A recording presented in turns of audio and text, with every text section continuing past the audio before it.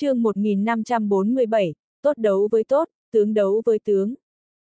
Làm lãnh đạo thì thích cảm giác thoải mái, chỉ cần em làm cho anh ta thoải mái thì chuyện gì cũng giải quyết được hết.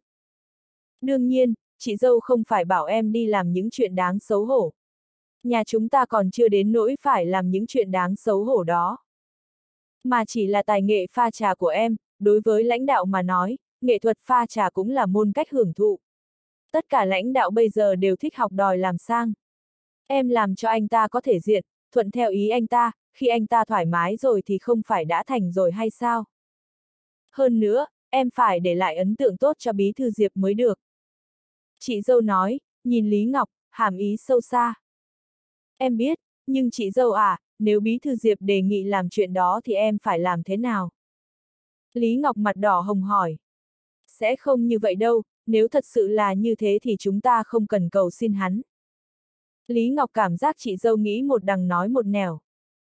Nhưng Lý Ngọc cũng không bóc mẽ, chỉ gật gật đầu.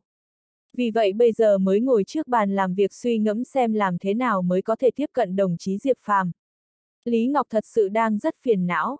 Diệp Phàm đang trò chuyện, lúc này, một nhân viên lễ tân từ trong đi ra, thông báo cho Chu Sâm Mộc, Diệp Phàm và Vu Tây Dương đi vào. Mấy người đều sửa sang lại quần áo đi vào phòng họp. Toàn bộ 13 ủy viên thường vụ tỉnh ủy đang ngồi bên một chiếc bàn bầu dục lớn tại trung tâm. Hai bên còn xếp hai hàng ghế. Chủ tịch thành phố Chu Sâm Mộc đi đến hàng ghế bên trái trước, Diệp Phàm tự nhiên bước đến một cái ghế hàng bên phải, trật tự vị trí ngồi y như trong một vụ tranh luận tại tòa án. Bắt đầu đi. Phí mãn thiên ngồi ở chính giữa, nói giọng đều đều.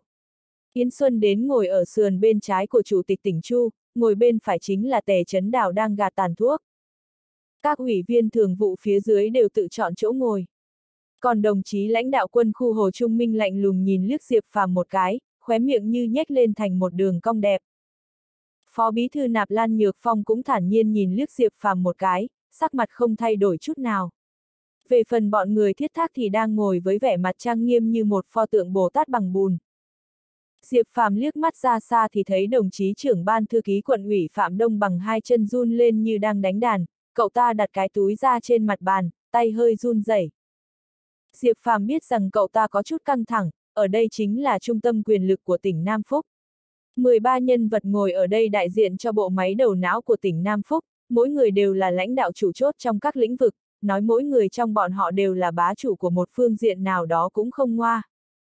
Diệp Phàm giơ tay nhẹ nhàng gạt tàn thuốc trên mặt bàn, nhìn Phạm Đông bằng một cái, hít một hơi sâu, tình hình dường như trở nên tốt hơn nhiều. Rồi Diệp Phàm lại nhìn Vu Tây Dương phía đối diện, gã này so với Phạm Đông bằng không khác là mấy, cũng đang run rẩy. Còn Chu Sâm Mộc vẻ mặt nghiêm túc nhìn Phí Mãn Thiên và Yến Xuân, không để ý đến đồng chí Vu Tây Dương. Thấy Phí Mãn Thiên vừa ra hiệu với mình, trưởng ban thư ký tỉnh ủy Kiều Chí Hòa đứng lên, liếc mắt nhìn hai người Chu Sâm Mộc và Diệp Phàm một cái rồi mới nói. Ngày hôm qua, Văn phòng ủy viên thường vụ tỉnh ủy nhận được tài liệu khiếu nại tập thể của ban lãnh đạo khu Hồng Liên trực thuộc thành phố Thủy Châu.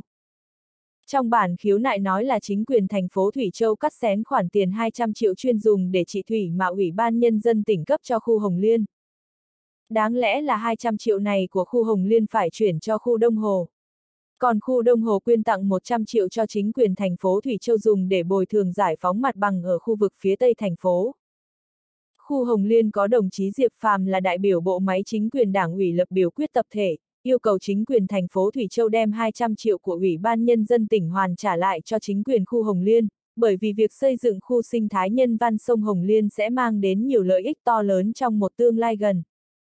Việc cấp bách cần một khoản tài chính lớn, việc này không thể làm qua loa được. Tuy nói Kiều Chí Hòa tiếp thu nhiều thông tin hỗn độn cùng một lúc nhưng đang ngồi lại nghe ra được cái gì.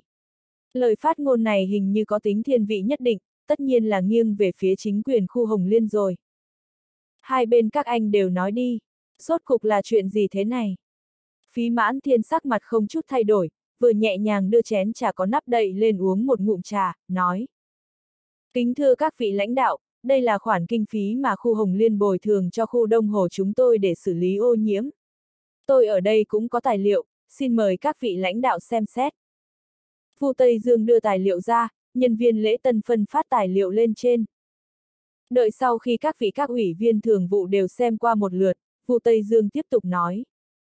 Các vị cũng thấy đấy, đây là tài liệu chi tiết về tình trạng ô nhiễm nguồn nước mà Ban Bảo vệ môi trường quận của khu Đông Hồ chúng tôi đưa ra, còn có các chỉ số về chất lượng nước tương ứng của sông Ngọc Diệp trực thuộc khu Đông Hồ của chúng tôi khi khu Hồng Liên xả nước.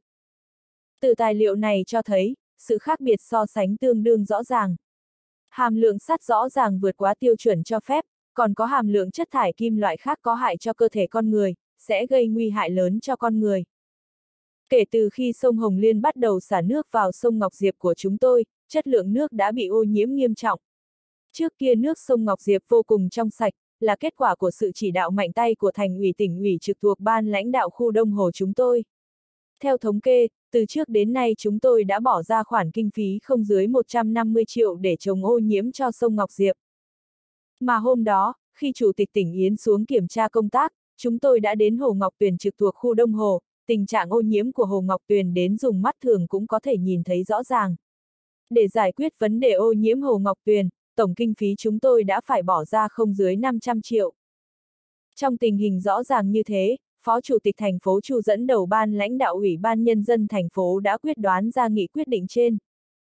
Thành viên ban lãnh đạo thành ủy tại hiện trường lúc đó có 11 người, theo hình thức ban lãnh đạo lâm thời chính thức ra nghị quyết, đem khoản tiền 200 triệu còn lại của khu Hồng Liên ở Cục Tài chính thành phố bồi thường cho khu Đông Hồ chúng tôi để xử lý ô nhiễm.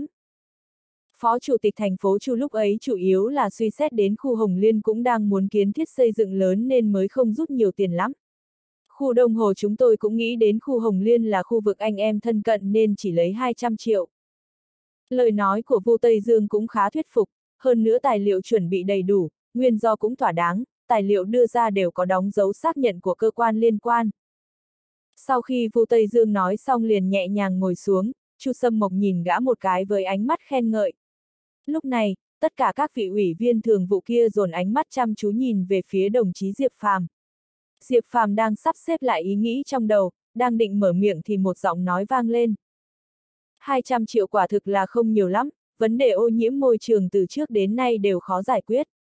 Chắc hẳn khu đông hồ các anh còn phải tự bỏ ra thêm 100 triệu nữa. Lúc này, phát ngôn thản nhiên của tư lệnh quân khu tỉnh Hồ Trung Minh ở trên hội nghị thường vụ về cơ bản có khuynh hướng rõ ràng là đang phê bình đồng chí Diệp Phàm. Các ủy viên thường vụ đang ngồi ở đây đều biết rõ trong lòng rằng tư lệnh Hồ bắt đầu nổi trận lôi đình vì chuyện nhà khách quân khu tỉnh. Nhà khách quân khu tỉnh khi đó đồng ý rời khỏi đường sông đã khiến các vị các ủy viên thường vụ cảm thấy kinh ngạc, cũng thầm khâm phục khả năng của Diệp Phàm, không ngờ có thể làm tư lệnh Hồ rời chuyển tòa nhà. Chuyện này tưởng rằng đã kết thúc rồi, không ngờ tư lệnh Hồ bây giờ lại tiếp tục mở miệng. Gây ô nhiễm cho người khác thì nên bồi thường. Chuyện này dù đi đến đâu cũng đều thấu tình đạt lý rồi. 200 triệu, không nhiều, không nhiều. Một số đồng chí có tư tưởng chưa được, cậu hãy dùng tâm mà nghĩ thử xem, nếu con sông của cậu bị người khác làm ô nhiễm, cậu cũng sẽ đề xuất bồi thường phải không nào? Thưa các đồng chí, đều phải suy nghĩ cho đối phương một chút. Không thể chỉ làm ô nhiễm mà không xử lý ô nhiễm phải không nào? Lúc này, Ủy viên tỉnh ủy ngồi ở hàng ghế thứ tư phó bí thư Nạp Lan Nhược Phong cực lực phê bình đồng chí Diệp Phàm, thể hiện rõ ràng đang ủng hộ cho Chu Sâm Mộc và Vu Tây Dương. Ha ha, gây ô nhiễm đương nhiên phải xử lý ô nhiễm. Điều này là hoàn toàn chính đáng. Đúng lúc này, Tề Chấn Đào đột nhiên mở miệng, không ngờ cũng bắt đầu phê bình Diệp Phàm. Khi tất cả mọi người đang cảm thấy kỳ lạ thì Tề Chấn Đào đột nhiên kia mặt nghiêm, nói khoản tiền bồi thường cần phải bỏ ra, nhưng thôi, cái giá mà đẩy lên tận trời như vậy cũng không được. Đó là hành vi kiểu gì vậy, nói khó nghe một chút, không khác gì so với đám gian xảo ở ngoài chợ. Nói ra một ví dụ đơn giản, anh đi đường không cẩn thận đâm vỡ cái cốc giá 200 tệ của người ta, chỉ cần bồi thường cho người ta 200 tệ là được rồi. Thế nhưng người ta lại đòi hai chục ngàn, vậy có còn hợp lý nữa không? Tề Trấn Đào nói đến đây, Cao Mạnh vào quai chén một chút nói. Gặp phải tình huống này, đương sự chắc chắn là có quyền báo cảnh sát có phải không? Một khi điều tra ra, kẻ xảo trá còn bị bắt ấy chứ. Đương nhiên, tôi chỉ đưa ra một ví dụ để minh chứng chút thôi. Đối với kiểu tình huống như thế này, tuyệt đối không cho phép phát sinh đối với những cán bộ đảng viên như chúng ta. Là chính quyền thành phố Thủy Châu thì càng nên biết công trình xây dựng và kinh tế là có liên quan mật thiết với nhau. Khu Hồng Liên trước kia có tình trạng như thế nào thì đến bây giờ vẫn có tình trạng như thế ấy. Tôi muốn nhắc nhở một số đồng chí, chỉ xem xét biểu hiện bên ngoài là không ổn, mà phải nên suy xét đến bản chất bên trong sự việc mới được. Ha ha, lời bí thư tề nói là hoàn toàn có lý, bản thân tôi công tác ở Ủy ban kỷ luật, không hiểu về phương diện kinh tế và xây dựng. Thiết thác với khuôn mặt bánh mì lẫn điệu cười nhạt xưa nay chưa từng thấy, nói tiếp. Tôi sẽ nói theo lập trường của Ủy ban kỷ luật, có chuyện mà biểu hiện bên ngoài là xấu nhưng trên thực tế lại là chuyện tốt. Điểm xuất phát của người ta không hề sai. Còn có một số đồng chí yêu cầu rất quá đáng, bản chất vấn đề này đã bị biến chất. Yêu cầu bồi thường là hoàn toàn chính đáng, lại biến thành tống tiền rồi. Những chuyện như thế này, Ủy ban kỷ luật chúng tôi sẽ không thể mặc kệ mà khoanh tay đứng nhìn được. Chúng ta đều là cán bộ đảng viên, phải đem lợi ích của quần chúng nhân dân đặt lên trên hết mới đúng.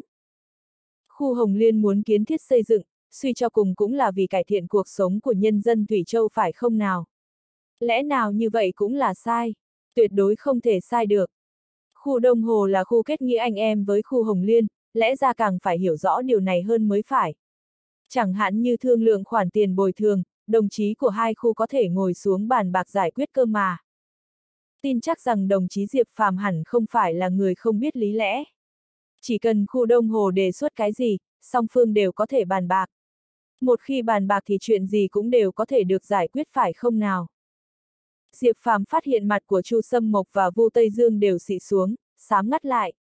Nhưng bây giờ là đánh giá của lãnh đạo tỉnh ủy, hai người không dám hé răng, hẳn là trong lòng đang buồn bực khó chịu lắm. Những vị lãnh đạo này thường thường cười nhạt, ở giữa chơi trò rằng co, trong ngôn từ có thể nhận thất được đạo lý lớn. Ha ha, hôm đó tôi có đi đến Hồ Ngọc Tuyền, quả thực có người thấy mùi lạ.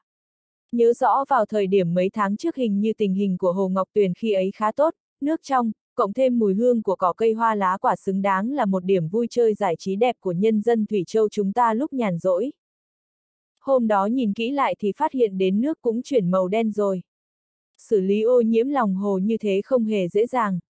Các đồng chí, chúng ta không thể đợi đến lúc hồ trở nên thối váng lên rồi mới xử lý phải không nào?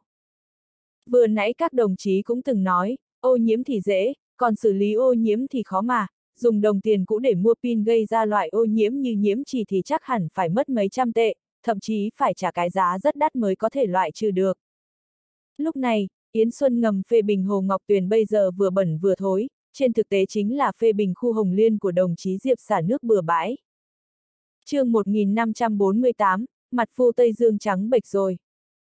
Vừa nghe thấy đồng chí Yến Xuân lên tiếng, Chu Sâm Mộc và Vu Tây Dương sắc mặt đang nặng nề lập tức trở nên nhẹ nhàng ngay. Hai thằng cha này giống như chút được không ít lo lắng, bởi vì dựa vào những lời này thì biết Chủ tịch tỉnh Yến đang ủng hộ mình. Hơn nữa, nhân vật số một tỉnh Nam Phúc như phí mãn thiên còn đang thản nhiên nhấp trà, chưa phát biểu gì. Nhân vật số một không hé răng, rất có thể là không phát biểu cách nhìn nhận về vấn đề này, hoặc là đang ngầm ủng hộ cho bên của mình. Điều này có thể tìm ra dấu hiệu dễ thấy. Từ đó, Chu Sâm Mộc và Vu Tây Dương nhìn thấy được ánh sáng của thắng lợi. Chỉ cần phí mãn thiên không mở lời, lời nói của Chủ tịch tỉnh Yến Xuân không khác gì thách thức. Cái gì mà gọi là nhân vật số 2 thì đây chính là người đó. Ban đầu khi phát hiện vấn đề ô nhiễm của Hồ Ngọc Tuyền, tôi nhất thời ngại không đi tìm bí thư diệp của khu Hồng Liên thương lượng vấn đề xử lý ô nhiễm. Dù sao khu Hồng Liên cũng đang trong quá trình kiến thiết xây dựng lớn, khu Đông Hồ anh em nên ủng hộ bọn họ. Hơn nữa, đồng chí Diệp Phàm quản lý khu Hồng Liên, tính ra còn là đơn vị cấp trên của tôi. Khu Hồng Liên là một đơn vị cấp phó giám đốc sở, còn khu Đông Hồ chúng tôi chỉ là một đơn vị cấp cục trưởng. Nào nghĩ đến bọn họ còn làm trầm trọng thêm, mấy ngày nay xả nước bẩn như nước lũ dữ dội, cứ chiếu theo tốc độ này thì toàn bộ sông Ngọc Diệp của khu Đông Hồ chúng tôi thành con sông rác thải rồi. Mà Hồ Ngọc Tuyền được mọi người coi là di hòa viên nhỏ chắc chắn sẽ chỉ còn trong truyện ký của Thủy Châu, biến mất vĩnh viễn trong lịch sử. Nhìn thấy điều này, nghĩ đến điều này, tôi thật đau lòng quá, không có cách nào khác, chính thành ủy phó chủ tịch thành phố Chu cũng thấy không chấp nhận được, phải ra mặt xử lý việc này.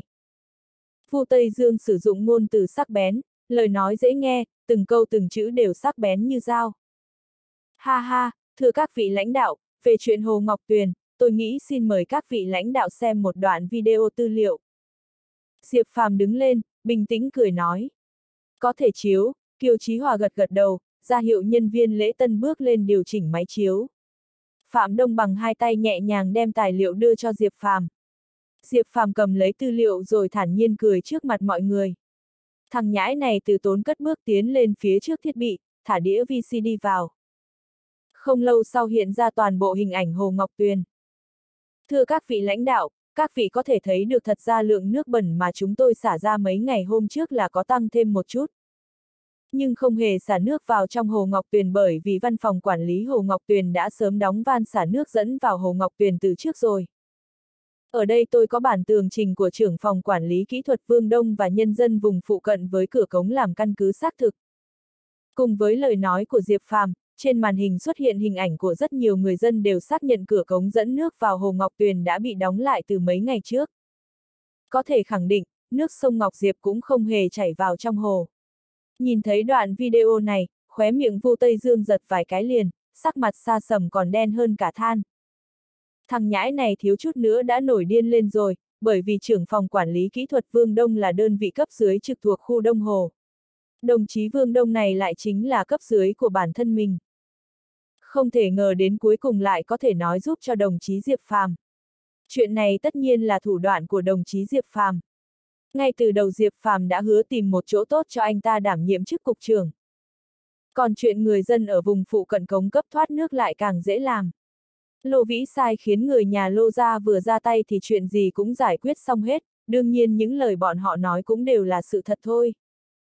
Thưa các vị lãnh đạo, các vị cũng thấy đấy. Những tư liệu dẫn chứng cho thấy sự ô nhiễm của Hồ Ngọc Tuyền hoàn toàn không phải do sông Hồng Liên gây ra.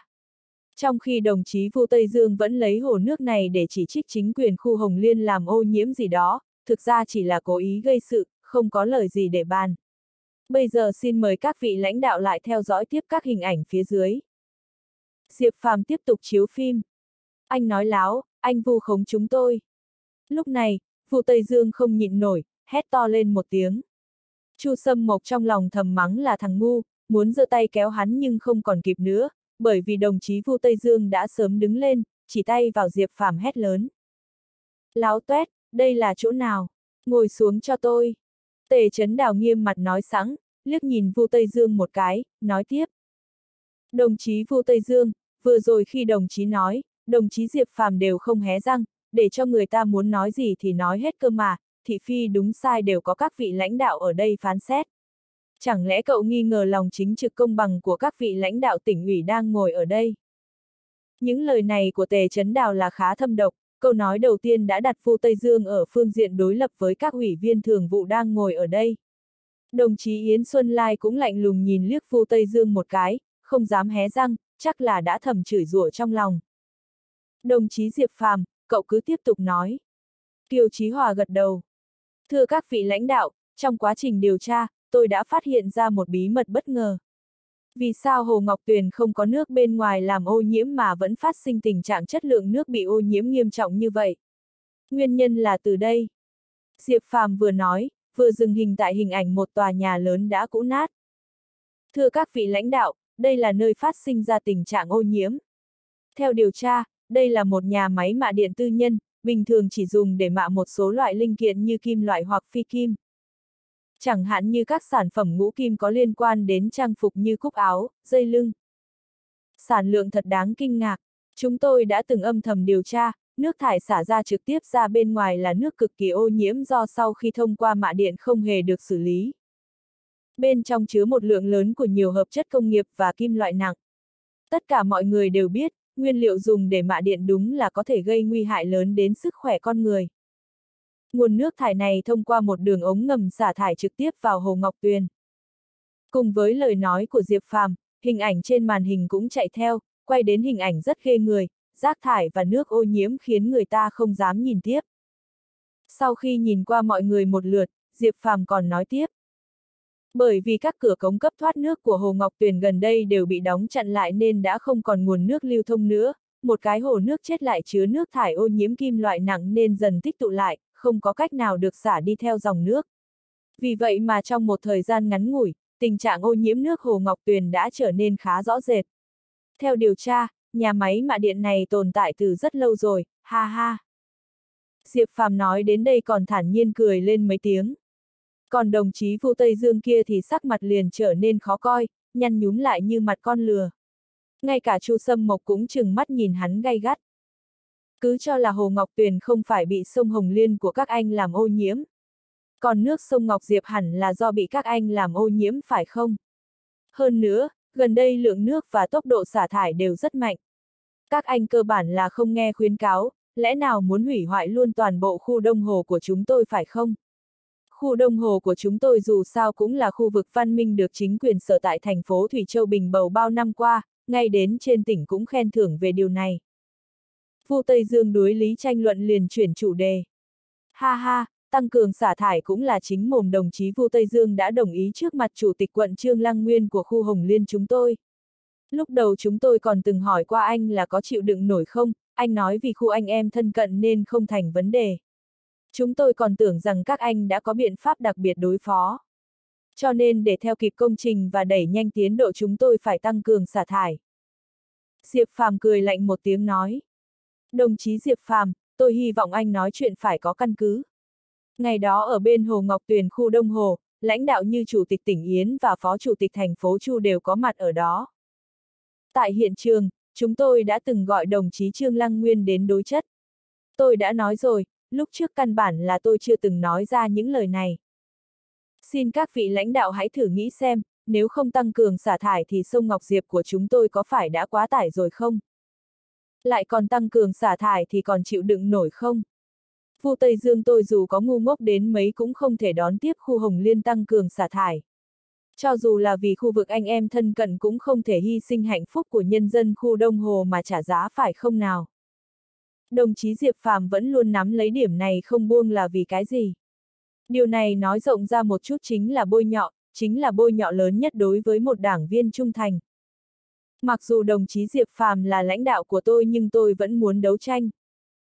Vu Tây Dương đứng thẳng như thân tre, nói năng hùng hồn đầy lý lẽ. Bởi vì, hắn cảm thấy mình tìm được cơ hội phản kích. Ừ, bất luận là cán bộ gì thì cũng không thể đẩy khu vực mình quản lý bị rơi vào tình trạng ô nhiễm như thế. Dù cho không phải là cán bộ phụ trách thì cũng không thể để như thế. Suy cho cùng, địa hạt mà mình quản lý như đứa con của chính gia đình mình. Có người nói đó là chủ nghĩa địa phương nhưng thực ra, dù ít dù nhiều cùng vì lợi ích của chính quận mình, trong lòng mỗi người đều tồn tại điều này. Lúc này, tư lệnh quân khu tỉnh Hồ lại bắt đầu phản pháo. Người cha không thương con nhất định không phải là người cha tốt. Tin rằng các vị làm quan cũng như cha mẹ của dân, đều là những bậc cha mẹ tốt. Nạp Lan Nhược Phong lại thình lình buông một câu, tất nhiên là nói giúp cho Vu Tây Dương. Ha ha, đương nhiên chắc chắn là những bậc cha mẹ tốt rồi. Nhưng cũng chính bởi vì quá yêu thương đứa con của chính mình mà một số đồng chí e rằng vì quá nuông chiều con nên cũng có thể dở trò dối trá. Chẳng lẽ vì con của mình mà có thể cho phép người khác nói dối sao? Tấm lòng cha mẹ trong thiên hạ, lời nói dối nói nhiều thì biến thành lời nói thật. Tề chấn đào thản nhiên mỉm cười, nói vài câu. Lời của ông ta nghe không hiểu ra sao cả, thực ra là ngầm chỉ trích Vu Tây Dương chẳng ra làm sao. Làm đảng viên, hẳn là lấy sự thật làm căn cứ, lấy pháp luật làm thước đo. Chỉ nói xuông chứ không làm cũng không được, đảo mắt không nhận tội lại càng không được. Kẻ có tính xấu này vô cùng tồi tệ. Bí thư thiết thác mở miệng ra là nói đến pháp luật, mở miệng ra là nói không được. Mặt nạ của Vu Tây Dương sắp không giữ tiếp được. Lúc ấy ở Hồ Ngọc Tuyền từng đối chất về chuyện này sao? Lúc này phí mãn thiên ngồi ở vị trí chủ tọa đột một hỏi. Thưa bí thư phí, đúng như vậy. Lúc ấy tại hiện trường có chủ tịch tỉnh Yến dẫn theo vài nhân viên phụ trách, còn có lãnh đạo thành ủy và ủy ban nhân dân thành phố Thủy Châu. Chu Sâm Mộc đáp với vẻ mặt cung kính. Đúng là từng đối chất qua, lúc ấy chủ tịch quận trương vì chuyện này mà gấp gáp đến nứt hơi, cuối cùng còn hôn mê bất tỉnh. Hai, đều xảy ra rồi. Đồng chí Diệp Phàm, tôi hy vọng anh nếu không có bất kỳ cơ sở thực tiễn nào thì đừng đem chuyện này ra nói nữa. Ở đây là nơi nào chứ, là trung tâm lãnh đạo cấp cao của tỉnh Nam Phúc chúng ta. Làm đảng viên, phải lấy sự thật làm căn cứ. Vừa rồi bí thư thiết thác cũng từng nói ra những lời này, chỉ nói xuông mà không làm cũng không được. Loại này tư tưởng không được, tôi hy vọng anh từ nay về sau hãy để ý đến những hành vi của mình. Ở đâu cũng phải tự mình giữ lấy tiêu chuẩn của một đảng viên. Chủ tịch tỉnh Yến Xuân mặt nghiêm túc bắt đầu giáo huấn đồng chí Diệp Phàm và đem lời nói của thiết thác ra để công kích Diệp Phàm. Thằng cha này quả thật lợi hại, lúc nào cũng dựa thế người khác. Thưa Chủ tịch tỉnh Yến, tôi thật sự có chứng cớ, xin mời theo dõi tiếp. Diệp Phàm vừa nói xong lại ấn nút khởi động, video tiếp tục chạy. Hình ảnh tiếp theo vừa hiện ra, Vu Tây Dương kia sắc mặt lập tức trở nên trắng bệch, tức giận đến nỗi nghiến răng ken két. chương 1549, lật ngược tình thế. Thư ký Tống Kiệt của Vu Tây Dương trong đoạn phim thừa nhận chuyện ngày hôm đó, nói là hôm đó Trương Lăng Nguyên đến tìm bí thư Vu Tây Dương, bí thư Vu tiếp ông ta tại một phòng khách ở gian ngoài. Lúc ấy tại hiện trường còn có thư ký Vương Văn của Chủ tịch quận Trương. Lúc ấy Bí Thư Vu đã nghe Chủ tịch quận Trương nói qua vài ngày nữa phải khởi động kiến thiết xây dựng toàn diện khu Hồng Liên, sau khi thương lượng rằng có thể tăng cường xả nước hay không đã sảng khoái đồng ý chuyện cho mượn sông để xả nước. Hơn nữa còn từng nói với đồng chí Trương Lăng Nguyên là vì khu vực thân cận mở rộng kiến thiết xây dựng lớn, còn nói là vì Diệp Phàm là lãnh đạo trực tiếp của mình, làm cấp dưới hẳn phải ưu tiên cho lãnh đạo nên còn đề nghị khu Hồng Liên tăng cường lượng nước xả thải, tuy nhiên chỉ cho khu Hồng Liên thời hạn 5 ngày để xả toàn bộ lượng nước. Và trên màn hình, Trương Lăng Nguyên đã xác nhận chuyện này, thư ký vương văn của Trương Lăng Nguyên cũng nói Nguyên Văn xác nhận chuyện này. Các anh, đây là thông đồng với nhau, chuyện bịa đặt. Họ Diệp kia, anh đã mua chuộc thư ký của tôi. Phu Tây Dương thảm thiết hét lên một tiếng, người run lên cầm cập như là trạng thái đột nhiên bị trúng gió. Bịch một tiếng, đồng chí lão Vu đã không đứng vững được nữa, ngã thẳng xuống dưới gầm bàn. Trong phòng hội nghị lập tức có chút rối loạn. Đừng nóng vội, huyết áp tăng cao đột ngột. Để tôi, chắc là giống với tình trạng của chủ tịch quận trương ngày hôm đó. Diệp Phàm vừa kêu lên một tiếng, chân vừa bước qua đến ấn vào một huyệt đạo trên người Vu Tây Dương. Không lâu sau, một nhân viên lễ tân đưa đến một bát canh gừng, dùng đũa cạy miệng hắn rồi đổ vào. Tuy nhiên, Vu Tây Dương vẫn không có phản ứng gì. Xe cứu thương đến chưa? Phí mãn thiên vẻ mặt nghiêm túc, quay đầu hỏi trưởng ban thư ký Kiều Chí Hòa. Sắp đến rồi ạ. À? Kiều Chí Hòa đáp, vẻ mặt lo lắng cầm di động lại bấm số. Tôi thử dục thêm lần nữa. Bí thư vô tỉnh lại đi, chắc là không sao nữa rồi. Diệp Phàm hừ nói, tuy nhiên, Vu Tây Dương vẫn nhắm chặt hai mắt, không có động tĩnh gì, hơn nữa hơi thở như ngày càng yếu đi. Cứ theo tình hình này thì chắc là có chút nguy hiểm. Phí Mãn Thiên và Yến Xuân Lai đều có chút lo lắng. Nếu ủy viên thường vụ trong phòng hội nghị mà xảy ra tai nạn chết người thì chắc hẳn hai vị đây sẽ không tránh khỏi bị liên lụy. Hai, lão Vu trước kia đã có tiền sử bệnh tim, chắc là bị tái phát. Anh ta hẳn là cảm thấy tủi thân đây. Chu Sâm Mộc vội thở dài để che đậy. Vừa rồi mất mặt quá, sau khi thư ký của Vu Tây Dương đứng ra phát biểu, Chu Sâm Mộc biết hôm nay gã đã quá mất thể diện. Thằng cha này hận không thể một cước đá đồng chí Vu Tây Dương từ tầng thứ mười mấy của tòa nhà hội nghị xuống âm phủ tâm sự với đầu trâu mặt ngựa luôn đi. Ha ha, đừng căng thẳng, tôi còn có một cách, đảm bảo anh ta sẽ tỉnh lại ngay lập tức. Diệp Phàm thản nhiên cười lên một tiếng, quay sang phía gót chân của Vu Tây Dương, thoáng cái đã giúp hắn cởi được giày ra. Trong khi các vị lãnh đạo vẻ mặt đầy ngạc nhiên, Diệp lão đại giơ tay ấn vào huyệt cười dưới lòng bàn chân của đồng chí lão Vu. Ha ha ha, ha ha ha. Vu Tây Dương rốt cuộc không nhịn nổi, cười hô hố ngồi dậy. Lập tức, toàn thể các vị lãnh đạo đều trợn tròn mắt. Ai cũng biết đồng chí Vu Tây Dương vừa rồi là giả vờ bất tỉnh. Vu Tây Dương vừa thấy vẻ mặt của mọi người, trong nháy mắt mặt trở nên trắng bệch, lập tức ngã vật xuống.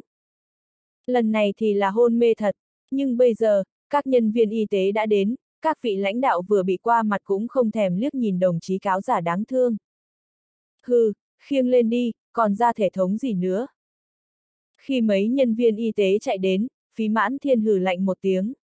Các y tá bác sĩ luống cuống khiêng người tới hành lang hẹp rồi mới bắt đầu tiến hành sơ cứu. Thật là hoang đường, một chuyện hoang đường như thế này sao lại có thể đột nhiên xảy ra ở ngay dưới quốc kỳ của đảng được. Đồng chí Chu Sâm Mộc, anh đã làm được chuyện gì thế hả? Giờ phút này, phí mãn thiên nổi trận sung thiên, đập bàn dầm một cái. Đồng chí Chu Sâm Mộc sắc mặt như một phiến lá vàng giống như đột một bị người ta làm thành món thịt kho tàu tứ xuyên vậy. Mà lời nói của phí mãn thiên cũng như là thịt hun khói, tương đối nặng lời.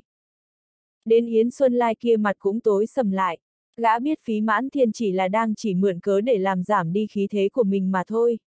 Việc này lúc đó mình cũng có mặt tại hiện trường, cắt xén khoản tài chính 200 triệu của khu Hồng Liên tất nhiên là do mình ngầm đồng ý cho qua, mà cấp 200 triệu cho khu Hồng Liên thật ra là ý của phí mãn thiên. Đối với sự quan tâm đặc biệt của phí mãn thiên đối với khu Hồng Liên, Yến Xuân Lai đến giờ vẫn có ý kiến. Cho nên ngày hôm đó liền tương kế tự kế, ở khu đồng hồ đã đồng ý cho phép chuyển khoản tiền đó cho khu đông hồ. Điều này không khác gì cho phí mãn thiên một cái bạt tai. Khoản tiền mà phí mãn thiên cấp xuống, ông đây có cách chuyển đi. Đến sau cùng khoản tiền này không thể nào rơi vào tay Diệp Phàm được. Hơn nữa, Yến Xuân Lai còn biết, gần đây vì sự cố phó chủ tịch tỉnh cố bị bắt khiến cho người nhà phí gia ở thủ đô cũng có chút mất thể diện. Trong khi thế của mình bên này đang thịnh, bản thân mình đang muốn nhân cơ hội này để đả kích phí mãn thiên. Không ngờ Vu Tây Dương lại biến mình thành trò hề như vậy. Ngay bây giờ, đồng chí Yến Xuân Lai thậm chí còn muốn giết chết đồng chí Vu Tây Dương, treo cổ đồng chí Chu Sâm Mộc. Đồng chí Chu Sâm Mộc, lập tức trở về Ủy ban Nhân dân tỉnh chuyển trực tiếp số tiền 200 triệu đến tài khoản của phòng tài chính quận trực thuộc khu Hồng Liên. Hồng Liên đang cần kiến thiết xây dựng lớn, khu Hồng Liên là khu thí điểm mới của tỉnh Nam Phúc chúng ta được Quốc vụ viện phê chuẩn, là khu chức năng trọng điểm gánh vác sứ mệnh mô hình kiểu mẫu lịch sử, tuyệt đối không thể khiến nó thất bại được.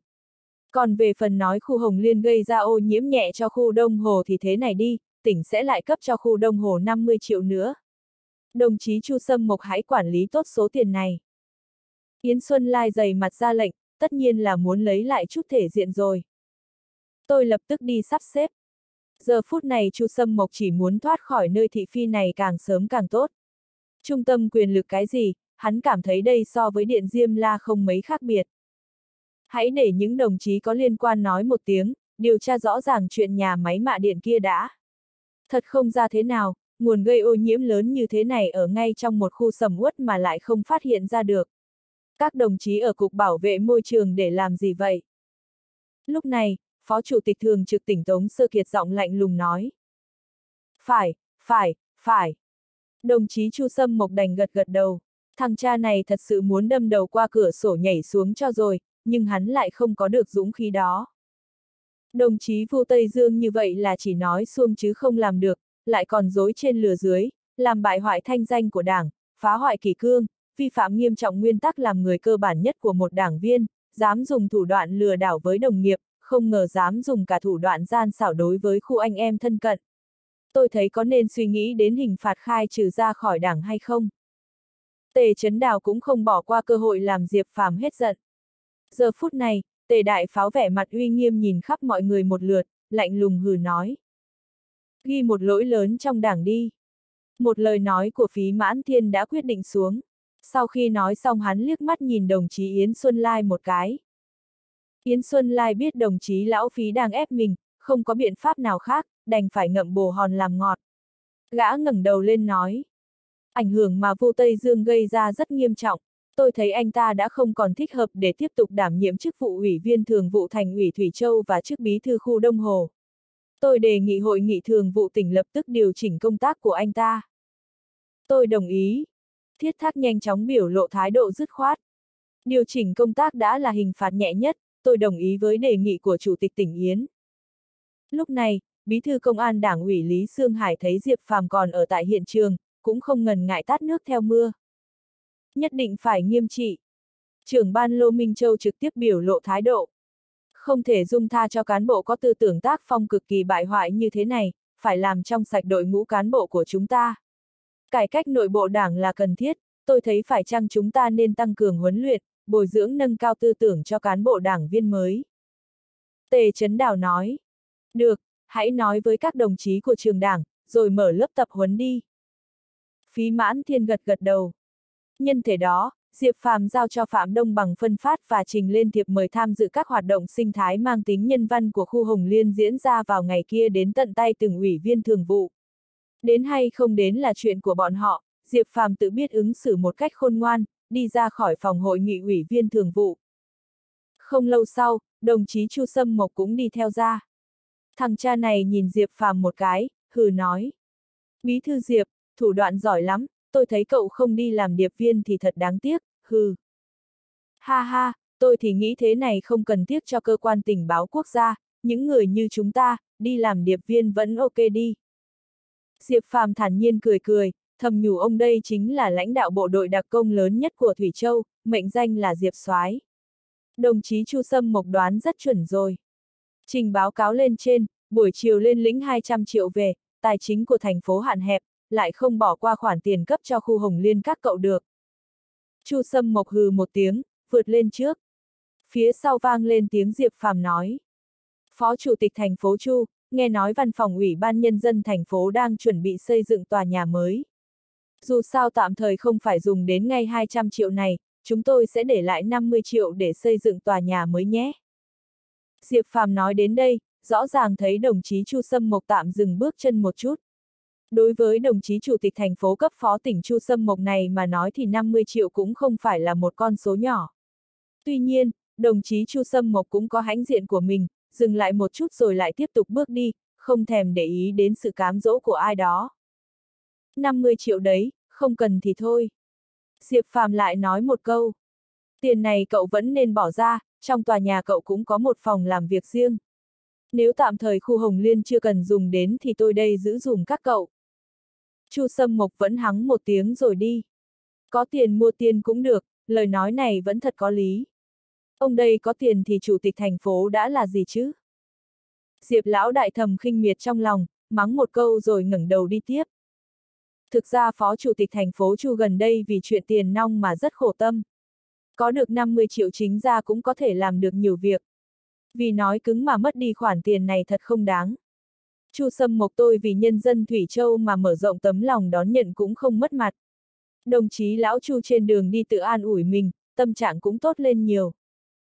Đồng chí lão đoạn còn trở về kịp lúc, bên này vừa ra quyết định, không ngờ buổi sáng ngày hôm sau hắn đã về tới Thủy Châu. Bởi vì, ngày mai khu Hồng Liên long trọng cử hành buổi lễ khánh thành cầu Cửu Vân trên sông Hồng Liên. Lão đoạn là nhân vật số một của Thủy Châu đương nhiên không thể vắng mặt rồi. Chủ tịch quận Trương Lăng Nguyên vẻ mặt vui mừng hớn hở đi vào phòng làm việc của Diệp Phàm. Đầu tiên chính là cười giòn tan một hồi nói. Bí thư Diệp, hết giận, hết giận rồi. Đối với việc Diệp Phàm giúp ông ta chút giận, giành lại sĩ diện cho ông ta, Trương Lăng Nguyên cảm kích vô cùng, thậm chí còn rất khâm phục nữa. Ha ha, nên như vậy mà lão Trương, chuyện chuẩn bị cho hoạt động thế nào rồi? Ngày mai bất luận thế nào cũng không được để xảy ra sơ suất gì đấy. Diệp Phàm thản nhiên cười hỏi. Audio điện tử võ tấn bền. chương 1550, Lý Ngọc đã đến. Có trưởng ban thư ký Đông Bằng ở đây thì tuyệt đối không có vấn đề gì rồi. Tổng giám đốc Mai của công ty truyền thông Giang Nam đích thân ngồi chỉ huy tại hiện trường. Cậu không biết đó thôi, khi bắt đầu quay phim thì nhân viên công tác của khu chúng ta được mở rộng tầm mắt rồi. Khi mấy đại minh tinh của Hồng Kông vừa xuất hiện, tiếng hò reo lừng lẫy vang lên từng hồi. Toàn bộ nhân viên công tác quên đi cả nhiệm vụ, đứng ngây ra nghe. Hát rất hay, rất hay. Trương Lăng Nguyên cười nói, tâm trạng đặc biệt sảng khoái. Cũng khó trách được bọn họ, bình thường chỉ có thể xem trên màn ảnh TV mà bây giờ đột nhiên xuất hiện tại khu Hồng Liên chúng ta. Chính tôi ngày mai cũng phải xin chữ ký của bọn họ mới được. Diệp Phàm thản nhiên cười nói.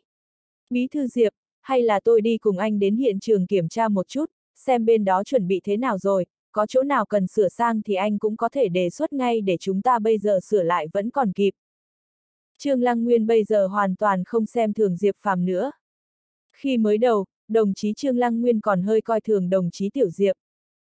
Cho rằng người thanh niên cướp mất vị trí của mình hoàn toàn không xứng đáng, lão Trương trong lòng không phục. Tuy nhiên sau khi nghe Phạm Đông Bằng miêu tả, đồng chí Lão Trương lại hoàn toàn ủng hộ cách làm của đồng chí Diệp Phàm. Dù sao cũng thật lòng muốn cùng Diệp Phàm kiến thiết khu Hồng Liên, bởi vì đồng chí Lão Trương đã thấy được khả năng của Diệp Phàm, bản thân đấu với anh ta, căn bản là không biết tự lượng sức. Không thể không nói, đồng chí Lão Trương còn biết tự lượng sức mình. Ha ha, anh nhiều việc, bên đó đang cần kiến thiết xây dựng, không cần thiết phải đi theo tôi. Chỉ mình tôi đi là được, cũng nên đi ra ngoài loanh quanh một chút rồi. Diệp Phàm xua tay nói. Vậy tôi cung kính không bằng tuân lệnh.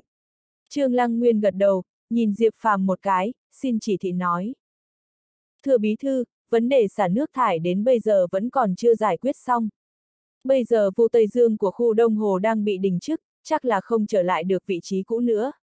Ở quận như rắn mất đầu, ai cũng không làm chủ được. Lúc này nếu chúng ta tăng cường lượng nước xả thải, phải chăng là có chút dậu đổ bìm leo, không hay lắm. Tôi không muốn mắc vào tiếng xấu đó, xin anh cho một một chủ ý. Trương Lăng Nguyên thậm chí có vẻ hơi cung kính khi nói với Diệp Phàm những lời này. Diệp Phàm vừa nghe đã hiểu ra ngay, ý tứ của đồng chí Trương Lăng Nguyên khi nhắc tới vị trí lãnh đạo khu Đông Hồ, không cần giải thích cũng đã quá rõ rồi. Đồng chí Lão Trương đang chăm chăm cái vị trí kia, đề xuất vào lúc này đơn giản hy vọng là mình có thể nói giúp vài lời trước mặt bí thư đoạn, đến lúc đó cũng có thể có tên trong danh sách đề cử của thành phố. Ha ha, tôi thấy việc này cứ như vậy đi. Lượng nước không cần gia tăng, cứ theo mức bình thường mà xả ra, hơn nữa sẽ phải cùng người đứng đầu tạm thời của khu Đông Hồ thương lượng một phen. Hai bên thương lượng một biện pháp giải quyết dứt điểm vụ này. Còn bản thân chúng ta cũng phải tự xem xét lại xem có thể tự xử lý một phần ô nhiễm cục bộ hay không. Chẳng hạn như có thể mượn cái đường ống lớn xả nước xuống phía dưới, như vậy cũng làm giảm nhẹ được áp lực xả nước vào sông Ngọc Diệp. Còn nữa, xem khi hút nước còn có cách nào xử lý qua nước rồi mới hút lên được không? Xử lý tận gốc nguyên nhân gây ô nhiễm thì đối phó với vấn đề sông Ngọc Diệp cũng sẽ dễ dàng hơn nhiều. Chúng ta cũng phải suy bụng ta ra bụng người, suy nghĩ đến lập trường của các đồng chí khu Đông Hồ phải không nào? Diệp Phàm cười nói. Tôi lập tức đến khu Đông Hồ thương lượng với Chủ tịch quận Tịnh Hương một chút về việc này. Trương Lăng Nguyên tuy nói không nhìn thấy dấu hiệu nào thể hiện sự đồng tình của Diệp Phàm, nhưng hiện tại là trong thời kỳ nhạy cảm, phải ra sức làm việc cho Diệp Lão Đại mới được. Bằng không, khi Diệp Lão Đại mà có cách nghĩ của riêng mình thì bản thân mình đây cũng không có đất diễn rồi. Gan của Lão Trương quả không bé, nhìn theo bóng dáng Trương Lăng Nguyên, Diệp Phàm hừ lên một tiếng, đang định ra ngoài thì bất ngờ nghe được tiếng gõ cửa nhẹ nhẹ. Mời vào. Diệp Phàm đáp. Cánh cửa nhẹ nhàng hé ra, Diệp Phàm ngẩng đầu nhìn lướt qua. Thưa Diệp, Diệp Bí Thư, tôi. Phó phòng văn phòng đảng ủy công an tỉnh Lý Ngọc đang căng thẳng, miệng thầm thì, trên tay còn cầm một cái hộp lớn có vẻ rất nặng. Hôm nay cô nàng Lý Ngọc cũng không mặc trang phục cảnh sát mà là một chiếc sườn xám hiện đại. Điểm xẻ tà của chiếc sườn xám chỉ trên đầu gối một chút, không giống với chiếc sườn xám của Triều Thanh xẻ tà lên tận trên đùi non. Đây chính là điểm hấp dẫn của trang phục sườn xám. Màu sắc của sườn xám có xu hướng chuyển sang gam màu lạnh, những hoa văn chìm nhẹ trên nền xanh lá mạ là nổi lên sự sang trọng, còn phong cách cổ xưa thì thích sáng bóng. Bởi vì chiếc eo lưng nên càng tôn vòng eo thon của Lý Ngọc. Thân hình Lý Ngọc cũng không phải thuộc dạng gầy guộc như cây xào tre, ngực to vừa phải không lớn quá cũng không nhỏ quá. Thật ra vì chiếc eo lưng nên vóc dáng cơ thể của cô trở nên bắt mắt hơn nhiều, nhìn liếc qua sẽ thu hút ánh mắt của đàn ông dừng lại trên bộ ngực nhô lên khá cao của cô.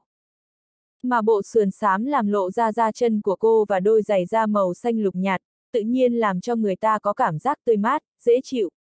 Lý Ngọc làm trà đạo cách ăn mặc trang điểm của cô rất phù hợp với thân phận của mình. Đôi mắt của cô rất lớn, trong veo, sáng long lanh.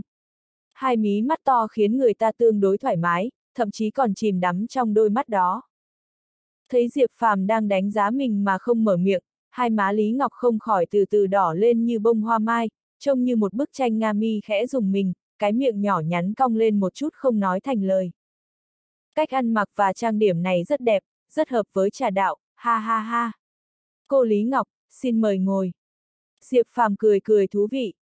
Trong lòng Lý Ngọc có chút khinh bỉ, thầm tự hỏi một câu, ánh mắt của bí thư Diệp này thật đáng khinh, chẳng lẽ anh ta thật sự là kẻ háo sắc? Mình có phải là dê rơi vào miệng hổ rồi không? Tuy nhiên, Lý Ngọc vẫn kiên trì ngồi một chỗ trên ghế sofa kê sát tường. Trong hộp chắc hẳn đựng dụng cụ pha trà. Diệp Phàm quay sang liếc nhìn chiếc hộp tinh xảo một cái, cười nói. Vâng, đây là phần thưởng đặc biệt của ban thành ủy cho tôi sau khi đạt giải thưởng, nghe nói là còn được chế tạo bằng loại ngọc như ngọc hòa điền. Nước trà khi được rót vào ấm trà sẽ tỏa ra mùi hương nhẹ, kết hợp với độ mềm mại của vân ngọc sẽ càng làm người ta hiểu rõ được sự tinh túy của trà đạo. Vừa nói đến trà đạo, Lý Ngọc đã hưng phấn trở lại, cảm giác căng thẳng cũng giảm bớt đi nhiều, nhìn Diệp Phàm một cái, khẽ cười nói. Bí thư Diệp, chỉ bằng tôi bây giờ biểu diễn cho anh xem nghệ thuật pha trà đích thực. Ha ha, y phục này của cô chắc là khi mặc vào thi đấu sẽ vất vả lắm phải không? Diệp Phàm thản nhiên cười nói. Vâng, lúc đó là nhà nước đặt may, còn phải bỏ ra 10.000 tệ. Sau khi dinh được giải thưởng về, bí thư Lý nhất thời cao hứng liền đem tặng bộ y phục này cho tôi. Lý Ngọc có chút ngại ngùng nói. Đúng lúc lắm, tôi ở đây vừa có một người bạn tốt tặng cho ít lá trà. Cô pha thử xem, đến ngày mai xin mời cô Lý Ngọc biểu diễn trà đạo với các vị khách quý. Đến lúc đó phải nhờ vào cô rồi. Diệp Phàm cười nói, đứng lên đến trước tủ chén lấy ra một ống tre chứa lá trà. Lý Ngọc sử dụng cụ pha trà một cách thuần thục, mở ống tre ra, dùng một thìa nhỏ cẩn thận, đặt trước mắt nhìn múc ra từng thìa một, lại cẩn thận đưa lên mũi người thử rồi bỗng nhiên sừng sốt, dáng vẻ như không dám tin, còn vươn một ngón tay lấy một lá trà bỏ vào miệng ngậm thử trong chốc lát. Lúc này, Lý Ngọc vẻ mặt càng kinh ngạc, dáng vẻ không chắc chắn, hỏi. Bí thư Diệp, loại trà này không phải là đại hồng bào của núi Vũ gì đấy chứ? Cô thật tinh mắt, điều này cũng cũng có thể nhìn ra được. Diệp Phàm thản nhiên cười nói. Đúng là thật sao? Lý Ngọc đứng lên, đang ngây người ra, chăm chăm nhìn Diệp lão đại. Sao thế? Diệp Phàm cố ý hỏi, nhìn Lý Ngọc một cái, cười nói. Không phải là một chút lá trà sao? Có đáng để cô xứng người nhìn tôi như thế không, là có ý gì đây? Cái này, tôi từng được nhìn thấy qua ở trận tranh tài. Nếu tôi đoán không sai thì đây chính là đại hồng bào chính hiệu, cũng không biết là lá trà đời thứ mấy được hái xuống. Anh nhìn xem, loại trà này có vẻ xoắn chặt chẽ, màu xanh nhạt tươi thắm vừa phải, sau khi ngâm xong sẽ chuyển màu da cam sáng, mà lá trà sẽ có màu giữa màu đỏ và xanh, điển hình của lá trà là màu đỏ rất đẹp mắt. Mà chất lượng ưu việt của đại hồng bào chính là nằm ở chỗ có mùi hương thơm nồng như mùi của hoa lan, hương thơm dễ chịu mà kéo dài, đậm đà rõ ràng. Lý Ngọc nói đến trà có vẻ rất am hiểu. Ha ha, cô biết quả không ít, nói tiếp đi. Diệp Phàm cười nói. Được, tôi sẽ nói những gì mà tôi nghe được. Lý Ngọc vừa nói vừa pha trà, hai đôi bàn tay trắng nõn như đang biểu diễn ảo thuật rất đẹp mắt và nhịp nhàng. Thời cận đại, chúng ta được nghe nói nhiều về chuyến thăm Trung Quốc của Nixon. Khi đó, Chủ tịch nước từng tặng cho ông ta hai gói đại hồng bào. Nixon ngầm có chút trách cứ chủ tịch keo kiệt đem tặng đồ vật chẳng ra gì. Sau này thủ tướng biết được, cười với Nixon nói nhẹ nhàng.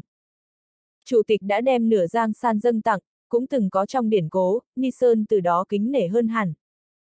Vì sao đại hồng bào lại quý giá như vậy, chủ yếu là ở chỗ sản lượng của nó cực ít, qua nhiều nhiều thế hệ đều là sản phẩm trà cống vua, đến nay vẫn duy trì giá trị. Hiện nay còn 6 cây trà tồn tại, sản lượng trà hàng năm chỉ được 7-8 lạng, đem bán cho trung ương nhà nước nửa cân, trong tỉnh chỉ còn lại 2-3 lạng chè. Nghe nói chuyên dùng cho Đại hội đường nhân dân tỉnh Phúc Kiến, chỗ còn lại chuyên dùng để tiếp đãi Tổng thống nước ngoài, vân vân. Mà chế biến đại hồng bào, từ chăm sóc, đến hái trà, chế biến trà, bảo quản trà đều được làm bằng máy móc với quy trình sản xuất được giám sát nghiêm ngặt, cẩn thận, hạn chế thời gian. Cảnh sát có vũ trang phải tham gia giám sát khi hái đại hồng bào, quá trình chế biến cũng được giám sát chặt chẽ bởi cảnh sát. Đại hồng bào, có người giám sát chăm sóc quanh năm không rời nửa bước, phụ trách trông coi bảo vệ trà. Diệp lão đại chỉ nghe thôi cũng cảm nhận được mùi thơm rồi. Nói như vậy, trà của tôi vô cùng quý hiếm rồi. Diệp lão đại bình tĩnh cười nói. Đương nhiên quý hiếm rồi, thực ra bây giờ chỉ còn lại 6 cây trà đại hồng bào đời đầu thôi, những cây này đều được nhà nước bảo vệ, sản lượng trà hàng năm không đủ 1 kg, hơn nữa chỉ dùng để nghiên cứu, căn bản là không lọt ra thị trường được. Còn loại trà đại hồng bào mà chúng ta mua được trên thị trường đã trải qua bao nhiêu đời lai tạo, giá cả cũng không phải rẻ. Tuy nhiên trên thị trường, tình huống thật giả lẫn lộn còn nhiều, bất luận loại trà gì cũng đều mạo nhận là đại hồng bào, thật giả khó phân biệt. Đại hồng bào chính hiệu, nếu là của cây đời thứ hai thì giá bán trên thị trường cũng gần 20.000 nửa cân, hơn nữa có rất ít, rất khó mua được. Bình thường đều chỉ cung cấp cho các vị lãnh đạo cấp cao thôi. Lý Ngọc nói, liếc mắt nhìn trộm Diệp Phàm rồi ngừng lại không nói nữa. Cô muốn hỏi chỗ trà này là của đời thứ mấy phải không? Diệp Phàm hỏi. Tôi biểu diễn trà, kỳ thật, tôi cũng đặc biệt thích trà. Lý Ngọc Thành thật gật đầu. Ha ha, lần trước đến thủ đô có một vị lãnh đạo tiện tay đưa cho tôi. Diệp Phàm thản nhiên nói một câu. Sau khi thưởng thức trà xong, Diệp Phàm cười nói. Lý Ngọc, dẫn cô đi gặp mặt mấy đại minh tinh, có muốn gặp họ chút không? chương 1551, cút ra đi. Minh tinh nào? Lý Ngọc liếc nhìn Diệp Phàm một cái, có chút ngượng ngùng, hỏi. Của Hong Kong, Trung Quốc đều có cả, nghe nói đều là cấp bậc thiên vương đó. Diệp Phàm thản nhiên cười cười. Thật sao, tôi đúng là có phúc, cảm ơn bí thư Diệp đã cho tôi cơ hội này.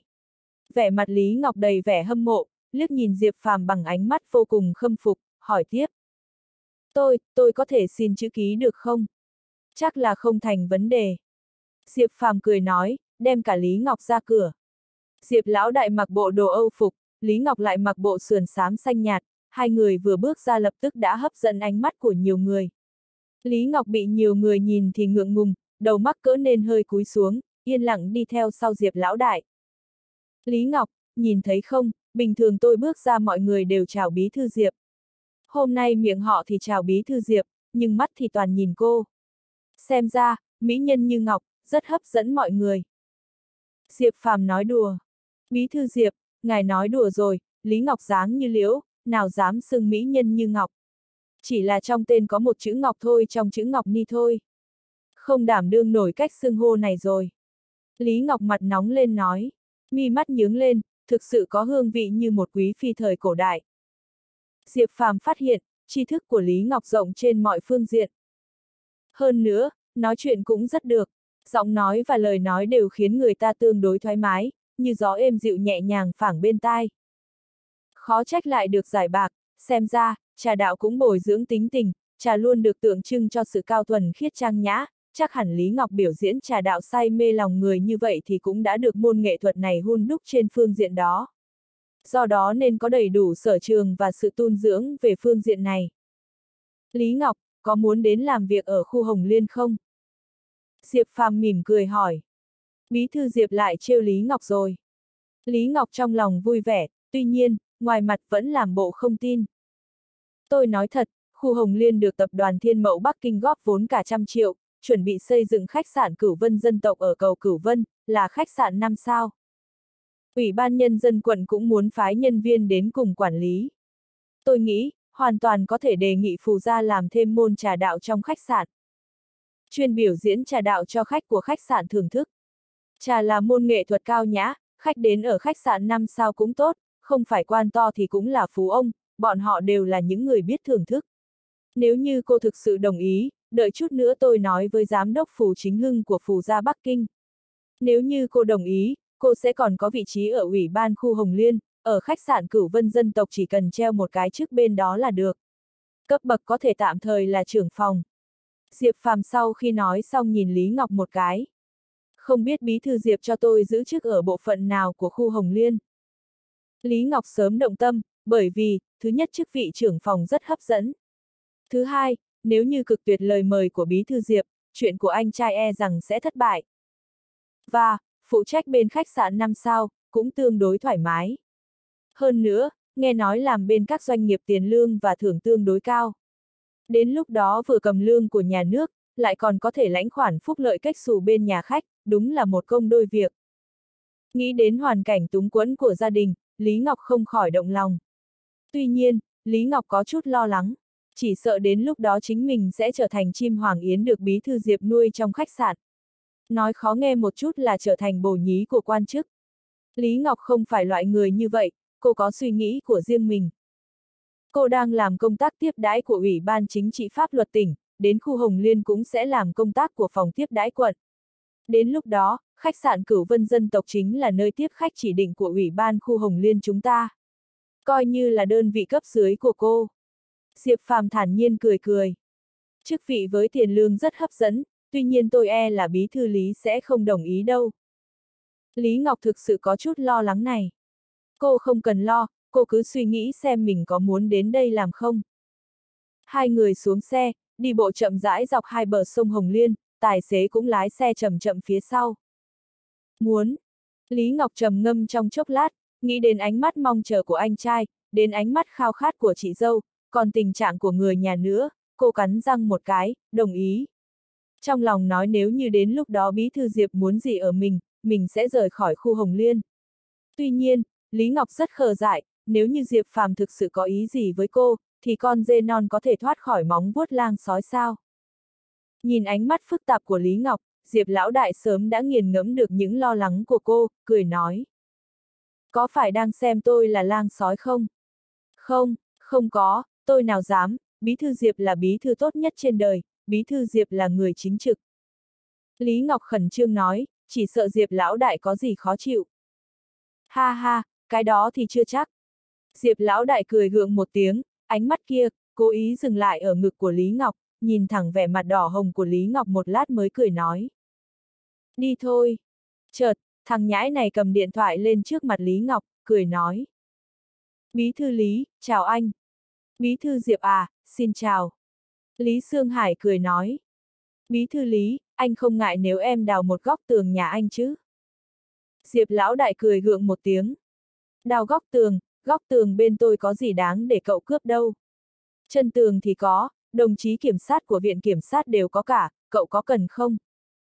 Lý Sương Hải cũng trêu chọc, cười nói.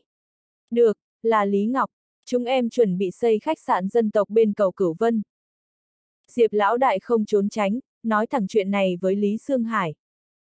Tin rằng Lý Sương Hải sẽ suy nghĩ, vì, từ miệng của Lý Sương Hải có thể biết, anh ta có quan hệ tốt với Phủ Gia.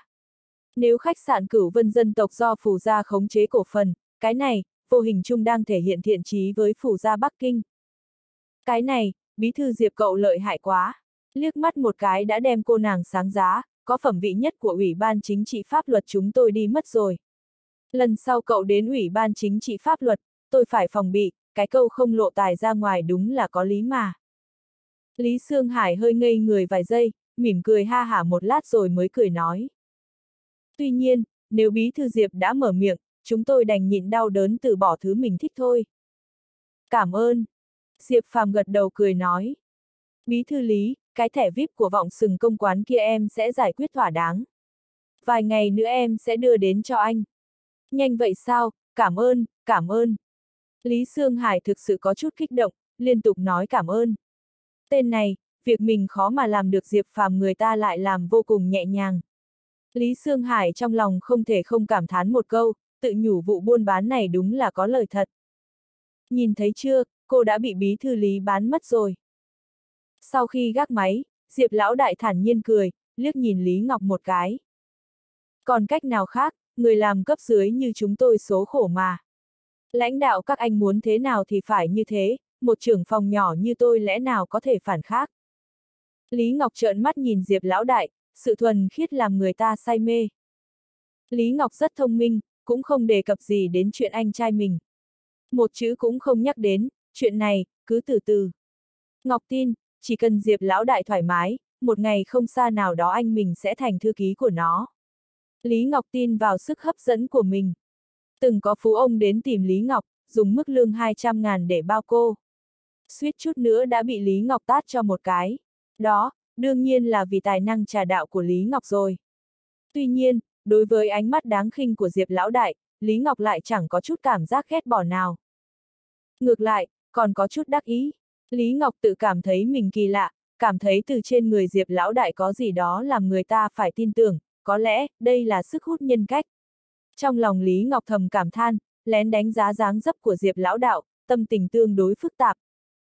Để tổ chức tốt cho hoạt động lần này, Mai Phán Nhi cũng rất khổ công. Vì thế, công ty truyền thông Giang Nam đã lập một tổ chỉ huy nhỏ. Có bọn họ sắp xếp, Diệp Phàm và nhân viên khu Hồng Liên rất ít việc để làm.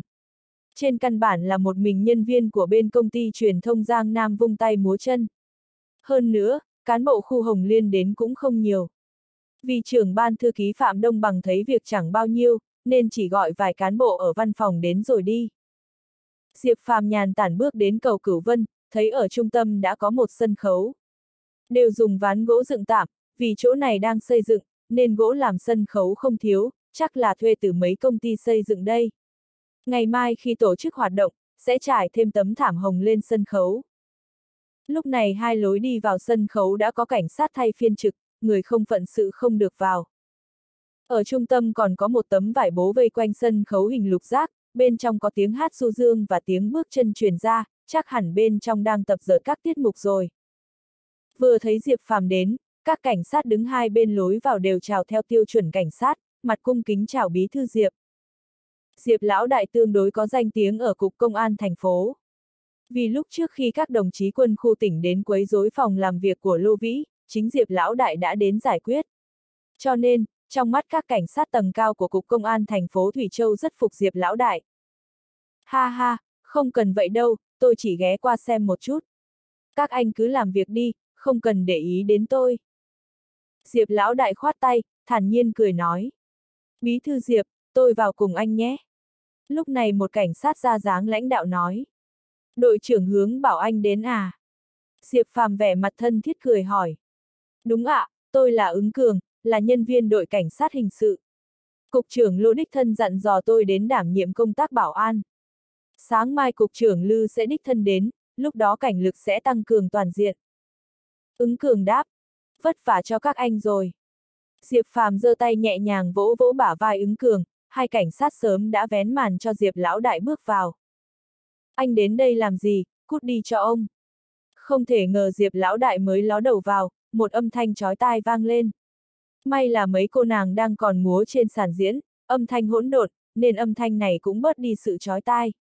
Hơn nữa, mọi người đang còn nhìn chằm chằm trên sàn diễn, cũng chẳng ai để ý đến Diệp Phàm bên này.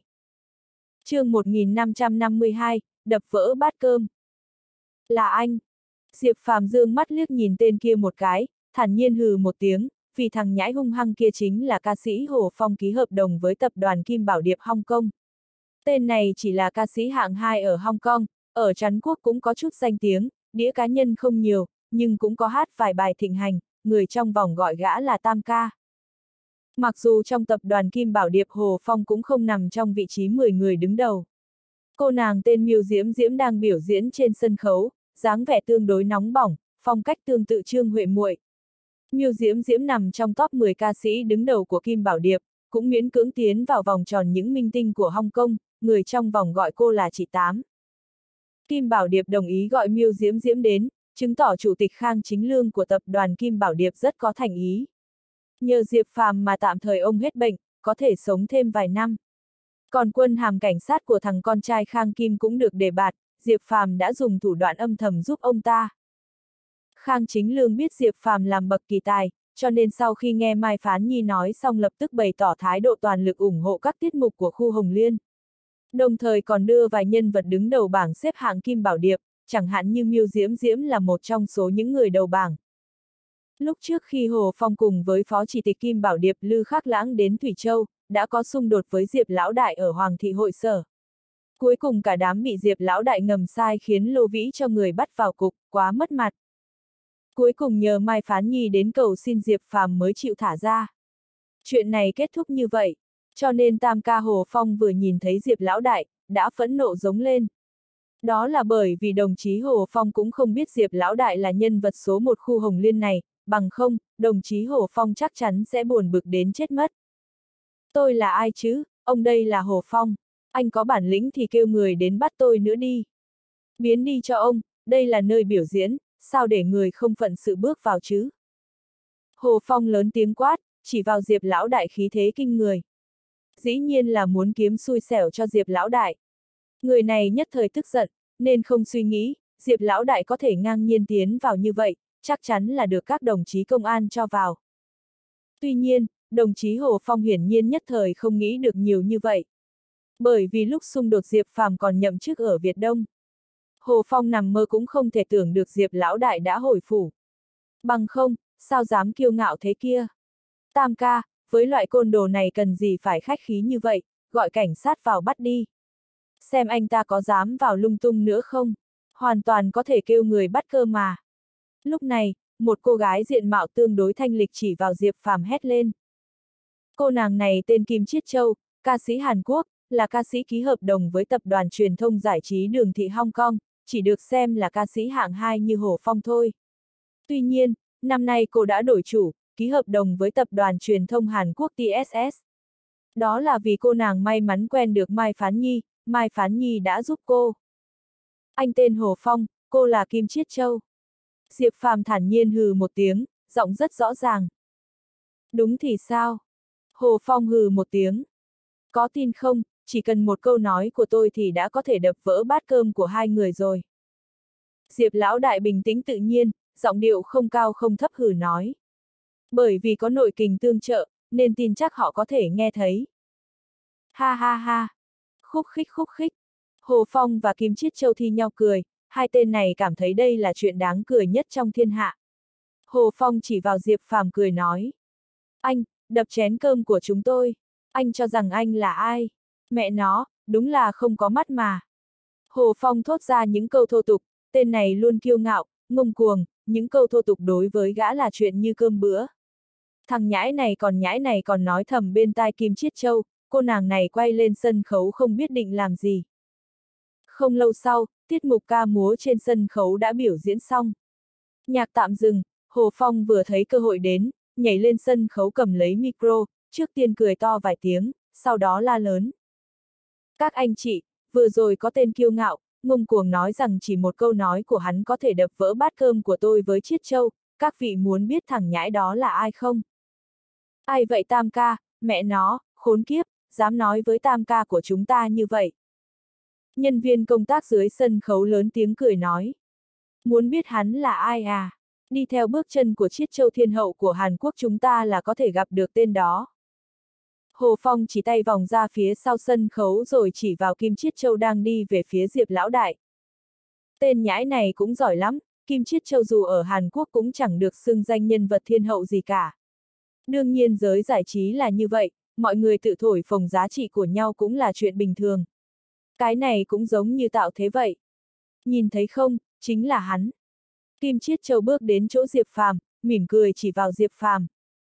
Anh bạn, anh thử nói một câu xem, xem xem anh có thể đạp được bát cơm của Tam ca và cô em Kim không, nếu thực sự đập được, tiểu đao tôi bội phục sát đất, ha ha. Ngôi sao ca nhạc hạng hai ngoại hiệu tiểu đao đắc ý chỉ vào Diệp lão đại cười sằng sặc. Mai Tổng có ở đây không? Diệp Phàm liếc nhìn mọi người một cái, hừ lạnh một tiếng. Đương nhiên là có, giờ đang nghỉ giải lao, anh có tư cách gì mà mời cô ấy? Nực cười. Hồ Phong cười lạnh một tiếng nói, từ trên sân khấu nhảy xuống trước mặt Diệp lão đại. Bí thư Diệp đến rồi ạ. À? Lúc này, Phạm Đông Bằng mới từ bên ngoài vội vàng bước vào, từ xa đã lên tiếng chào hỏi. Anh nói với Chủ tịch Mai Phán Nhi một tiếng, tôi rất không thích hai người kia, vì mồm của họ thối quá, không giống ngôi sao ca nhạc cấp cao, bảo hai người đó lập tức biến đi. Diệp Phàm chỉ vào Hồ Phong và Kim Chiết Châu hừ nói, nhìn mọi người một cái, còn nói thêm. Tôi đại diện khu Hồng Liên hoan nghênh những vị có phẩm vị đến biểu diễn, tin là khu Hồng Liên sẽ khiến mọi người hài lòng. Mẹ nó, mày chửi ai đấy? Hồ Phong thiếu chút nữa giơ chân lên. Hồ Phong, anh làm gì đó? Lúc này, Mai Phán Nhi bước ra, vẻ mặt lạnh lùng. Mai Tổng, tôi, vừa rồi người này bảo tôi biến đi, hắn có bản lĩnh gì mà nói vậy chứ? Giọng Hồ Phong nhỉ đi nhiều. Đối mặt với ông chủ của mình, trừ phi đầu óc của Hồ Phong bị ung nước thì mới dám nói lớn tiếng. Làm can, anh ấy là phó bí thư thành ủy Thủy Châu, là bí thư quận ủy khu Hồng Liên, là khách hàng của chúng ta.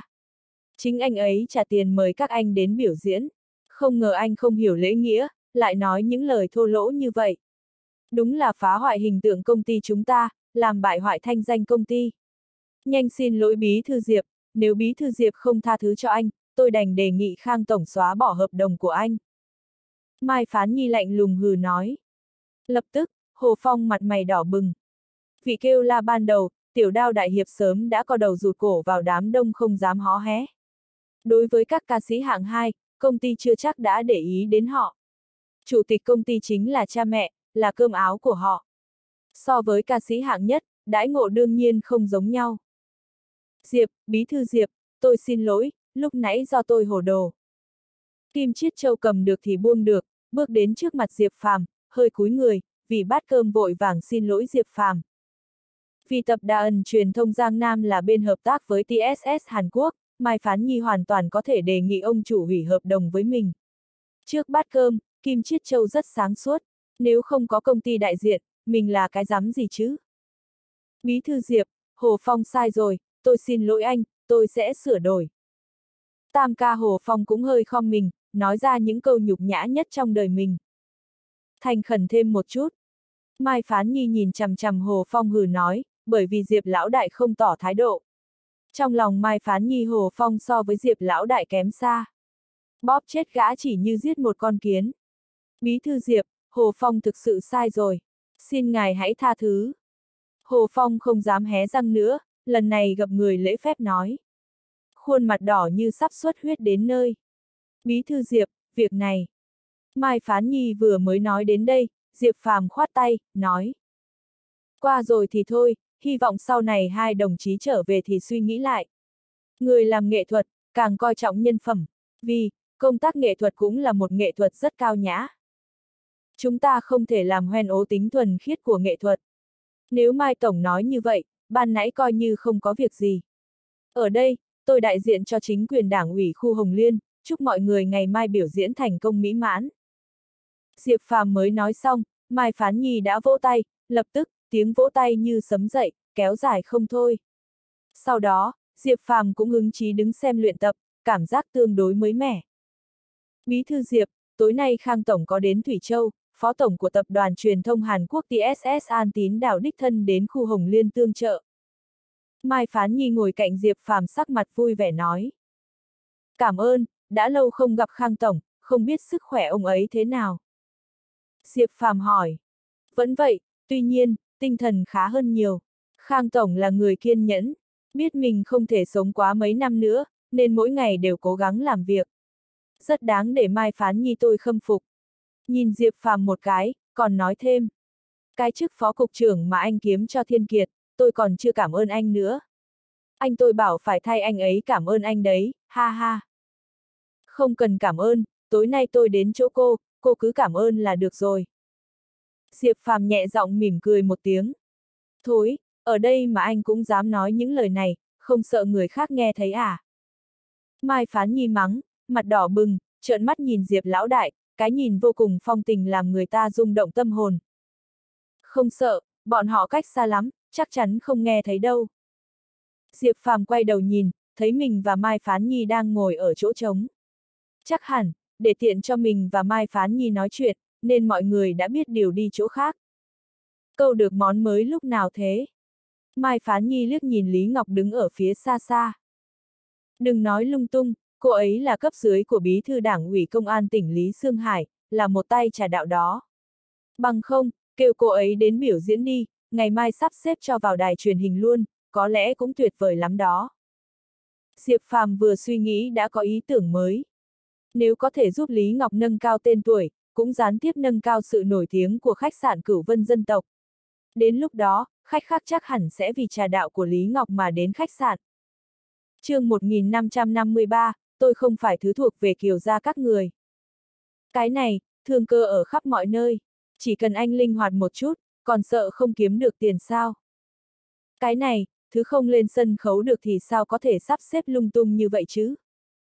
Mai Phán Nhi trong công việc rất nghiêm túc, lập tức phủ quyết.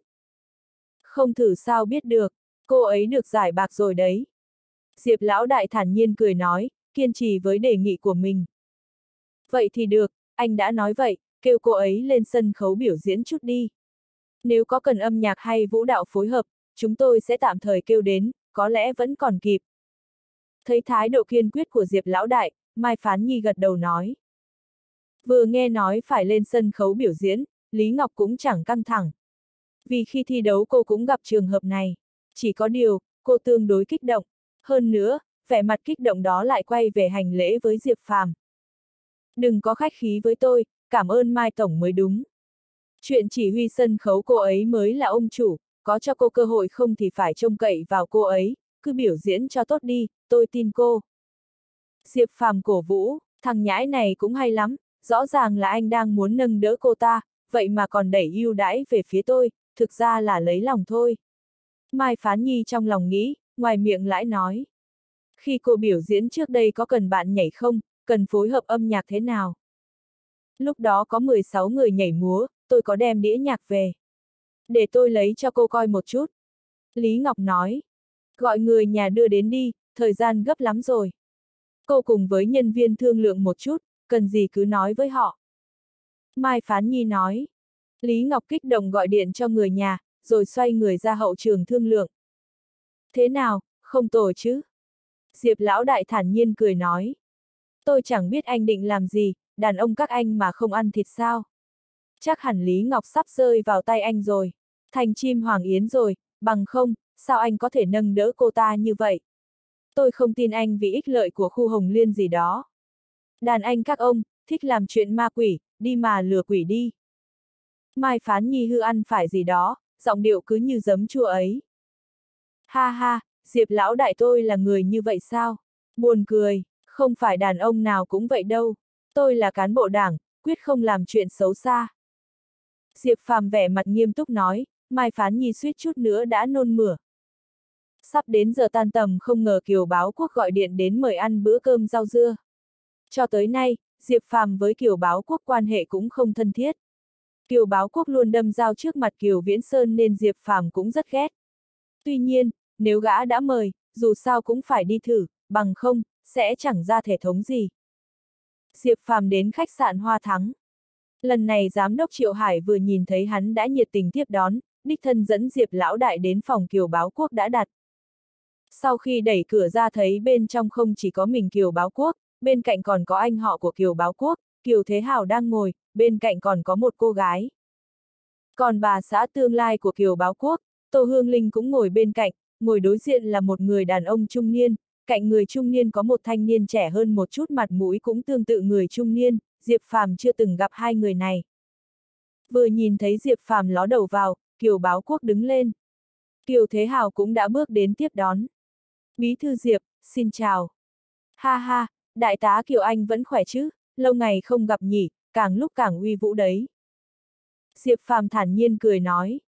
Diệp Phàm, vị này là đồng chí Tằng Thu Lâm, phó bí thư địa ủy Nam Lĩnh, còn vị này là đồng chí Tằng Hoa quyền cục trưởng cục công an địa khu Nam Lĩnh. Kiều Báo Quốc thản nhiên cười giới thiệu. Diệp Phàm cân nhắc được, chắc hẳn là phó bí thư Tằng và đồng chí Tằng Hoa này là người trong mạng lưới của Kiều Báo Quốc. Kiều Báo Quốc sắp đến địa khu Nam Lĩnh nhậm chức, giờ cũng đã bắt đầu xây dựng tổ kiến nhỏ bé của mình rồi. Chào ngài, Bí thư Diệp. Tằng Thu Lâm và Tằng Hoa cùng đưa tay bắt chặt tay Diệp Phàm, vẻ mặt rất nhiệt tình. Diệp Phàm, hai người bọn họ là anh em ruột, cha chú của bọn họ cũng từng làm việc lão Kiều gia chúng ta. Lúc này, Kiều Báo Quốc quay lại cười nói, nói ra một điểm quan trọng, tổ tiên của hai người này đều hầu hạ cho Kiều gia mà thôi. Hiện nay Kiều Báo Quốc đến địa khu Nam lĩnh nhậm chức, dĩ nhiên là cũng nhặt lại những mối quan hệ ngày xưa.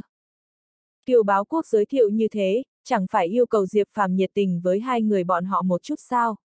Tuy nhiên, Diệp Lão Đại cũng chẳng nể mặt Kiều Báo Quốc, thản nhiên đưa một tay bắt tay hai người. Kiều Báo Quốc anh muốn lung lạc người ta thì liên quan dám gì đến Diệp Phàm tôi. Cái này, chủ yếu là thái độ của Kiều Báo Quốc với Diệp Phàm thôi. Kiều Báo Quốc trong lòng có chút không thoải mái, tuy nhiên, vẫn kiên trì nhẫn nại. Tính tình Diệp Phàm gã cũng hiểu, ngay đến cha mình có lúc hắn còn chẳng thèm nể mặt huống hồ là mình. Bí thư Diệp, nghe nói ngày mai khu Hồng Liên cử hành nghi thức cắt băng khởi công long trọng. Chúc mừng anh, tôi kính bí thư Diệp một ly. Lúc này, Tằng Thu Lâm đưa ly lên, vẻ mặt nhiệt tình. Chẳng ai lại đánh người tươi cười, Diệp Phàm cũng nâng ly lên cùng với Tằng Thu Lâm, nói. Chỉ là nghi thức thôi mà. Diệp Phàm, tôi mới đến Nam Phúc, tình hình bên này cũng chưa quen. Trên cơ bản chẳng quen biết ai. tăng Hoa với Lão Kiều chúng ta có quan hệ cũ, lần này chuyện của anh ta phải nhờ cậu giúp một chút. Kiều Báo Quốc nói thẳng vào vấn đề. Giúp, tôi chỉ là một phó bí thư thành phố Thủy Châu, chẳng phải phó bí thư tỉnh ủy. Anh Đường Đường là chủ tịch địa khu, có chuyện gì mà tôi giúp được chứ, ha ha. Diệp Phàm thản nhiên cười, biết Kiều Báo Quốc đến tìm mình chẳng có gì tốt đẹp. Hơn nữa, thái độ của Kiều Báo Quốc làm Diệp Phàm có chút khó chịu. Giọng điệu như đang ra lệnh, Diệp Phàm tôi cũng có phải là cấp dưới của anh đâu chứ. Diệp Phàm, cậu sắp về nhà rồi, sau này cậu chính là người Kiều gia. Dù nói thế nào tôi cũng là anh ruột của viên viên đúng không nào? Chúng ta có cùng lợi ích, đều là một phần sức mạnh của lão Kiều gia. Lão Kiều gia thịnh vượng, không phải chúng ta thịnh vượng sao? Làm người, dù sao cũng phải chừa đường lui cho mình. Bằng không, cậu tự nghĩ đi. Kiều báo quốc lạnh lùng hừ nói, đem thân phận thái tử đại viện Kiều ra bày ra, hơn nữa, mơ hồ có ý uy hiếp. Nói Kiều báo quốc và Kiều Thế Hào chính là thái tử gia của Bắc Kinh. Kiều Thế Hào vừa nghe giọng điệu của Kiều Báo Quốc như vậy thì thầm nhíu mày, biết rắc rối to rồi. Quả nhiên, Diệp Phàm lạnh lùng hừ nói. Tôi là tôi, chẳng phải người nhà đó. Kiều Báo Quốc, hy vọng anh phân biệt cho rõ ràng. Còn về chuyện tôi với viên viên, chúng tôi tự do yêu nhau, sau này cũng tự do cưới nhau. Mặc dù kết hôn rồi hai nhà chúng ta cũng là thân thích, tuy nhiên Diệp Phàm tôi không phải món hàng phụ thuộc vào lão Kiều gia các người. Kiều báo quốc anh không cần nâng giá trước mặt tôi, Diệp Phàm tôi cũng là người, muốn nói chuyện thì được, tôi tôn trọng anh, chúng ta cùng đẳng cấp, còn nếu như anh cứ ôm cái suy nghĩ như vậy đối xử với tôi. Câu nói này hơi khó nghe một chút, e là sau này muốn làm thân thích cũng chẳng được đâu. Họ Diệp kia, cậu đang nói gì vậy, tôi là anh trai của viên viên, cậu cũng phải gọi tôi một tiếng anh đó. Thịch một cái, kiều báo quốc vỗ mạnh xuống bàn, gã chỉ tay về phía Diệp Phàm, tương đối tức giận. Báo quốc, cậu làm gì vậy? Thái độ của cậu như vậy là không được. Nếu nói lớn, tôi cũng là phận anh, hôm nay tôi phê bình cậu. Diệp Phàm là thân thích của nhà họ Kiều, cậu ấy nói đúng, cậu ấy không phải thứ phụ thuộc, cậu phải tôn trọng cậu ấy. Muốn nhờ cậu ấy mà cậu còn đôi có cái gì? Cậu ấy có phải cấp dưới của cậu đâu? Hừ. Kiều Thế Hào nhìn không lọt mắt, tính tình nóng nảy của quân nhân lại phát ra, chỉ vào Kiều Báo Quốc nói. Hơn nữa, từ cha mình Kiều Thế Hào biết Diệp Phàm là phó trưởng ban quân vụ bộ tổng tham mưu, hơn nữa còn là thiếu tướng. Sau khi khiếp sợ cực độ, thì lại vô cùng khâm phục Diệp Phàm. Và còn có một tia kiêng kỵ mơ hồ. Một thiếu tướng chưa đến ba chục tuổi, đúng là chuyện nghìn lẻ một đêm. Sau lưng không có năng lượng cực đại, bản thân không có năng lực thiên phú, làm sao có thể làm được như vậy. Dù là mình, cả năm nay rất cố gắng rồi, nhưng vẫn chỉ là một đại tá, muốn làm một thiếu tướng, dù cha mình Kiều Hoành Sơn là tư lệnh đại quân khu lĩnh Nam cũng chẳng thể nào làm được. Anh, tại em kích động quá. Kiều báo quốc liếc nhìn Kiều Thế Hào, cũng có chút sợ người anh này. Từ nhỏ hai người ở cùng nhau, đánh nhau hay gì đó Kiều Thế Hào đều thắng. Hơn nữa, thân phận làm anh của Kiều Thế Hào vô hình chung cũng ảnh hưởng đến Kiều Báo Quốc. Được rồi, đều là anh em trong nhà cả, lời nói của tôi lúc này cũng hơi kích động quá. Kiều Thế Hào sau khi chút giận xong thì lời nói cũng nhẹ nhàng hơn, liếc nhìn Diệp Phàm một cái, còn nói thêm. Diệp Phàm, cậu cũng sắp vào đại viện Kiều ra rồi, sau này hai chúng ta đều là người nhà. Tôi cũng không gọi cậu là bí thư Diệp, nếu như cậu còn tôn trọng tôi, viên viên kêu tôi là anh, cậu cứ kêu tôi một tiếng anh là được rồi. Còn về báo quốc, cậu đừng so đo với nó. Gần đây nó mới tới địa khu Nam Lĩnh, chỗ đó cậu không phải không biết, nghèo rất mùng tơi. Làm việc ở đó cũng chẳng dễ dàng gì, hơn nữa, tôi nghe nói bí thư địa ủy Nam Lĩnh điền chó không cũng thuộc dạng kỳ cựu.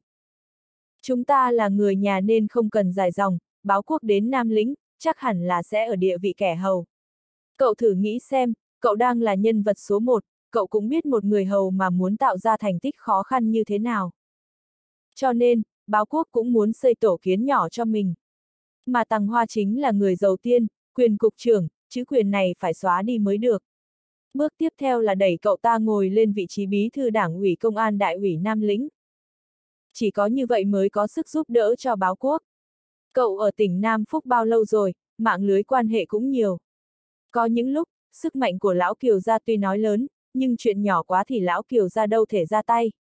Người ta sẽ nói lão Kiều gia duỗi tay dài quá, chỉ một vị trí cục trưởng địa khu mà cũng nhúng tay vào, vậy thì mũ cán bộ của cả nước Cộng hòa này cứ chia cho người nhà lão Kiều gia là được rồi. Cậu thầy có lý không? Kiều Thế Hào nói rất thành thực, không chút khoe khoang, lời nói chất phác, đối đãi với Diệp Phàm như anh em. Nói xong còn liếc mắt nhìn Kiều Báo Quốc một cái. Báo Quốc, cậu kính Diệp Phàm một ly trước, chuyện ẩn này là cậu nhờ Diệp Phàm là. Nhờ người ta thì phải có tấm lòng một chút chứ. chương 1554, Chủ tịch địa khu đã là gì? Kiều báo quốc lầm bầm một chút, nhìn chén rượu chứ chẳng hề nhúc nhích, mặt thằng nhãi này hơi đỏ lên, cũng có chút mất mặt. Thật ra thì bà xã tương lai của gã Tô Hương Linh đã rót hai ly rượu rồi, một ly trong tay mình, còn một ly đặt vào tay Kiều báo quốc, đứng lên nói. Diệp Phàm, cậu với viên viên đã như vậy rồi, lẽ nào không chịu gọi tôi một tiếng chị dâu? Hôm nay nể mặt tôi, cậu hãy tha thứ cho sự kích động của báo quốc khi nãy. Gần đây anh ấy có nhiều phiền não quá, hai chúng tôi kính cậu một ly nhé.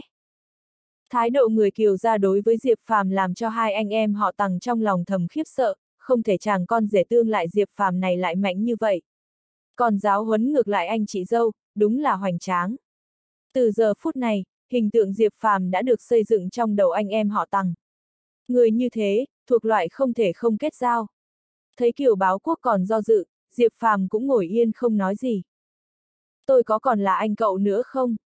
Kiều Thế Hào tức giận nói với Kiều báo quốc. Diệp Phàm, chúng ta cùng uống một ly. Kiều báo quốc nâng ly lên, tên này cảm thấy tương đối mất mặt. Tuy nhiên, vợ và anh họ ép như vậy, bản thân mình còn có việc muốn nhờ Diệp Phàm làm, nếu chọc giận hắn thì thằng nhãi này chẳng thèm nể mặt mình đâu. So với việc bị người ở địa khu Nam Lĩnh coi thường, nói một tiếng xin lỗi với anh em trong nhà còn đỡ hơn. Anh Thế Hào, anh Báo Quốc, chị dâu, mọi người cùng uống một ly được không? Diệp Phàm cũng không cao giá nữa, người kiều gia chịu hạ thấp mình, cũng không thể không nể mặt người ta. Vì viên viên cũng nên mở lòng một chút, cho nên, đưa ly lên cao nói.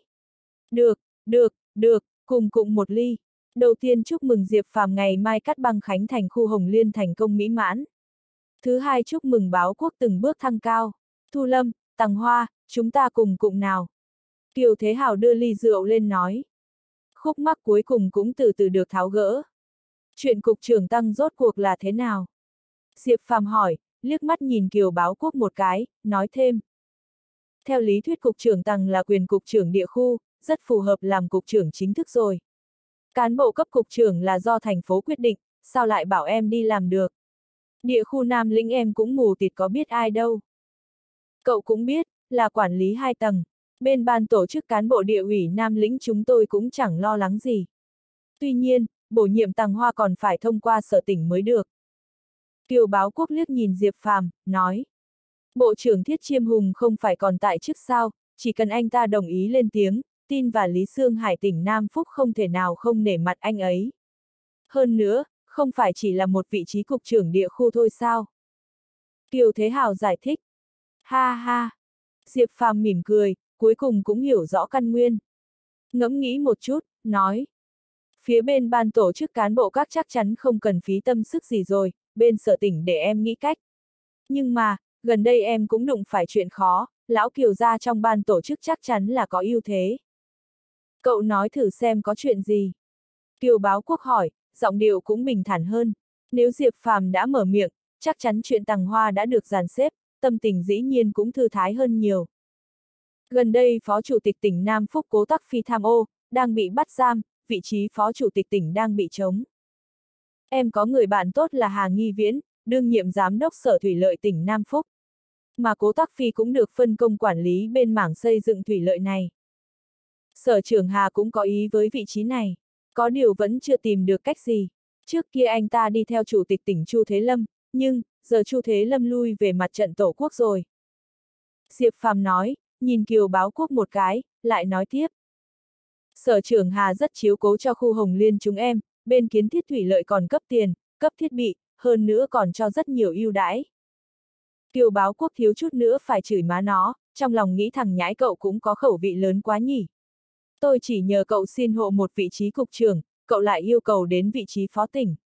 Vị trí này dù có là lão kiều gia thì cũng chẳng thể nói dễ dàng giành được. Diệp Phàm, việc này chỉ sợ quá khó khăn.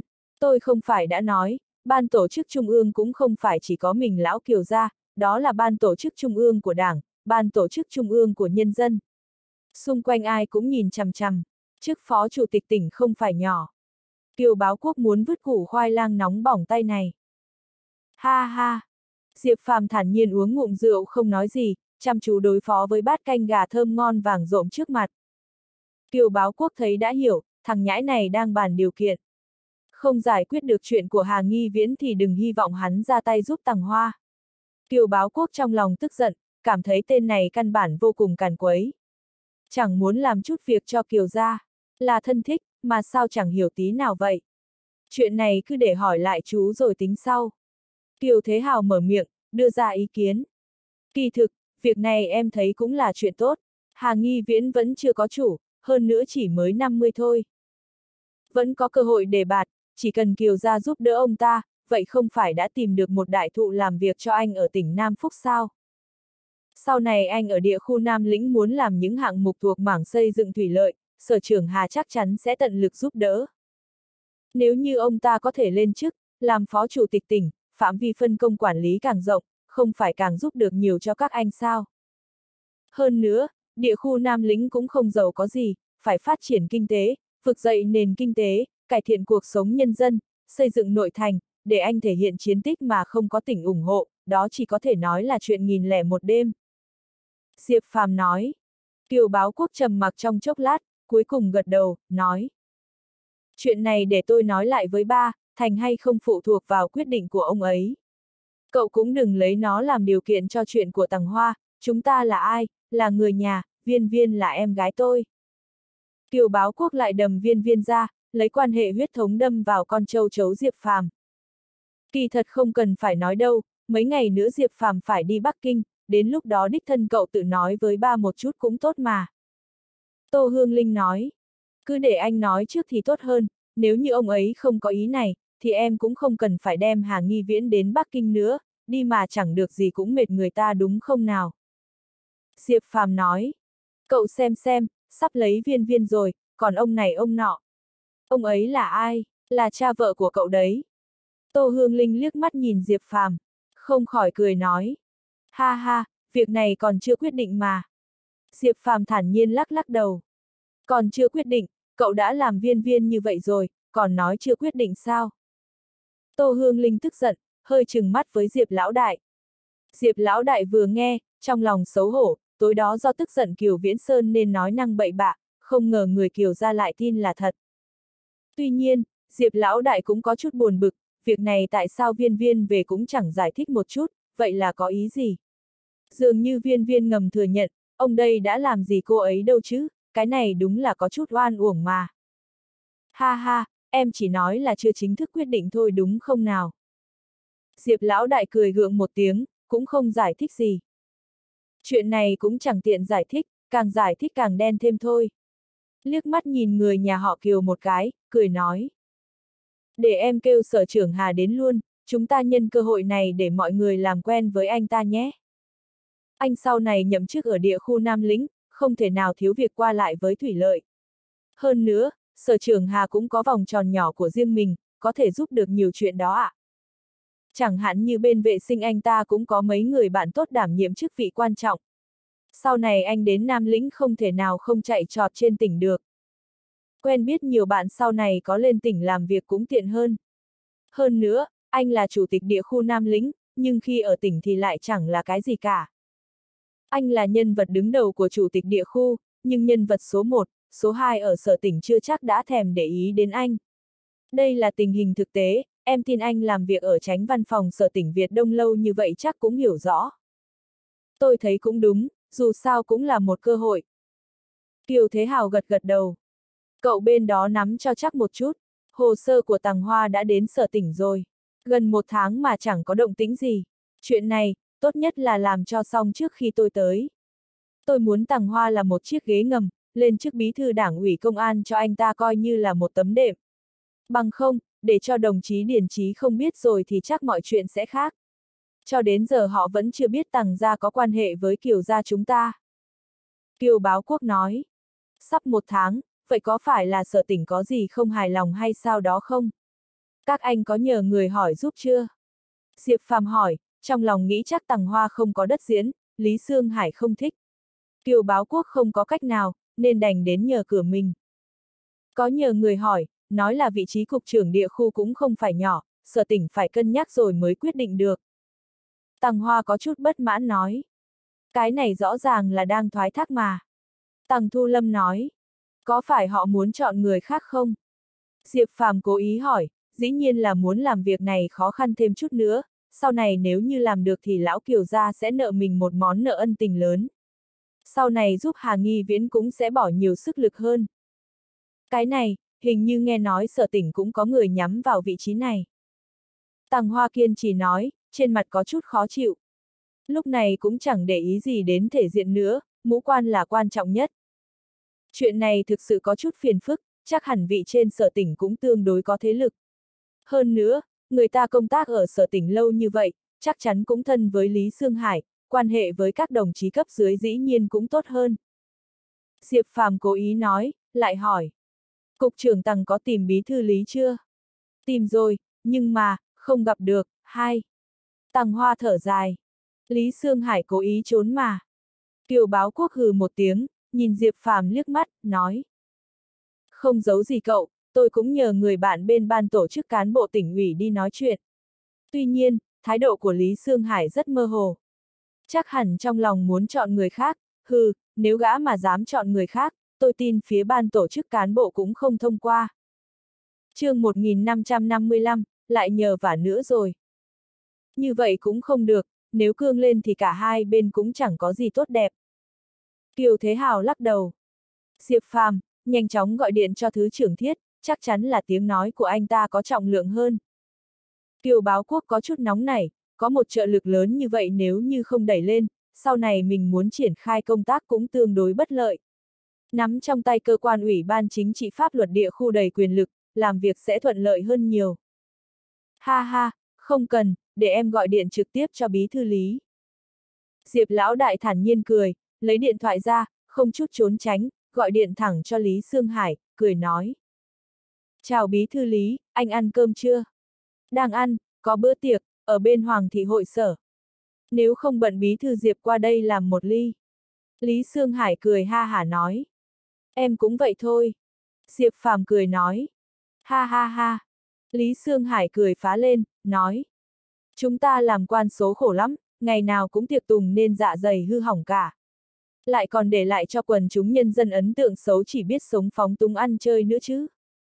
Chẳng còn cách nào khác, người Trung Quốc chú trọng văn hóa rượu, văn hóa ẩm thực. Trên bàn rượu dễ nói chuyện hơn, cùng vài ba chén, nói chuyện giao tình, thường mới có thể làm được việc. Bằng không, lại chẳng làm được gì.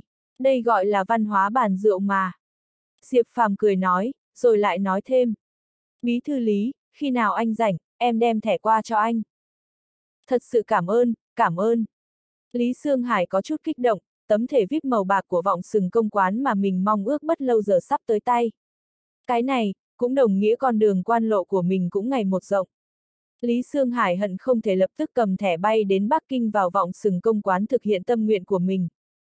Bên cậu là bạn bè nào vậy, có thể đưa đến đây cùng vài ly không? Lý Sương Hải muốn nhanh chóng lấy tấm thẻ nên mới hỏi như vậy. Cơ hội đến rồi, Diệp Lão Đại trong lòng hô một tiếng, cười nói.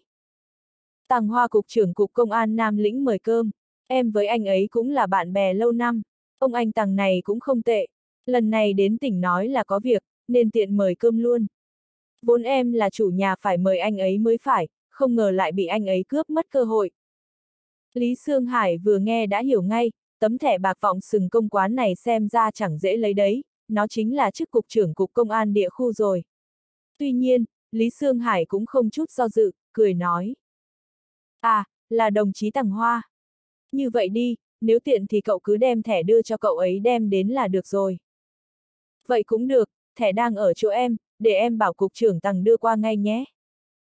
Diệp Phàm trong lòng mừng thầm, không ngờ vận khí tốt như vậy, đụng chúng chuyện luôn. Tấm thẻ này vốn phải đưa, nhưng không ngờ còn có thể làm được một chuyện tốt khác. Sau khi gác máy, Diệp Phàm lấy từ cặp đưa cho Tằng Hoa một cái hộp, nói. Anh lập tức đem hộp này đến phòng 208 Hoàng thị hội sở. Bí thư lý đang uống rượu ở đó. Nếu như có hỏi gì thì cứ bảo tôi kêu anh đưa đến. Cảm ơn, cảm ơn, cảm ơn bí thư Diệp, sau này bí thư Diệp sẽ là anh em tốt nhất của Tằng Hoa tôi, chỉ cần bí thư Diệp nói một tiếng, Tằng Hoa sẽ đến ngay. Tằng Hoa vô cùng kích động, hai tay cầm cái hộp mà run rẩy, Diệp Phàm nói thế, chứng tỏ Lý Sương Hải đồng ý gặp mình, vậy tám phần chuyện này đã thành rồi. Mau đi đi lão Tằng, chuyện cảm ơn sau hãng tính. Kiều báo quốc trong lòng vui mừng, cười thúc giục. Đồng chí Thủy Châu chạy đi. Diệp Phàm trong hộp đó cậu đựng gì vậy? Kiều Thế Hào có chút tò mò. Vừa nghe anh ta hỏi, mọi người trong phòng đều nhìn Diệp Phàm, Diệp lão đại thản nhiên cười, nói. Chỉ là một tấm thẻ VIP thôi. Lạ thật. Kiều Thế Hào có chút không tin, hơi lắc đầu. Thẻ này quý vậy sao? Tô Hương Linh thuận miệng hỏi, cũng có chút tò mò. Thẻ bạc của vọng sừng, bí thư lý muốn có được một tấm, lần trước đến Bắc Kinh, vừa hay gặp phí nhất độ, cậu ấy cho tấm thẻ vàng. Cho nên, mấy hôm trước em gọi điện cho cậu ấy, cậu ấy lập tức đem tấm thẻ bạc đến. Diệp Phàm bình tĩnh tự nhiên, nói. Vọng sừng, khó trách. Kiều báo quốc thoáng suy nghĩ, gật đầu. Thẻ vọng sừng là thứ đồ chơi gì? Sao bọn họ lại coi trọng như vậy, chẳng lẽ là tấm thẻ thần kỳ sao? Phó bí thư Tằng Thu Lâm ngồi bên suy nghĩ. Cán bộ cấp bậc như gã, dĩ nhiên là không biết được sức mạnh của vọng sừng công quán. Ha ha, Thu Lâm, thẻ bạc của vọng sừng phải cán bộ cấp phó tỉnh trở lên mới có được. Mặc dù anh là cán bộ cấp phó tỉnh, nhưng cũng khó có được thẻ VIP của vọng sừng. Tôi với Thế Hào đều có một tấm, tuy nhiên, cũng là do người ta nể mặt ba tôi với bác cả. Chứ với cấp bậc của chúng tôi, không thể nào lấy được. Diệp Phàm thì được phí nhất độ đưa thẻ vàng, thể diện không nhỏ đâu. Nghe nói đẳng cấp thẻ vàng cao lắm. Kiều báo quốc cũng hiểu được suy nghĩ của Tằng Thu Lâm, giải thích cho anh ta một chút. Thẻ bạc phải là cán bộ cấp phó tỉnh trở lên mới có được, vậy còn thẻ vàng thì sao chứ? Tằng Thu Lâm cảm thấy giọng mình hơi run run. Ha ha ha, anh đoán đúng lắm. Cha tôi ở nhà có tấm thẻ vàng, tôi có mượn ông ấy cũng không cho, còn dạy cho tôi một bài học về cấp bậc nữa chứ, keo kiệt. Kiều báo quốc cười thần bí. Đồng chí Tằng Thu Lâm trong lòng hơi kinh ngạc, vậy người đưa thẻ vàng cho Diệp Phàm chẳng phải cấp bậc ủy viên bộ chính trị sao? Khó trách người ta mạnh như thế, có chỗ dựa vững chắc như vậy thì dù là lão Kiều gia cũng chẳng dám xem thường rồi. Không lâu sau, đồng chí Tằng Thu Lâm biết điều xin phép về trước, để cho người nhà Kiều gia còn nói chuyện. Quả nhiên, Kiều Thế Hào cũng ly với Diệp Phàm hai lần, Diệp Phàm từ chối nói một ly là đủ rồi. Tuy nhiên, Kiều Báo Quốc cũng thản nhiên cười nói. Không sao đâu, anh ấy nên kính cậu. Câu này em không hiểu, anh Thế Hào em còn phải gọi tiếng Anh, tại sao như thế được? Diệp Phàm vẻ mặt đứng đắn cười nói, trong lòng cũng hơi động, chắc hẳn Kiều Thế Hào có chuyện gì cần giúp. Bằng không, Kiều Thế Hào sẽ không chạy đến Nam Phúc, có quỷ mới tin là anh ta chỉ muốn đến cùng với mình ly rượu.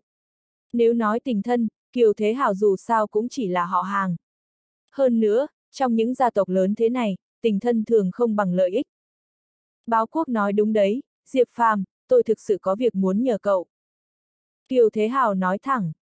Nói đùa rồi, anh Thế Hào làm bên quân đội, em chỉ là phó bí thư xếp hạng bét của thành phố Thủy Châu, có sức đâu mà giúp đỡ anh.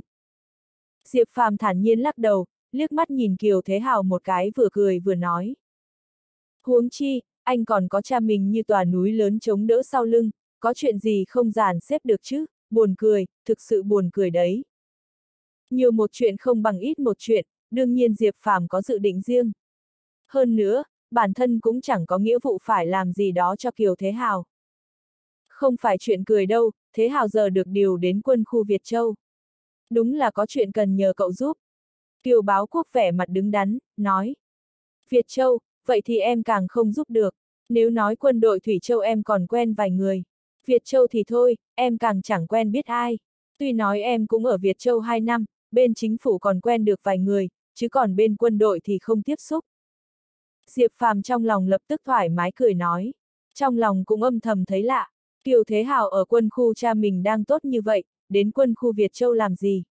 Lẽ nào lại vì tị hiềm? Ha ha ha! Kiều Báo Quốc và Kiều Thế Hào đều mỉm cười, nhìn Diệp Phàm, không biết hai tên này cười cái gì. Vậy là tìm đúng người rồi, đúng vậy, bởi vì cậu có quen vài quan quân của Vịnh Lam Nguyệt Thủy Châu, cho nên, Thế Hào mới phải nhờ cậu giúp. Kiều Báo Quốc vẻ mặt đắc ý, nhìn Diệp Phàm. Nói vậy là có ý gì? Em không hiểu, có phải quân khu Việt Châu định kết hợp với căn cứ Vịnh Lam Nguyệt huấn luyện binh lính để làm sư đoàn hợp chiến gì đó không? Diệp Phàm thực sự có chút buồn bực. Tuy rằng không phải như thế, nhưng cũng tương tự, không vòng vo với cậu nữa.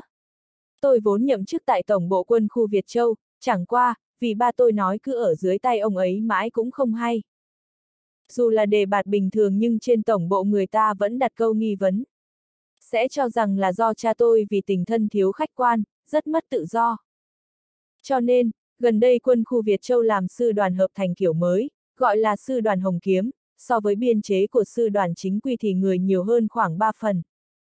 Tuy nhiên, binh chủng bao gồm cả hải, lục, không quân. Kỳ thực, tính chất không khác sư đoàn A Thủy Châu là mấy. Trước mắt các quân khu lớn đều âm thầm phân cao thấp, ai cũng làm sư đoàn hợp thành. Việt Châu đương nhiên cũng không thể đứng ngoài đúng không nào.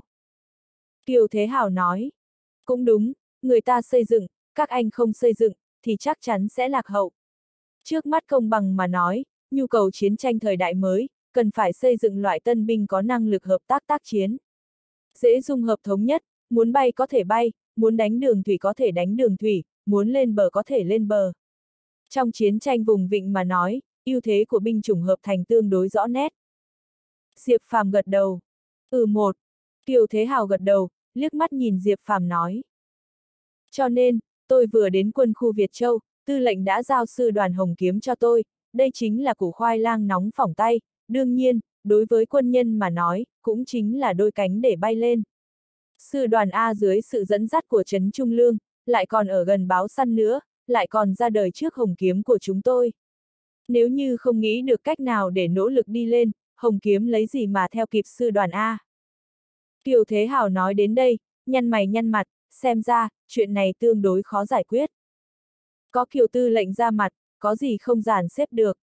Báo săn chẳng phải cùng quân khu với lĩnh Nam sao.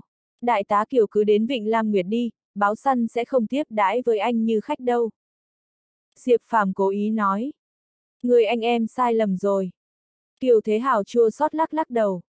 Thế này không giống tác phong của đại tá Kiều chút nào. Diệp Phàm giả bộ không hiểu nhìn chằm chằm Kiều Thế Hào. Tôi cũng không rõ nữa, báo săn không phải chỉ là bộ đội tương dứng đại quân khu lĩnh Nam sao? Tại sao anh Kiều đi lại không được?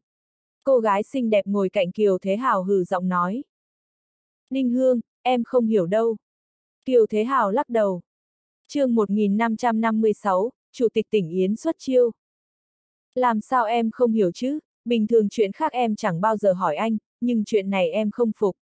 Dù nói em làm bên bệnh viện quân khu, nhưng tại sao quân khu cấp dưới lại xếp ở trên, báo săn vì sao lại đứng vị trí đầu chứ? Nói báo săn là bộ đội chủ lực của đại quân khu lĩnh Nam chúng ta không ai dám phản đối. Nhưng nếu nói đại quân khu lĩnh Nam không quản được báo săn, người trong quân khu có quân nhân nào tin chứ? Tuy nói tới bây giờ em phản đối chuyện ỉ vào ra thế ép bức người khác, nhưng, anh Thế Hào, bọn họ chẳng thèm nể mặt gì chúng ta cả, báo săn kia đúng là quá kiêu ngạo mà. Ninh Hương hừ nói, chuyện này vốn có chút bí mật, tuy nhiên, cũng chẳng coi là bí mật gì lớn. Báo săn là sư đoàn bộ đội đặc thù, đại quân khu lĩnh Nam tuy trên danh nghĩa là cấp trên. Nhưng trên thực tế, các em không biết, đại quân khu lĩnh Nam chỉ là hậu cần giúp đỡ cho báo săn thôi. Nói cách khác, theo những gì quân ủy dặn dò là phải toàn lực làm tốt công tác hậu cần cho báo săn. Báo săn có quyền chỉ huy và bổ nhiệm nhân sự, nó là chi bộ đội đặc thù, quản lý hai tầng và lấy cấp trên làm chuẩn. Kiều Thế Hào nói, chẳng lẽ mặt mũi của ba mà họ cũng không thèm nể. Đinh Hương bĩu môi có chút không phục. Vô dụng, Kiều Thế Hào cũng không kìm được, lắc đầu nói thẳng, liếc nhìn Diệp Phàm một cái. Để em kêu ba ra mặt nói chuyện giúp anh. Ninh Hương hừ nói. Ninh Hương, không phải anh coi thường năng lực của ba. Chức ủy viên quân ủy của ba còn chẳng có tác dụng gì, ba em có thể làm gì được. Kiều Thế Hào nói. Vậy làm sao bây giờ, lẽ nào bí thư Diệp làm được? Cô nàng Đinh Hương này thực sự có chút kiêu ngạo. Đúng vậy, cậu ấy có người anh em kết nghĩa là Thiết Chiêm Hùng, thứ trưởng đương nhiệm. Trước kia chính là thủ trưởng của báo săn, ít nhất còn có chút tình nghĩa ở đó. Kiều Thế Hào nói, mắt nhìn Diệp Phàm. Anh Thế Hào, chuyện này cũng hơi phiền phức. Lần trước tư lệnh Mai Trường Phong có bảo em nhờ nói chuyện với Trương Cường, dĩ nhiên mượn sân huấn luyện của báo săn. Giờ sư đoàn hồng kiếm của các anh cũng muốn mượn, vậy sân huấn luyện của báo săn người ta các anh chiếm hết báo săn biết huấn luyện ở đâu. Chắc hẳn chẳng có thời gian chống đâu. Diệp Phàm vội nói, những thứ không có lợi hắn sẽ chẳng dễ dàng ra tay. Liếc mắt nhìn Kiều Thế Hào một cái, còn nói thêm. Hay anh nhờ Kiều Tư lệnh ra mặt sẽ thỏa đáng hơn, Trương Cường chắc sẽ nể mặt ông ấy thôi. Ba nói đây là chuyện của quân khu Việt Châu chúng tôi, ông ấy sẽ không ra mặt. Bất luận là có chuyện gì tự tôi phải đi dàn xếp, bằng không, chuyện này sẽ lộn xộn lắm. Kiều Thế Hào lắc đầu. Diệp Phàm, cậu thử nói xem, thành hay không tính sau, có được không? Kiều báo quốc đệm vào. Vậy, được, để em đi hỏi thử xem, nếu không được thì cũng chẳng có cách nào khác. Diệp Phàm làm bộ ngẫm nghĩ một chút, mới khó xử nói. Cảm ơn, tôi kính cậu một ly, việc này, chỉ cần cậu đồng ý ra mặt, chắc chắn có thể được. Kiều Thế Hào vô cùng khẳng định, ngay đến Kiều Báo Quốc cũng cảm giác lời nói của Kiều Thế Hào hơi quá, báo săn đâu phải của nhà Diệp Phàm. Làm sao có thể khẳng định như vậy? Sáng sớm hôm sau, Diệp Phàm vội vàng tới Ủy ban Nhân dân quận, mới chỉ hơn 5 giờ sáng, Ủy ban Nhân dân quận đã như chuẩn bị lâm chiến. Toàn thể nhân viên công tác đều bận rộn, trưởng ban thư ký thành ủy Lưu Vũ Tư cũng đến Ủy ban Nhân dân khu Hồng Liên từ sớm, đang cùng Phạm Đông bằng thương lượng gì đó. Vừa thấy Diệp Phạm đến, Lưu Vũ Tư và Phạm Đông bằng đều bước đến, chào hỏi. Bí thư Diệp đến sớm quá. Các anh chẳng phải còn đến sớm hơn sao, nói như vậy làm tôi đây xấu hổ quá, ha ha ha. Diệp Phàm vẻ mặt hiền hòa, cười nói. Không còn sớm nữa, nghi thức hôm nay không phải chuyện riêng của khu Hồng Liên các anh, mà cũng là chuyện đại sự của thành phố Thủy Châu chúng ta. Đêm qua bí thư đoạn đích thân ra chỉ thị, muốn làm cho nghi thức lần này thật xôm tụ, phải đẩy được ủy ban khu Hồng Liên lên. Ông yêu cầu toàn thể các đồng chí ủy ban nhân dân thành phố đều phải đến, mọi người phải phân công việc với nhau. Bí thư đoạn nói, nghi thức hôm nay chính quyền đảng ủy khu Hồng Liên là nhân vật chính, thành ủy và ủy ban nhân dân thành phố chỉ tới để phối hợp làm việc với các anh thôi. Cho nên, bí thư Diệp có gì cần sắp xếp, chúng tôi sẽ đến giúp ngay. Trưởng ban thư ký thành ủy Lưu Vũ Tư không uổng công đã làm công tác tiếp đãi từ lâu, miệng nói còn dễ nghe hơn cả hát. Cảm ơn thành ủy và ủy ban nhân dân thành phố đã ủng hộ khu Hồng Liên chúng tôi, cảm ơn trưởng ban thư ký Lưu sớm như vậy đã xuống chỉ đạo công việc. Không thể nói các anh phối hợp với chúng tôi, phải nói là chúng ta phối hợp với nhau, khu Hồng Liên là cấp dưới của Ủy ban Nhân dân thành phố, khu Hồng Liên làm tốt, thành ủy và Ủy ban Nhân dân thành phố Thủy Châu cấp trên cũng được nở mày nở mặt. Chuyện hôm nay tuyệt đối không để có bất kỳ sai lầm gì. Diệp Phàm tỏ vẻ cảm ơn, quay sang nói với trưởng ban thư ký quận ủy Phạm Đông Bằng. Đã thống kê số khách đến chưa, chắc hẳn chưa có ai đến đâu nhỉ. Chủ tịch công ty truyền thông Giang Nam Mai Phán Nhi nói, Chủ tịch Khang Chính Lương của tập đoàn Kim Bảo Điệp Hong Kong, Phó Chủ tịch An Tín Đào của tập đoàn truyền thông TSS Hàn Quốc sẽ đến. Tối qua bọn họ tới nơi rồi, hiện đang ở khách sạn Đại học Thủy Châu. Mai Tổng còn nói, cũng có mời đến các nghệ sĩ nổi tiếng Hong Kong, Đài Loan. Còn những người nổi tiếng ở Thủy Châu chúng ta đều gửi thiệp mời. Tuy nhiên, bên này không dễ thống kê, bọn họ đều nói, đến lúc đó nếu rảnh sẽ tham dự. Mà số lượng hoạt động của họ nhiều lắm, rảnh thì đến, không rảnh thì chẳng cách nào khác. Mà ai biết là họ có rảnh hay không, đúng không ạ? Còn bên tỉnh ủy và ủy ban nhân dân tỉnh trả lời cũng khá mập mờ. Do đó, không thể thống kê được. Còn bên tư lệnh lâm hoành của căn cứ Vịnh Lam Nguyệt, Trương Cường thủ trưởng báo săn, với quân đoàn trưởng Hầu Bình của quân đoàn 2. Còn có phó tư lệnh đại quân khu lĩnh Nam Mai Trường Phong và vài đồng chí khác nói nhất định sẽ đến, còn có. Phạm Đông Bằng lấy danh sách ra báo cáo tỉ mỉ. Sau khi nói xong liếc nhìn Diệp Phàm một cái, lại nói thêm. Tuy nhiên, dù họ có đến hay không, chúng ta đều đã sắp xếp vị trí cả rồi, tránh đến lúc đó lại luống cuống tay chân. Chủ tịch tỉnh Yến nói sao? Diệp Phàm hỏi. Chủ tịch tỉnh Yến nói là đã lập kế hoạch đi tuần tra ở nông thôn nên không tiện thay đổi thời gian, các đồng chí bên dưới đang nghỉnh cổ trông mong, không thể nào không để tâm đến các đồng chí bên dưới được. Cho nên, ông không rảnh, đến lúc đó sẽ sắp xếp đồng chí phó chủ tịch tỉnh Tần Hoài Bắc đến. Phạm Đông Bằng nói. Diệp phàm gật đầu, trong lòng hừ lạnh một tiếng. Yến Xuân Lai đến giúp vui mới lạ. Nếu ông đã bất nhân, vậy tôi đây cũng bất nghĩa. Vì thế liếc nhìn Phạm Đông Bằng một cái, nói. Anh đến văn phòng của tôi, chắc hẳn còn mấy vị khách vì lúc trước chưa xác định, nhưng giờ chắc chắn sẽ đến, anh cũng nên sắp xếp một chút. Người đến đều là khách, không thể có chút sơ hở. Phạm Đông Bằng sau khi cầm danh sách lập tức không ngừng khiếp sợ, tên tuổi của những người này quá lớn. Nào là Kiều Hoành Sơn tư lệnh đại quân khu lĩnh Nam, phó tư lệnh quân khu thứ nhất Bắc Kinh Triệu Quát. Phó trưởng ban tổ chức Trung ương Ninh Chí Hòa, Thứ trưởng Bộ Đường sắt Thôi Nhất Tân, Thứ trưởng Bộ Y tế Trương Oánh Nguyệt, Viện sĩ Viện Công trình Mâu Trung Ninh, Thứ trưởng Bộ Tài chính Phượng Húc Quốc, Thứ trưởng Thiết Chiêm Hùng. Mấu chốt những người này đều là đại diện cho những gia tộc khiến người ta phải kinh ngạc. Kiều Hoành Sơn đại diện cho Kiều gia Bắc Kinh, Triệu Quát đại diện cho Triệu gia Bắc Kinh, Phượng Húc Quốc đại diện cho Phượng gia Bắc Kinh, Ninh Chí Hòa đại diện cho hai nhà Ninh, phí Bắc Kinh. Phạm Đông Bằng cảm thấy đầu óc mình có chút hồ đồ, không nhịn được nói. Diệp, Bí thư Diệp, bọn họ đến thật ạ. À? Bọn họ đến Thủy Châu cả rồi, chỗ ở tôi cũng đã sắp xếp cả rồi. Tôi lập tức đi sắp xếp ngay. Phạm Đông Bằng cảm thấy dạng dỡ chưa từng có, anh quyết tâm đi theo Diệp Phàm tranh giành quyền lực, phải bước sâu vào mạng lưới của Diệp Phàm, như vậy tiền đồ của mình sẽ càng sáng lạn. Chậm đã, anh phải sắp xếp vị trí cho những người này.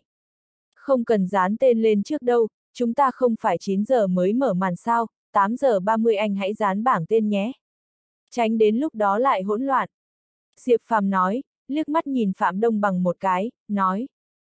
8 giờ anh đi mời chủ tịch tỉnh Yến một lần nữa, nếu thực sự không đến thì thôi vậy. Tôi biết rồi. Phạm Đông Bằng có chút buồn bực bước ra, không biết Diệp Lão Đại sắp xếp như vậy là có ý gì.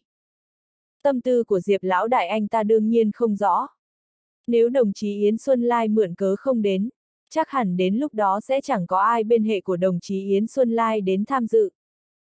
Anh là chủ tịch tỉnh mà lại cố ý vắng mặt như vậy, đến lúc đó có bao nhiêu khách quý đến, xem mặt mũi của Yến Xuân Lai ông bỏ đi đâu.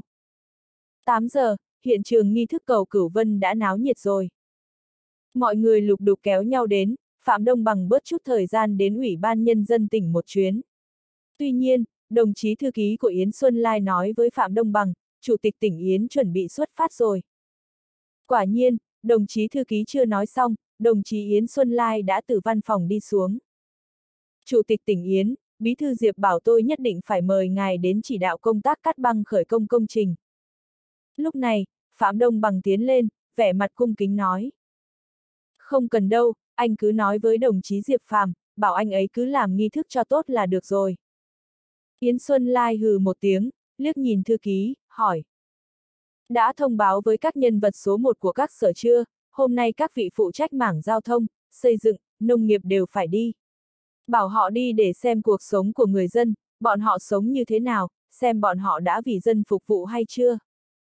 Bọn họ sớm đã có mặt rồi, còn có đồng chí Tống Sơ Kiệt nói cũng phải đi, bí thư Nạp Lan cũng có chút chuyện cần xử lý, vừa hay sẽ đi chung luôn.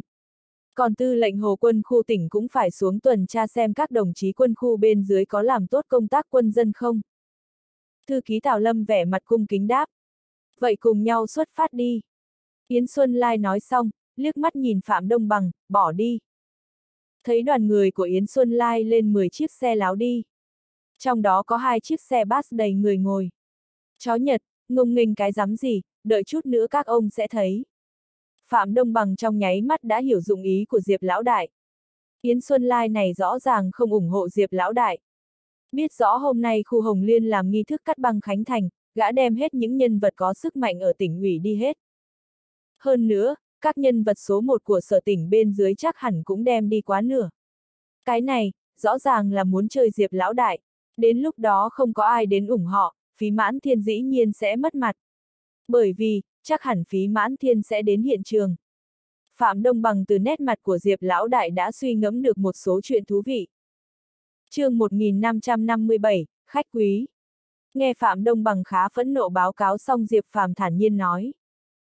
Lãnh đạo có công việc của lãnh đạo, coi như là chúng ta thông cảm cho bọn họ thôi. Hai bên cửu vân kiều cờ màu đã tung bay dọc hai bờ sông. Hai bờ sông lại treo những đèn lồng lớn, không khí Tết Hoa Đăng đã tăng lên. Đoàn Hải Thiên là ủy viên thường vụ tỉnh ủy đến sớm nhất. Bước bình thản trong tiếng vỗ tay nhiệt liệt. Bí thư đoàn, chuyến khảo sát Tây Giang như thế nào? Diệp Phàm vẻ mặt nhiệt tình, cười nói, hai tay nắm chặt tay đoàn Hải Thiên. Tuy nhiên Diệp Phàm liếc mắt một cái, phát hiện ủy viên thành ủy đến đây cũng chỉ 7-8 người, chủ tịch thành phố Chu Mộc Sâm cũng không thấy mặt. Cũng không tệ lắm, bọn họ bên kia tuy nói kinh tế không phát triển bằng vùng duyên hải chúng ta nhưng bọn họ có ưu thế của mình, cũng đáng để chúng ta tham khảo. Ba người đi tất có người là sư tôi. Đoàn Hải Thiên cười nói. Lúc này, Phó trưởng ban thư ký thành ủy tránh văn phòng ủy ban nhân dân thành phố đồng chí Lâm Sáng tiến lên vẻ mặt ngại ngùng nói. Bí thư Diệp rất xin lỗi, kênh Hồng Tinh của thành phố Liên Vân chút vấn đề Phó Chủ tịch thành phố Chu phải đi xuống kiểm tra một chút. Tuy chỉ là một kênh dẫn nước nhưng Phó Chủ tịch thành phố Chu nói, kênh này liên quan đến nước dùng của dân chúng, qua loa đại khái không được. Hơn nữa, Phó Chủ tịch thành phố Chu còn giải thích nói, yêu cầu lãnh đạo các phòng chuyên môn của Ủy ban Nhân dân thành phố đều hiểu về phát triển nông nghiệp, đề cao cuộc sống của nhân dân. Đã đưa đi cùng rất nhiều lãnh đạo phòng chuyên môn của Ủy ban Nhân dân thành phố. Ha ha, không có việc gì, phát triển sản xuất nông nghiệp là quan trọng. Nhân dân có thể có cuộc sống an lành đều là mong ước của chúng ta thôi. Phó Chủ tịch thành phố Chu có thể suy nghĩ cho nhân dân, cấp cho dân chúng thứ cần, tôi thật sự khâm phục. Diệp Phàm thản nhiên cười nói, biết Chu Sâm Mộc không khác gì Chủ tịch tỉnh Yến, chính là muốn hắn xấu mặt thôi. Hai vị này ra tay thật là độc, đưa tất cả các nhân vật số một của các phòng chuyên môn đi. Đến lúc đó cắt băng không có ai đến, chính hắn đúng là không còn mặt mũi. Đồng chí Chu một lòng vì dân chúng, thật sự là có thể học tập. Các đồng chí, các anh phải có tinh thần này mới được. Đoàn Hải Thiên tuy trong lòng nhíu mày nhưng trên mặt khích lệ hai câu. Bí thư đoàn, trước tiên chúng ta đến phòng nghỉ ngơi uống trà. Tôi đã lấy từ chỗ bí thư Lý Sương Hải trà hảo hạng, đảm bảo anh sẽ thích. Diệp Phàm cưới giơ một tay mời. Hả, lá gan không nhỏ, không ngờ dám đào góc tường của bí thư Lý, cậu không sợ y tới rút ra cậu sao, ha ha ha. Đoàn Hải Thiên mỉm cười sang sảng. Ha ha, có bí thư đoàn ở đây, dù sao cũng phải nể mặt anh có phải không? Tôi trốn phía sau anh, phiền anh chắn một chút. Diệp Phàm cười ha ha nói. Cậu đúng thật là hết nói, xem ra hôm nay cậu mời tôi đến đây làm tấm chắn. Đoàn Hải Thiên cười cùng Diệp Phàm bước vào phòng nghỉ. Cô nàng Lý Ngọc đã biểu diễn nghệ thuật pha trà, thật sự khiến đoàn Hải Thiên khen ngợi không ngừng. Cười nói, cậu nhặt được của quý, để cho lão Lý kia đến chắc mặt sẽ giải ra. Không đâu, y đồng ý. Diệp Phàm cười nói, sao có thể thế được?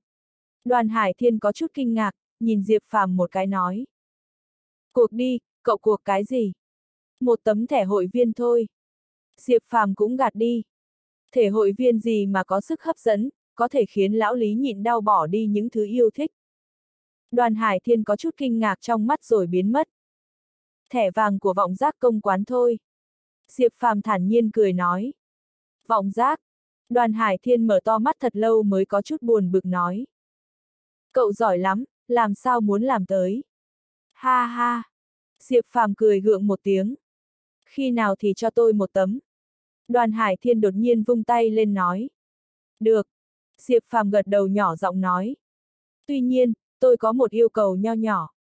Nói điều kiện nữa, gan không nhỏ. Đoàn Hải Thiên bất mãn chừng mắt nhìn Diệp Phàm. Một điều kiện nhỏ, đối với anh mà nói không cần mất nhiều sức lực. Diệp Phàm cười nói.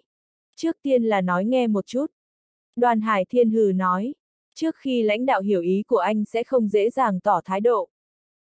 Giám đốc Sở Thủy Lợi Hà gần đây rất quan tâm đến việc khai thác sông Hồng Liên của chúng tôi, cũng cấp cho chúng tôi hơn 30 triệu.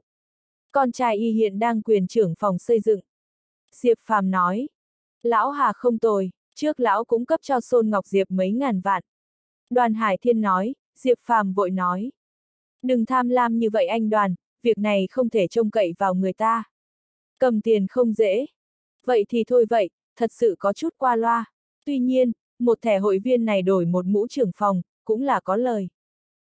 Đoàn Hải Thiên cười cười ý là lời cậu tôi hiểu, nhìn Diệp Phàm một cái nói. Thẻ hội viên khi nào đến thì việc này thành. Tôi nói bí thư đoàn chưa tin sao. Diệp Phàm có chút bất mãn. Ha ha, cậu vội tôi cũng vội, chúng ta đều vội thôi.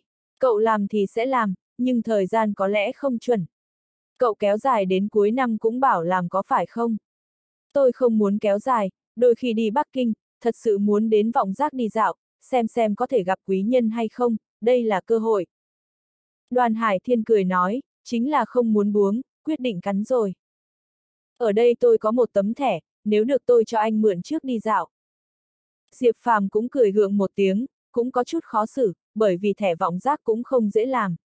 Đã nhờ phí nhất độ một lần, nhờ người ta thêm một lần nữa có chút quá. Ân tình không thể vẫn nợ còn phải trả. Thẻ của cậu, không nên.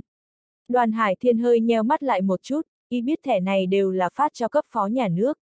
Còn có một số lãnh đạo cấp bộ trưởng có phân lượng, ví dụ như bộ trưởng tài chính, phó trưởng ban thường trực ban tổ chức, Diệp Phàm có trong tay một tấm, đây là thế nào? Ha ha! Diệp Phàm cười không nói gì. Thôi vậy, tôi không hỏi, đây là bí mật của cậu. Đoàn Hải Thiên lắc lắc đầu nói. Thẻ này của cậu cứ giữ lại cho chính cậu dùng đi, nếu là người ta đưa, thứ này chỉ có cậu mới có thể sử dụng. Cậu đừng tưởng thứ này có thể tùy tiện tặng người khác. Mặc dù là tặng cũng phải thông báo cho chủ nhân của vọng giác một tiếng, để y biết. Bằng không, dù có thẻ cũng không thể vào. Đến đó là người như thế nào, sao có thể cho phép người tùy tiện vào có phải không? Tốt lắm, tôi sẽ dục, anh đoàn cho tôi các thông tin liên quan là được. Còn nữa, mật mã thẻ nữa. Diệp Phàm nói. Được. Đoàn Hải Thiên gật gật đầu, nhìn Diệp Phàm một cái nói. Nghe nói đoàn người của chủ tịch tỉnh Yến xuống nông thôn. Ừ, buổi sáng tôi đã giao cho Phạm Đông Bằng. Tuy nhiên, bọn họ xuống nông thôn, lãnh đạo xuống nông thôn chúng ta không thể không đón có phải không? Nghe nói có bí thư Nạp Lan, phó chủ tịch tỉnh Tống, tư lệnh hồ của quân khu tỉnh cùng rất nhiều nhân vật số một của các cơ quan chuyên môn. Diệp Phàm nói, ừ, phải đi đi. Đoàn Hải Thiên trong nháy mắt liền hiểu, mặt có chút khó coi. Việc này không riêng gì đánh vào thể diện của Diệp Phàm, cũng là đánh vào thể diện của đoàn Hải Thiên. Quay sang nhìn Diệp Phàm một cái hỏi. Bí thư phí đâu? Ông ấy sẽ đến. Diệp Phàm khẳng định đáp. Ừ, thì ra thế. Đoàn Hải Thiên gật gật đầu, cũng rõ nguyên nhân trong đó. Việc này rõ ràng Yến Xuân Lai làm tình hình tẻ ngắt để khiến Diệp Phàm mất mặt. Sau đó cũng là thử một chút huy phong của nhà họ phí thôi. Một lễ cắt băng nhỏ không ngờ liên quan đến hai vị đầu sỏ của tỉnh ủy âm thầm đọ sức. Bên trong thật sự rất phức tạp. Lúc này, Phạm Đông bằng vội vàng bước vào, vẻ mặt vui mừng nói. Bình thường Diệp, khách quý ở Bắc Kinh đến đây. Đến nữa rồi, bí thư đoạn, nếu không đi ra đón đi. Diệp Phàm cười nói. Ai đến? Đoàn Hải Thiên ngồi không nhúc nhích, tuy nói là khách quý ở Bắc Kinh nhưng cũng phải xem cấp bậc. Nếu tùy tiện đến con chó con mèo đến y cũng phải đi đón. Ủy viên thường vụ tỉnh ủy cũng quá hạ giá phải không? Đông bằng, cậu nói cho bí thư đoàn rõ đi. Tư lệnh quân khu lĩnh Nam Kiều Hoành Sơn, Phó tư lệnh viên quân khu Bắc Kinh Triệu Quát, Phó trưởng ban tổ chức Trung ương Ninh Chí Hòa, Bộ trưởng Bộ Tài chính đến. Phạm Đông Băng vừa nói ra, đoàn Hải Thiên liền đứng lên, vội vàng kêu lên. Còn đứng đây làm gì, nhanh đi ra đón. Quay sang Diệp Phàm hừ nói. Cậu nữa, còn đánh mai phục với tôi, có phải muốn tôi cũng mất mặt cho cậu xem? Tôi không dám, việc này khi anh về tôi vẫn vội không kịp báo cáo thôi. Và lại, bọn họ có đến hay không tôi cũng không dám khẳng định. Nếu báo cáo sớm tôi không có mảnh đất để đi. Diệp Phàm cười gượng một tiếng. Việc này sau này nói sau. Đoàn Hải Thiên lắc lắc đầu, đi nhanh ra ngoài. Ha ha, tư lệnh kiều, hoan nghênh đến Hồng Liên. Từ xa, đoàn Hải Thiên đã giơ hai tay ra. Kiều Hoành Sơn uy lực đối với đoàn Hải Thiên còn không bằng em của ông ta Kiều Viễn Sơn. Tuy nhiên, hai người một nhà đoàn Hải Thiên dù sao cũng phải nhiệt tình. Bí thư Diệp của khu Hồng Liên các anh mời, tôi không đến có thể được không?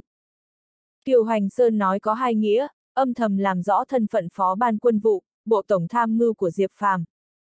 Đoàn Hải Thiên nghe xong hơi sửng sốt, đương nhiên không rõ thân phận quân đội của Diệp Phàm. Tuy nhiên, lão đoàn cũng có cách giải thích của mình, hình như chợt hiểu cái gì. Cười nói, việc này chứng tỏ anh rất trân trọng cháu. Đây là đoàn Hải Thiên chỉ Diệp Phàm kết bạn với Kiều Viên Viên cháu gái của Kiều Hoành Sơn. Như thế Diệp Phàm đương nhiên là cháu. Tư lệnh triệu, từ xa đến chiêu đã không chu toàn. Diệp Phàm cười, thân mật bắt tay triệu quát. Tôi thì không có gì, chỉ có điều lần trước triệu tứ từ Thủy Châu về hình như mang theo một bụng tức giận. Sau bà xã tôi còn tưởng nó bị oan ức ở Thủy Châu, đến phòng nó khuyên. Không ngờ nó giấu cái gì đó trong tủ. Bà xã tôi rất buồn, cái gì quý như vậy. Triệu quát nói đến đây, nhìn Diệp Phàm một cái, kéo Diệp Phàm sang bên cạnh nói. chương 1558, lúc Diệp Phàm nở mày nở mặt. Việc này cũng lạ, tôi nghĩ, tiểu thư tứ vòng cổ chắc cũng không dưới 10 vạn. Diệp Phàm vẻ mặt thản nhiên nhưng thực ra trong lòng có chút trột dạ. Tuy nhiên, hắn cũng không biết vì sao mình lại trột dạ. Tuy nhiên, hắn nghĩ không biết có liên quan đến chuyện xảy ra ở khách sạn Hoa Thắng. Đúng vậy, cả vòng cổ kim cương mấy chục vạn triệu tứ cũng chưa từng giấu, chỉ để trên bàn trang điểm. Sau bà xã tôi tò mò mở tủ xem, thấy chẳng qua là một bộ chăn đơn thôi. Hình như là hàng hiệu nước ngoài, bà lão đang muốn mở ra xe, cô còn tưởng chăn bọc đồ gì quý trong đó, sợ triệu tứ đã quên. Kết quả là triệu tứ không cho xem, cô không có cách nào, chỉ khuyên vài câu rồi đi. Thật sự là lạ, lần trước đến Thủy Châu, rốt cuộc đã xảy ra chuyện gì? Triệu quát nhìn chằm chằm Diệp Phàm nói. Trời ơi, chăn đơn đó không phải hắn đã mang đến một phòng khác sao? Chẳng lẽ triệu tứ lấy đi rồi? Không phải buổi tối đó tại chỗ hắn đã làm cô nàng chính là triệu tứ nhà họ triệu. Hình như có lý, đối hắn cô nàng hình như là lần đầu tiên, máu bắn tung tóe lên chăn đơn. Triệu quát nhìn chằm chằm hắn như thế, có phải nghi ngờ hắn không? Không đúng, triệu tứ hẳn sẽ không nói gì với y, không phải có người nhà họ triệu đứng trước mặt hắn bắt hắn. Diệp phàm trong lòng rên lên một tiếng, trong lòng đổ mồ hôi lạnh. Trên mặt cũng mỉm cười, quyết định thử một chút nói sau. Miệng nói, việc này cũng lạ, nghe nói triệu tứ buôn bán ở Thủy Châu, bạn bè cô năng lượng cũng không nhỏ, hình như công tử Yến Đông của chủ tịch tỉnh Yến cũng thường xuyên vui chơi cùng chỗ với các cô. Có Yến Đông che chở, ai không có mắt dám bắt nạt tiểu thư triệu tứ. Yến Đông, hẳn sẽ không phải là hắn chứ. Nếu không, tôi đánh gãy xương hắn. Triệu quát hừ lạnh một tiếng nhìn Diệp Phàm một cái nói. Có lẽ là chuyện kinh doanh, việc này Trương Nhất Đống còn nhờ Yến Đông quan tâm đến Triệu Tứ, Yến Đông hẳn là biết điều. Trương Nhất Đống là ai? Diệp Phàm suy nghĩ trong lòng một chút, trong giây lát liền hiểu. Hóa ra lão già này đi lòng vòng là để ám chỉ hắn. Triệu Tứ xem ra đang cùng tên Trương Nhất Đống kia chụp kéo. Mà Triệu Tứ đến Thủy Châu buôn bán, Trương Nhất Đống còn giao cho Yến Đông quan tâm đến Triệu Tứ. Trương Nhất Đống chắc chắn ra thế rất cao. Xem ra ra thế cũng không nhỏ hơn nhà họ Triệu. Triệu quát cố ý nói chuyện này cho hắn, đơn giản là nói hắn về sau không cần như thế nào với Triệu Tứ, người ta đã là hoa có chủ. Lão già này, trong lòng Diệp Phàm thầm mắng một câu. Mặt không thay đổi, thản nhiên nói. Nói đến Triệu Tứ, lần trước ở khách sạn Hoa Thắng tôi đã gặp Triệu Tứ. Lúc đó Thứ trưởng Bộ Y tế Trương Oánh Nguyệt xuống kiểm tra công tá. Phó Chủ tịch tỉnh Chu Phi Sương là bạn học cùng cô mời khách ở khách sạn Hoa Thắng. Lúc ấy chị Trương có bảo tôi đến đây. Tôi mới vừa đến tầng 2 của khách sạn Hoa Thắng, thấy Triệu Tứ đang cùng Tào Phi Phi còn có cả mấy người Yến Đông đang ngồi ở đại sảnh. Về sau chào hỏi một câu là tôi đi luôn. Tuy nhiên, Triệu Tứ nói tôi thắng quan phải mời khách. Cho nên, sau khi tính tiền thấy Triệu Tứ có chút say. Vừa lúc Tống Trinh Giao đến, bảo cô đến phòng của khách sạn nghỉ ngơi. Không lâu, Lan Điền Trúc cũng tới. Ừ, chắc là không có việc gì. Mục đích của Triệu Quát là nói cho Diệp Phàm chuyện của Trương Nhất Đống. Sau khi đạt được mục đích cũng không có hứng thú, và lại Triệu Quát không rảnh quan tâm đến việc chơi bời của Triệu Tứ. Vừa lúc, Phí Mãn Thiên cũng đến rồi, Diệp Phàm vội vàng cáo lỗi đi đón. Cái gì? Kiều Viễn Sơn Triệu Quát, Ninh Chí Hòa đến đây. Yến Xuân Lai hỏi trong điện thoại. Vâng, chắc chắn vậy. Một giọng đàn ông trả lời. Bọn họ hiện tại làm gì? Yến Xuân Lai hỏi. Đang ở phòng nghỉ, vài phút nữa sẽ lên đài chủ tịch. Bởi vì lễ cắt băng chính thức bắt đầu lúc 9 giờ. Người đàn ông nói. Cứ như vậy. Yến Xuân Lai mặt tối sầm, quay sang lái xe nói. Quay đầu nhanh, về cửu Vân Kiều khu Hồng Liên tham gia lễ cắt băng. Còn nữa, bảo công an phía trước dẫn đường, đến gần khu cửu Vân Kiều thì ngừng dẫn, không cần quấy nhiễu khách quý. Lúc này Chu Sâm Mộc cũng không khác gì, đang nghe điện thoại. Mặt mở to, buông điện thoại xong cũng gầm rú quay về khu Hồng Liên. Các vị khách quý đều ngồi trên đài chủ tịch, trưởng ban thư ký khu Hồng Liên hôm nay cũng rất vui vẻ nói. Chúng tôi mời Phó Bí thư Thành ủy thành phố Thủy Châu, Bí thư khu ủy Hồng Liên chào mừng. Mấy ngàn người lập tức vỗ tay như sấm dậy. Diệp Phàm bước vững vàng vừa vỗ nhẹ tay, mỉm cười đi đến phía trước mic ở giữa. Kính thưa các vị lãnh đạo, các vị khách quý, cán bộ công nhân viên chức khu Hồng Liên, bà con nhân dân, tôi thay mặt. Hôm nay là ngày lành tháng tốt, chẳng những đón các vị lãnh đạo thủ đô, đón các vị lãnh đạo tỉnh ủy cùng với một số bạn bè Hồng Kông. Ví dụ như Chủ tịch Kim Bảo Điệp, Chủ tịch Hàn Quốc TSS Anh Tín Đào, Chủ tịch Công ty Truyền thông Giang Nam Mai Phán Nhi. Diệp Phàm nói rõ ràng. Tuy nhiên, Diệp Phàm nói đều làm những người ngồi đây mặt mày rạng rỡ, tươi cười nhìn trên đài chủ tịch. Nghe giới thiệu những người trên đài chủ tịch có phân lượng lớn, một số người trong lòng kinh ngạc. khâm phục sâu sắc việc Diệp Phàm có thể mời đến những nhân vật này. Tiếp đến là bí thư phí mãn thiên đọc diễn văn, đoàn Hải Thiên và các khách quy đều vỗ tay. Bắt đầu cắt băng, cầu chúc cho việc xây dựng khu sinh thái nhân văn của khu Hồng Liên chúng ta thành công tốt đẹp. Mời các vị lãnh đạo tham gia cắt băng. Giọng Phạm Đông băng vang dội. Tất cả lập tức sôi trào, các vị lãnh đạo dưới sự dẫn dắt của Phí Mãn Thiên và Kiều Viễn Sơn vui sướng bước đi đến trước một giải lụa hồng. Các cô gái lễ tân đưa mỗi vị lãnh đạo đến một vị trí. Mà Diệp Phàm bố trí người nâng giải lụa hồng như nâng cái đuôi, giống như nâng rồng. Đây là Diệp Phàm tự dặn dò Phạm Đông bằng sắp xếp. Bởi vì, tham gia cắt băng đều là lãnh đạo cấp phó tỉnh trở lên, cán bộ cấp sở chỉ nhìn ghen tị, đứng vỗ tay.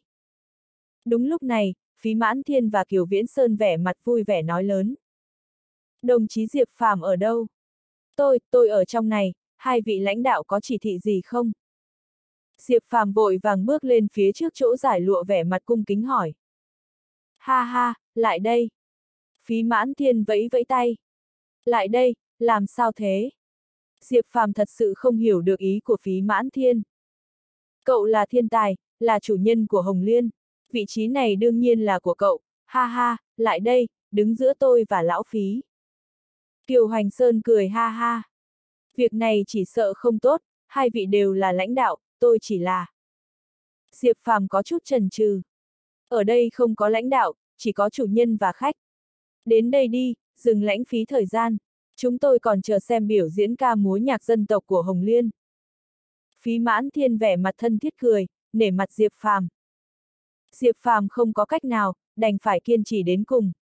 Hắn có chút bị động, song cũng cảm thấy lâng lâng. Giờ phút này, hắn cảm thấy thỏa mãn chưa từng có. Mà các đồng chí dưới đài tất nhiên là kính nể.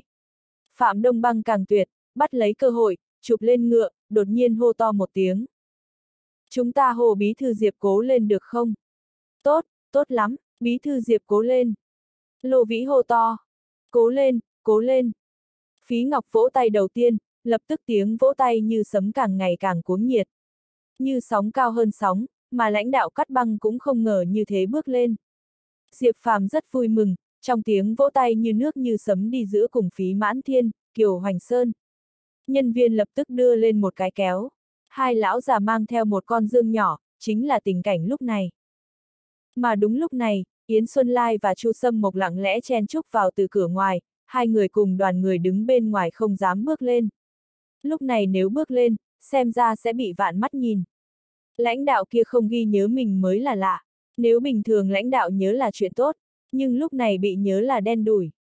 Tuy nhiên, nhìn thấy Diệp Phàm mỉm cười cầm kéo, Yến Xuân Lai cùng Chu Sâm Mộc cùng tư lệnh quân khu tỉnh Hồ còn có cả đám người nạp lan nhược phong thực không biết làm sao. Tất cả đều thấy chua sót, dường như, các vị lãnh đạo cấp cao đều thành giấm chua cải trắng.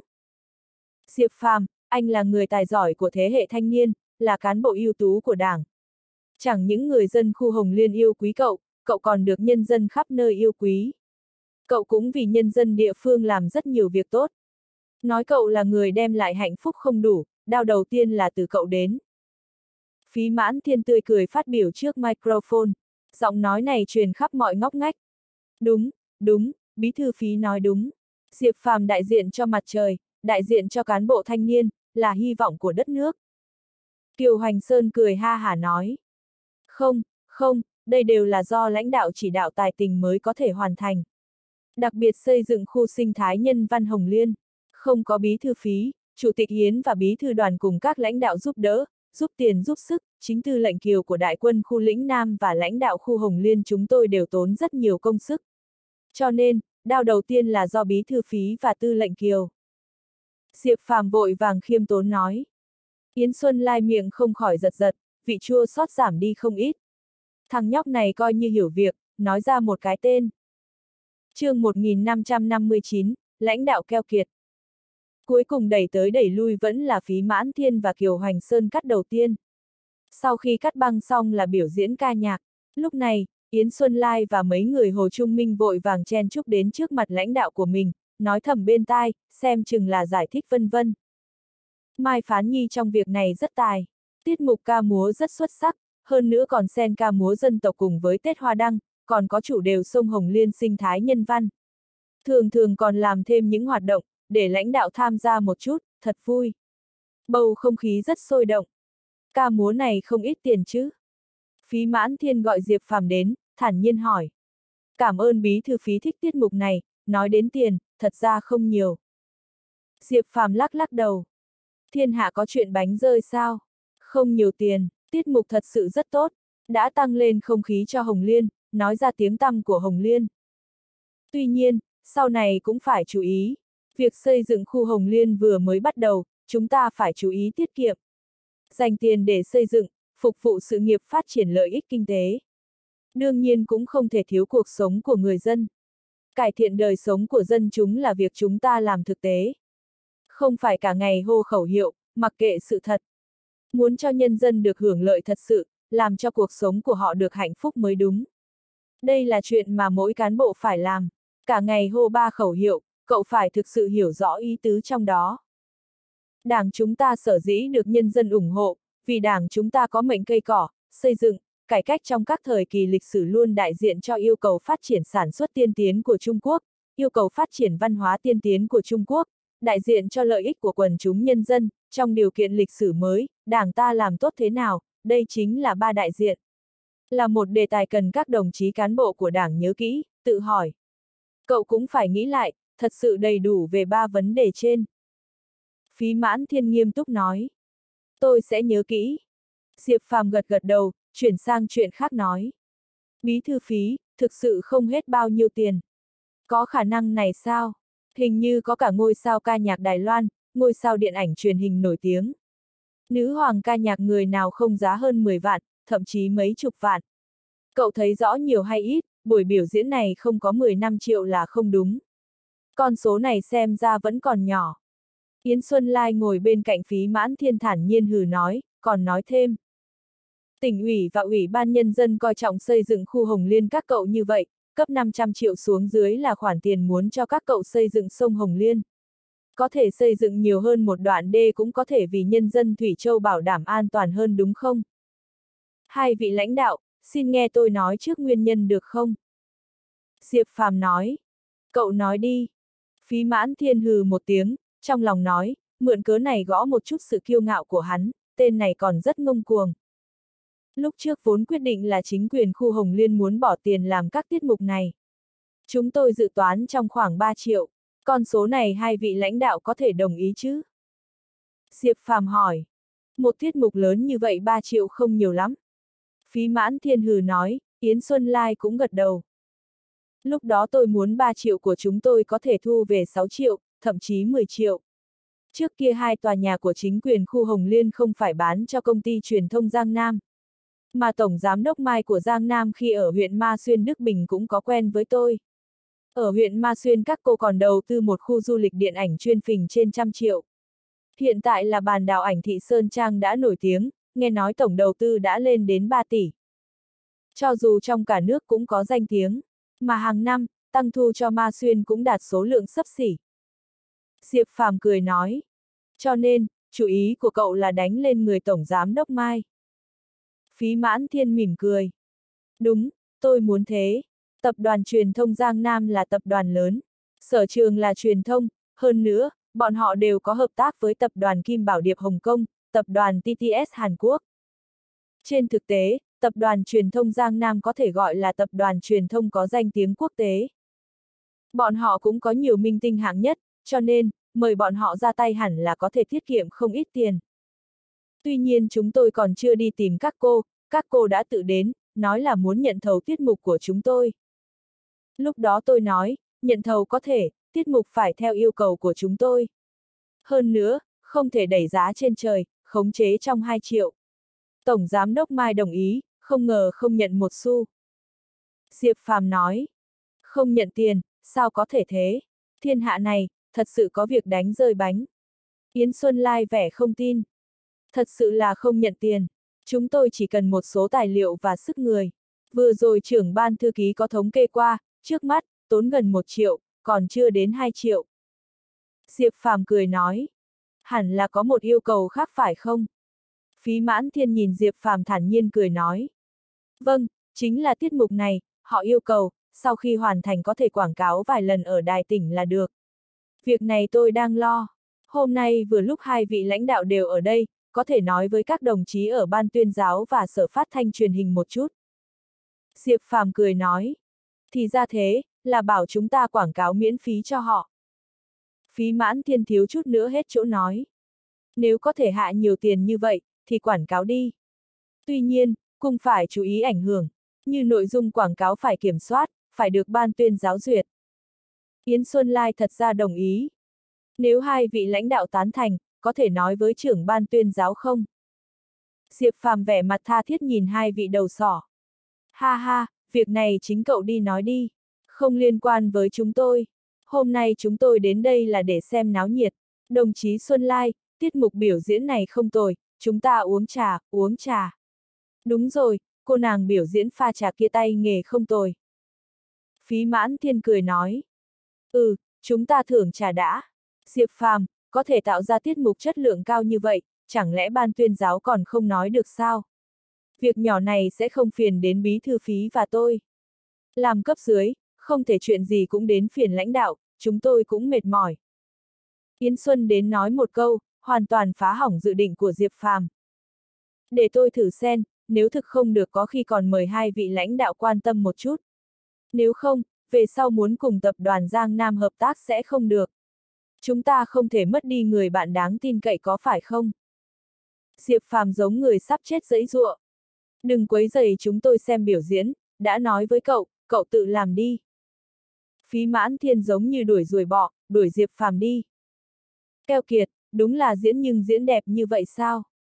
Lên tiếng có thể làm không ngờ không làm. Trong lòng Diệp Phàm thầm mắng. Quay mắt lại đến trước mặt trưởng ban tuyên giáo tỉnh ủy Thang Kim Ngọc. Trưởng ban Thang, tiết mục không tồi chứ. Diệp Phàm giống lão ái trong kỹ viện, cúi người đưa cho Thang Kim Ngọc một chén trà. Không tồi, rất đặc biệt. Vừa có ca khúc hiện đại lại có ca múa cổ, kết hợp giữa truyền thống và hiện đại tạo ra một tiết mục múa hát chất lượng cao. Đối với việc đề cao công tác văn hóa, đề cao tinh thần của khu Hồng Liên đều có lợi. Thang Kim Ngọc thản nhiên nhận chén trà Diệp Phàm đưa, khá thoải mái. Bởi vì Diệp Phàm hôm nay là nhân vật trung tâm, tất cả màn ảnh từ đầu đến cuối là Diệp Phàm. Cảm ơn trưởng ban thang khích lệ, vừa rồi bí thư phí và chủ tịch Yến cũng nói như vậy. Diệp Phàm kéo hai vị đầu sỏ vào. Xem ra, tất cả mọi người đều nhận xét vậy. Thang Kim Ngọc thản nhiên cười nói. Ngài xem, tiết mục ca múa chất lượng cao như vậy có thể cho phép phát trên đài truyền hình tỉnh. Diệp Phàm rốt cuộc giấu đầu hở đuôi. Phát hiện Thang Kim Ngọc hơi sừng sốt, Diệp Phàm vội vàng giải thích. Đương nhiên, tôi cũng muốn mượn cớ tuyên truyền một chút về việc xây dựng khu Hồng Liên của chúng tôi. Làm mọi người chú ý, thu hút nhiều người đến đầu tư, cùng ra sức vì Hồng Liên. Hơn nữa, tất cả mọi người đều cho rằng đây là tác phẩm chất lượng cao, cũng không bôi nhọ thanh danh của đài tỉnh có phải không? Nếu chỉ là biểu diễn ca múa đưa tin thật ra có thể suy xét. Thang Kim Ngọc cũng không ngu, lập tức ngăn Diệp Phàm, ngăn chặn con đường quảng cáo. Trưởng ban thang, đây còn có nguyên nhân khác. Diệp Phàm nói rõ chuyện này, dù sao giấu cũng không được. Thang Kim Ngọc sau khi nghe xong suy nghĩ một hồi mới nói. Vẫn phải chờ tiết mục của các cậu xong, đưa đến ban tuyên giáo, chúng tôi dù sao cũng phải kiểm định có phải không? Bằng không, không kiểm định phát ra ngoài, cậu cũng biết ảnh hưởng của truyền thông đối với công chúng không thua gì lời đồn đại chuyện nhảm. TV là phương tiện tuyên truyền, đây không hề sai. Tuy nhiên, muốn tuyên truyền cũng phải xem là nội dung gì, còn quảng cáo có thể nhiều hay ít, Thang Kim Ngọc nói cũng không tệ, những người ở đây hiểu hơn Diệp Phàm nhiều lắm. Diệp Phàm biết rằng, đơn giản là chưa cho tiền, đài tỉnh chưa cho quảng cáo thôi. Việc này, Diệp Phàm nghĩ một chút cũng sẽ không nói nữa, đến lúc đó hơn. Buổi sáng ngày hôm sau, sau khi tiến khách Bắc Kinh xong, Diệp Phàm triệu tập hội nghị, sắp xếp toàn bộ việc xây dựng sông Hồng Liên xong, quyết định đi Bắc Kinh một chuyến. Bởi vì, còn vài ngày nữa là Kiều Báo Quốc đến địa khu Nam lĩnh nhậm chứ. Mà từ sau khi Vu Tây Dương của khu Đông Hồ bị điều chỉnh, các vị lãnh đạo khu Đông Hồ không dậy nổi hứng thú với Diệp Phàm. Đương nhiên, Diệp Phàm cũng không quá mức, hai bên giải quyết vấn đề thoát nước trong thời gian này rất khá. Bắc Kinh cũng không bởi vì tháng 6 mà nóng bức đặc biệt. Tuy nhiên, cũng không cảm thấy lạnh, nhiệt độ vẫn trung bình. Hà Nghi Viễn vẻ mặt nghiêm túc, đeo bao lô xuống sân bay sau Diệp Phàm. Mới bước ra đã thấy một chiếc xe quân sự đỗ ở ngoài. chương 1560, em rể đến rồi. Anh rể tới rồi. Từ trên xe đi xuống một người thanh niên, vẻ mặt nhiệt tình, từ xa đã gọi to. Anh rể. Hà Nghi Viễn nhìn nhưng Diệp Phàm một cái, từ trên xe bước xuống một cô nàng xinh đẹp. Vẻ mặt cười cười nhìn Diệp Phàm, khuôn mặt cũng có chút ửng đỏ. Ha ha, là Thanh Dương, anh rể gọi cũng tốt. Diệp Phàm cũng khách khí mười phần nhìn anh hai của Kiều Viên Viên Kiều Thanh Dương cười nói. Kiều Thanh Dương hiện đang làm tại Bộ Tổng Tham mưu. Lần trước Diệp Phàm cho y một ít thuốc tráng dương, y thần gió, làm bạn gái không để lại.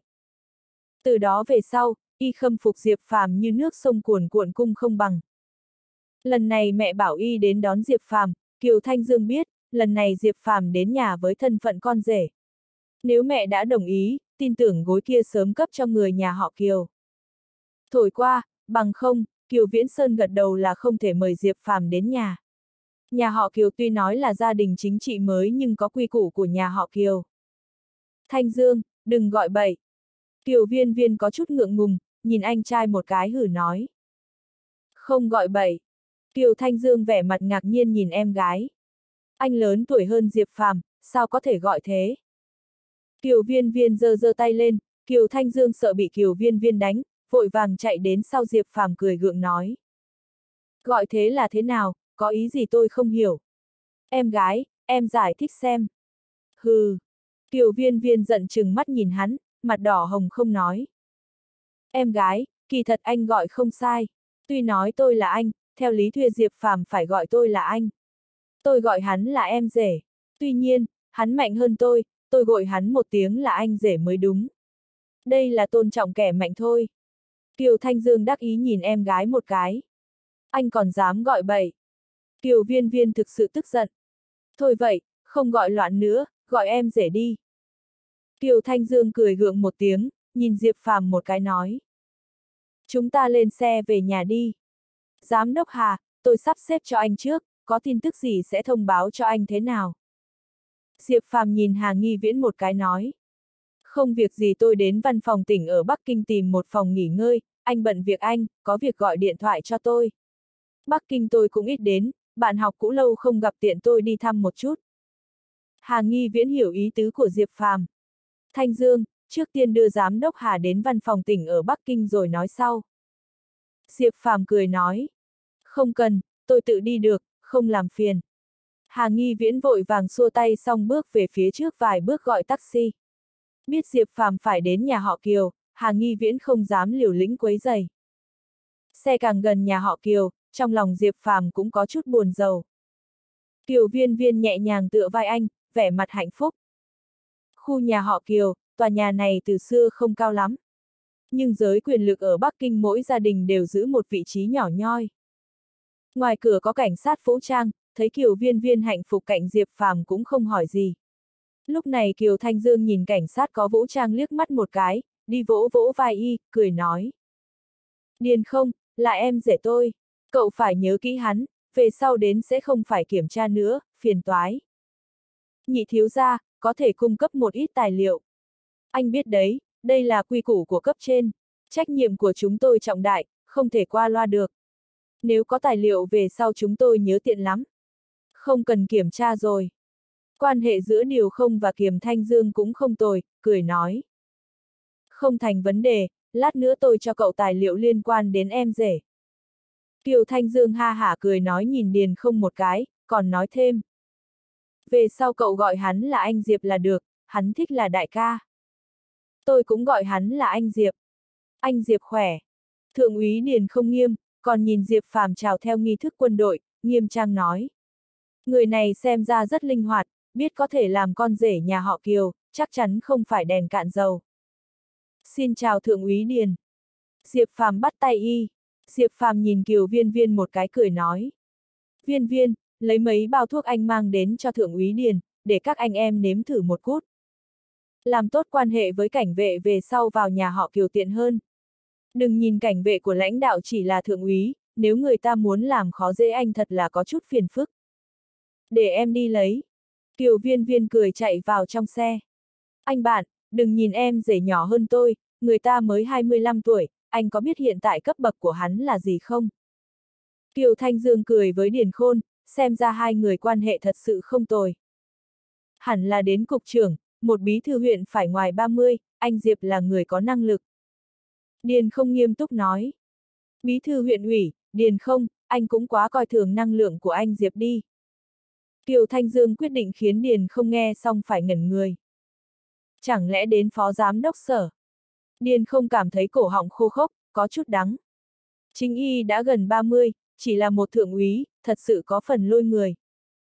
Phó cái giám, em rể tôi là cán bộ cấp giám đốc sở chính tông.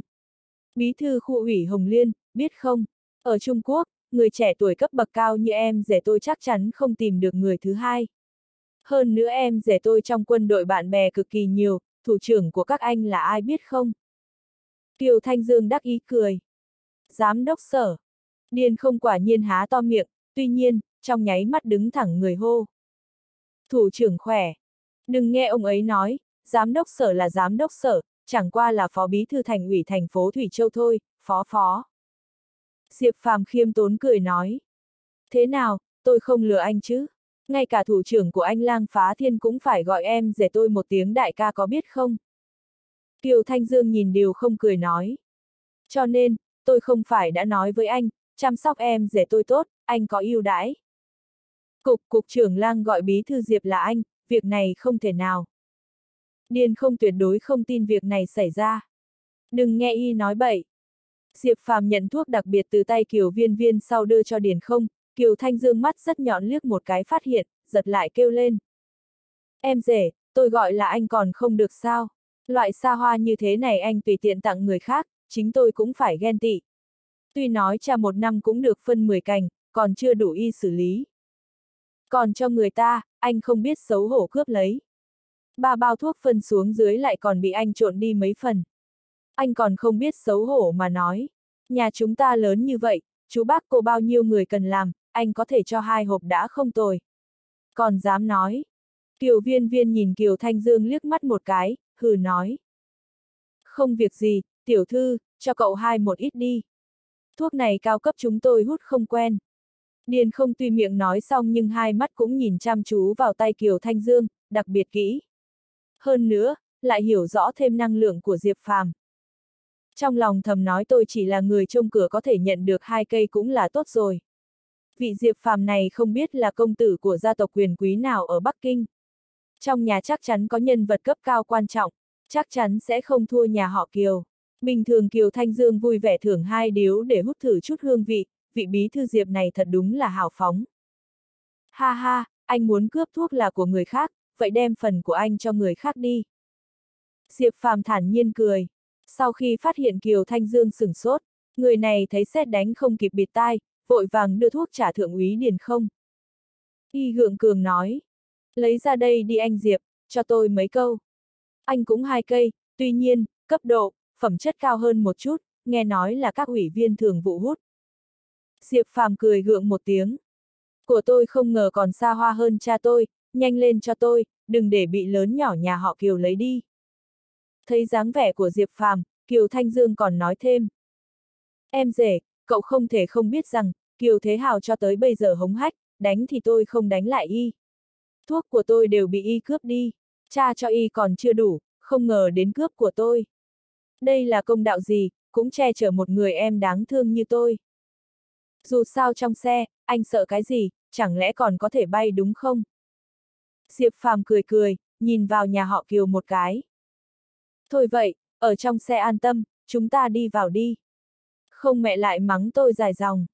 Kiều Thanh Dương cười bước vào sân trước. Đi vào trong đại sảnh. Kiều Viễn Sơn đang ngồi trên sofa đọc báo đảng thấy Diệp Phàm tiến vào, Kiều Viễn Sơn vẫn cúi đọc báo. Dường như không nhìn thấy. Mà bà xã Kiều Viễn Sơn Diệp Dung vẻ mặt tươi cười nói. Ngồi đi, để tôi pha cho cậu chén trà. Mẹ, để con pha. Kiều Viên Viên cười dành đi đến quầy rượu nhỏ.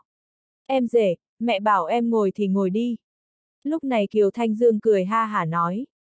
Nghe hai tiếng em rể, Kiều Viễn Sơn dường như bị đâm, buông tờ báo xuống. Thản nhiên nhìn Diệp Phàm một cái không nói gì, giơ tay lấy một tờ báo khác. Diệp Phàm biết người ta đang chờ hắn chào hỏi, cảm thấy y so với mình lớn tuổi hơn, chào trước cũng không thiệt, vì thế cười nói. Trưởng ban kiều khỏe, gọi là chú đi. Lúc này Diệp Dung cười nói. Diệp Phàm, uống trà. Kiều viên viên cầm chén trà đến. Viên viên, tôi pha, xem chừng không được. Nếu bàn về nghệ thuật trà tôi thường xuyên uống hơn cậu. Kiều Thanh Dương cười cầm lấy bộ pha trà biểu diễn. Chú thím khỏe. Diệp Phàm kiên trì, cười chào hỏi. Khỏe đều khỏe. Diệp Dung thật ra gật đầu đáp trước. Tuy nhiên Kiều Viễn Sơn cũng thản nhiên hừ một tiếng nói.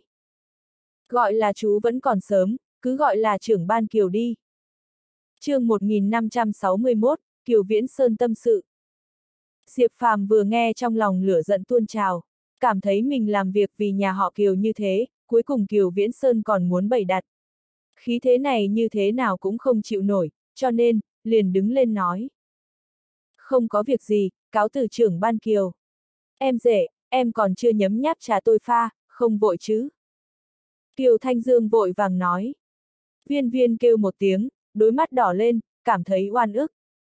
Lão Kiều, Diệp Phàm từ xa đến đây cũng không dễ dàng. Hôm nay tôi làm chủ, Diệp Phàm ở lại ăn cơm chiều. Còn nữa, về sau Diệp Phàm gọi là chú thím. Diệp Dung có chút tức giận chừng mắt nhìn Kiều Viễn Sơn một cái hử nói. Thôi vậy, tùy bà đi.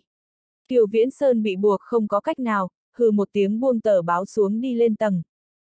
Ba, Diệp Phàm nói có việc muốn bàn với ba một chút. Lúc này Kiều Viên Viên vội vàng giữ chặt tay cha nói. Chuyện gì, lên tầng. Kiều Viễn Sơn hừ một tiếng, lên tầng. Kiều Thanh Sơn giơ tay ám chỉ với Diệp Phàm đây là dấu hiệu tốt, dục hắn nhanh đi lên tầng. Đừng trách lão Kiều, Diệp Phàm, tính tình ông ấy là thế. Diệp Phàm vẻ mặt thân thiết nói, nhìn Diệp Phàm một cái còn nói thêm. Diệp Phàm, tôi lớn hơn cháu mấy chục tuổi, hôm nay tôi cũng phải nói với cậu vài câu. Cậu cùng viên viên đều như vật, tính tình này của cậu cũng phải sửa lại. Mặc kệ nói thế nào, Viễn Sơn cũng là cha của viên viên có phải không? Mặc kệ Viễn Sơn thế nào, hắn sẽ không hại cậu và viên viên có phải không? Nếu cậu cho rằng chú thím này nói lời xuôi tai, đi lên hãy gọi một tiếng chú thế nào. Còn nữa, chuyện Kiều báo quốc tôi thay mặt lão Kiều cảm ơn cậu giúp đỡ. Cháu không việc gì, thím cháu lên trước. Diệp Phàm có chút xấu hổ gật gật đầu, lên tầng. Nhẹ nhàng gõ cửa, Kiều Viễn Sơn hừ một tiếng, Diệp Phàm nhẹ nhàng đẩy cửa. Thấy phòng Kiều Viễn Sơn bố trí khá thích hợp, hương cổ nồng đậm. Lúc này, Kiều Viễn Sơn nhìn chằm chằm một bức tranh chữ trên tường lên lớp giảng bài, có bao nhiêu lớn, lòng có nhiều. Diệp Phàm nhìn Kiều Viễn Sơn không nói gì, đang chờ y lên tiếng, cũng không muốn quấy rầy người ta vui vẻ xem chữ. Ngồi đi. Kiều Viễn Sơn thản nhiên nói, chỉ vào một chiếc ghế gỗ xoay đối diện bàn nhìn Diệp Phàm một cái nói. Cậu có biết ý nghĩa của mấy chữ này không? Cháu nghĩ có phải có liên quan đến ngực không? Diệp Phàm nói. Ừ, ngực lớn thế nào thì tim lớn như vậy, cậu nghĩ thử xem, tim cậu càng lớn, ngực không thể chứa được thì nó sẽ nổ tung mất. Cho nên, từ xưa đến nay, có thể thành việc lớn đều là do trái tim rộng lớn vô hạn. Cậu không cần cho rằng tôi là người nhỏ nhen, cứng rắn với con cháu. Tôi còn không có bản lĩnh kia, tôi về điểm này cũng không có khả năng ngồi ở vị trí hiện tại. Cậu xem xe, hễ là cán bộ có thể đi vào cấp trung ương, những đồng chí đó không phải ngực như trống. Mấy năm gần đây, chuyện cậu và viên viên cứ như vậy, cậu xem khi nào tôi lo đến các cậu.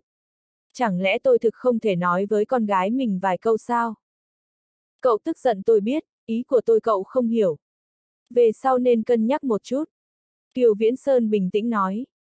Chú Kiều, tôi thừa nhận tính tình của tôi không tốt. Việc này cũng là tính trời sinh, muốn sửa cũng khó. Hơn nữa đời này tôi cũng không muốn thay đổi nhiều lắm. Như vậy còn là tôi sao? Diệp Phàm nói. Ừ, Kiều Viễn Sơn gật gật đầu, nhìn Diệp Phàm một cái còn nói thêm. Vấn đề này cũng không phải nói cậu nhất thiết phải sửa tính tình của mình. Một người rộng lượng cũng không mất đi chính mình. Quá theo dòng lớn là người bình thường. Người thường muốn chạy đến một tầng lãnh đạo rất cao là không có khả năng. Cho nên, ngoài một số việc phải rộng lượng, cậu không thể mất đi ưu điểm của mình. Từ xưa đến nay, hề là người làm nên việc lớn đều có tính cách độc lập của mình, nhân cách cũng là một loại sức hấp dẫn. Viên viên nếu quyết tâm đi theo cậu, vì hạnh phúc của viên viên chúng ta không ngăn cản. Nhưng chính cậu cũng phải cố gắng hướng lên trên, vì viên viên tạo ra một hoàn cảnh sống thích hợp có phải không? Tôi biết cậu có chút năng lượng, chính cậu không thiếu tiền, một lòng vì sự nghiệp phục vụ nhân dân, điểm này tốt lắm. Trên cơ bản là Kiều Viễn Sơn đang nói chuyện, Diệp Phàm phần lớn là lắng nghe. Ngồi cùng Kiều Viễn Sơn thời gian dài, Diệp Phàm cũng có thay đổi cái nhìn của chính mình. Hắn nhìn thấy Kiều Viễn Sơn đối với hắn là thật tâm. Cũng không phải là lời nói vô nghĩa. Vừa rồi cậu nói có việc, nói chuyện của cậu đi, để còn ăn cơm. Kiều Viễn Sơn nói. Tỉnh Nam Phúc chúng tôi gần đây không phải thiếu một vị trí phó chủ tịch tỉnh. Nói đến đây Diệp Phàm nhìn Kiều Viễn Sơn ông ta hẳn là hiểu ý của Diệp Phàm. Cậu muốn giới thiệu người cho vị trí này có phải không? Kiều Viễn Sơn nghe xong liền hiểu rõ. Vâng, y là Hà Nghi Viễn, là giám đốc sở thủy lợi của Nam Phúc. Diệp Phàm vừa nói vừa lấy trong cặp ra tài liệu có liên quan đến Hà Nghi Viễn. Kiều Viễn Sơn nhận sau nhìn ra ngoài một hồi, nói. Điều kiện cũng thích hợp, tuổi cũng không già, kinh nghiệm lý lịch và tuổi cùng với thành tích trước đây không tệ lắm. Tuy nhiên, cậu cùng y kết giao đã bao lâu? Muốn giúp người khác cũng phải hiểu rõ ràng người này.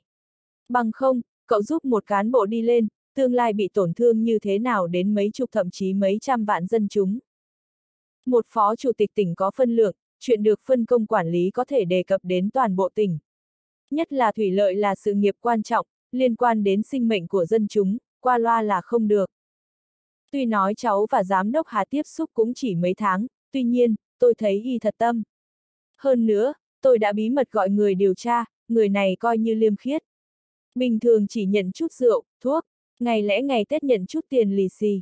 Việc này ở nước ta cũng là chuyện bình thường, không là việc gì lớn. Bằng không, y lập nghiệp từ thủy lợi, sớm đã ngã xuống. Diệp Phàm vô cùng chắc chắn nói. Xem ra, Chủ tịch tỉnh Yến Xuân Lai của các cậu còn nhanh hơn cậu. Kiều Viễn Sơn thản nhiên hừ một tiếng. Nghe nói nguyên phó chủ tịch tỉnh Cố Tắc Phi. Sau người này tham ô nhận hối hộ bị bắt, Cố Tắc Phi thăng chức sức lực của nhà họ phí rất ớn. Bởi vậy, nhà họ phí chắc chắn bị đả kích, ít nhất là ở tỉnh Nam Phúc. Đối với ghế chống lần này, xem ra nhà họ phí chỉ có thể sống chết mặc bay. Cứ như vậy, ngược lại giúp cho Yến Xuân Lai khí thế lớn. Tuy nhiên, nhà họ phí không tham gia cũng có chỗ tốt, đó là nhà họ phí chắc chắn không muốn thấy người của Yến Xuân Lai thăng chức. Diệp Phàm phân tích việc này, nhìn Kiều Viễn Sơn một cái, còn nói thêm. Qua vài ngày sẽ đưa Kiều Báo Quốc xuống nhậm chức, địa khu Nam lĩnh tỉnh lĩnh Nam không phải là địa phương tốt. Về kinh tế là một trong những địa khu đứng cuối cùng của tỉnh. Kiều Báo Quốc muốn làm, cũng khá khó khăn. Sức người, dù sao muốn xoay chuyển trời đất cũng rất khó. Tôi nghĩ, nếu Hà Nghi Viễn có thể thăng chức, ít nhất ở địa khu lĩnh Nam về mặt y được phân công quản lý chắc chắn sẽ toàn lực ủng hộ anh Kiều báo quốc. Chú Kiều ở Bắc Kinh ngoài tầm tay với, cũng không có khả năng mọi chuyện để có thể quan tâm đến được. Hơn nữa, chú làm công tác tổ chức, rất khác việc phát triển kinh tế. Nếu cậu gọi anh Kiều báo quốc, cậu có phải cũng giúp đỡ y rất lớn.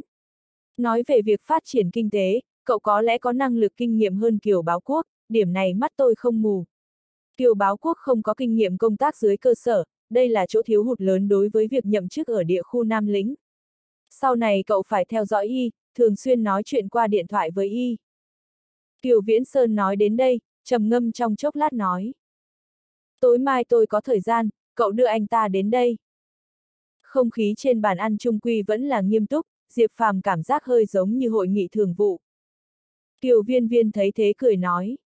Ba, mấy ngày nữa anh sẽ xuống địa khu Nam Lĩnh, có nên thông báo cho một số lãnh đạo có liên quan của Nam Phúc, bảo vài người có phân lượng cùng anh đi xuống. Ít nhất cũng có thể tạo được tác dụng nhất định. Gọi cái gì, con biết gì? Kiều Viễn Sơn hừ một tiếng, nhìn mọi người một cái nói. Chuyện của Kiều Báo Quốc cứ để Kiều Báo Quốc lo, tôi cũng sẽ về hưu, không thể chuyện gì cũng trông cậy vào người trong nhà. Hơn nữa, việc này bảo tôi ra mặt sẽ không ổn, để Kiều Báo Quốc cảm nhận một chút khó khăn của việc làm lãnh đạo một địa phương. Đến lúc đó Diệp Phàm đi xuống cùng y là được, có gì theo dõi là được. Diệp Phàm, việc này làm cậu tốn nhiều công sức, cậu phải quan tâm nhiều tới Kiều Báo Quốc, tôi có chút lo lắng về y, ôi, đến địa khu Nam lĩnh đảm nhiệm chủ tịch địa khu làm gì, về bộ không tốt sao? Sau vài năm có thể lên vụ trưởng, về đề bạt có thể từ từ đi lên. Dù sao tuổi của y cũng không phải lớn. Lão Kiều, việc này có phải có chút nóng vội không? Diệp Dung có chút lo lắng nhìn chồng. Bà cứ lo lắng nhiều, Kiều báo quốc của chúng ta không có nhiều kinh nghiệm quý giá. Đi xuống rèn luyện, Kiều báo quốc sớm hay muộn cũng phải đi một chuyến. Ở bộ tuy rằng mưa gió không nhiều lắm, nhưng đảm nhiệm vụ trưởng dễ dàng, ngồi lên phó tuy nhiên thì khó khăn. Khi đến địa phương rèn luyện vài năm, về sau có kinh nghiệm ở địa phương, trở lại bộ rèn luyện một thời gian, là có thể đi lên cường vị công tác rất cao.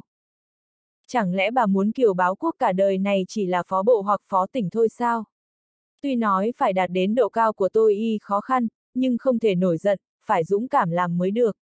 Người nhà họ Kiều chúng ta đi ra, không phải đớn hèn. Kiều Viễn Sơn tức giận hừ nói. Tùy ông đi, ôi! Diệp Dung thở dài không nói nữa, lại tiếp thức ăn cho Diệp Phàm. Ba, có lẽ nhà họ Kiều sắp tới lại có một ủy viên. Kiều Thanh Dương liếc mắt nhìn Diệp Phàm một cái, đột nhiên cười nói. Ủy viên, dễ dàng như vậy sao? Bộ chính chỉ có mấy ủy viên. Tôi có thể trở thành ủy viên không cần nói là mộ tổ tiên nhà họ Kiều phù hộ mà chính mình cố gắng mới được.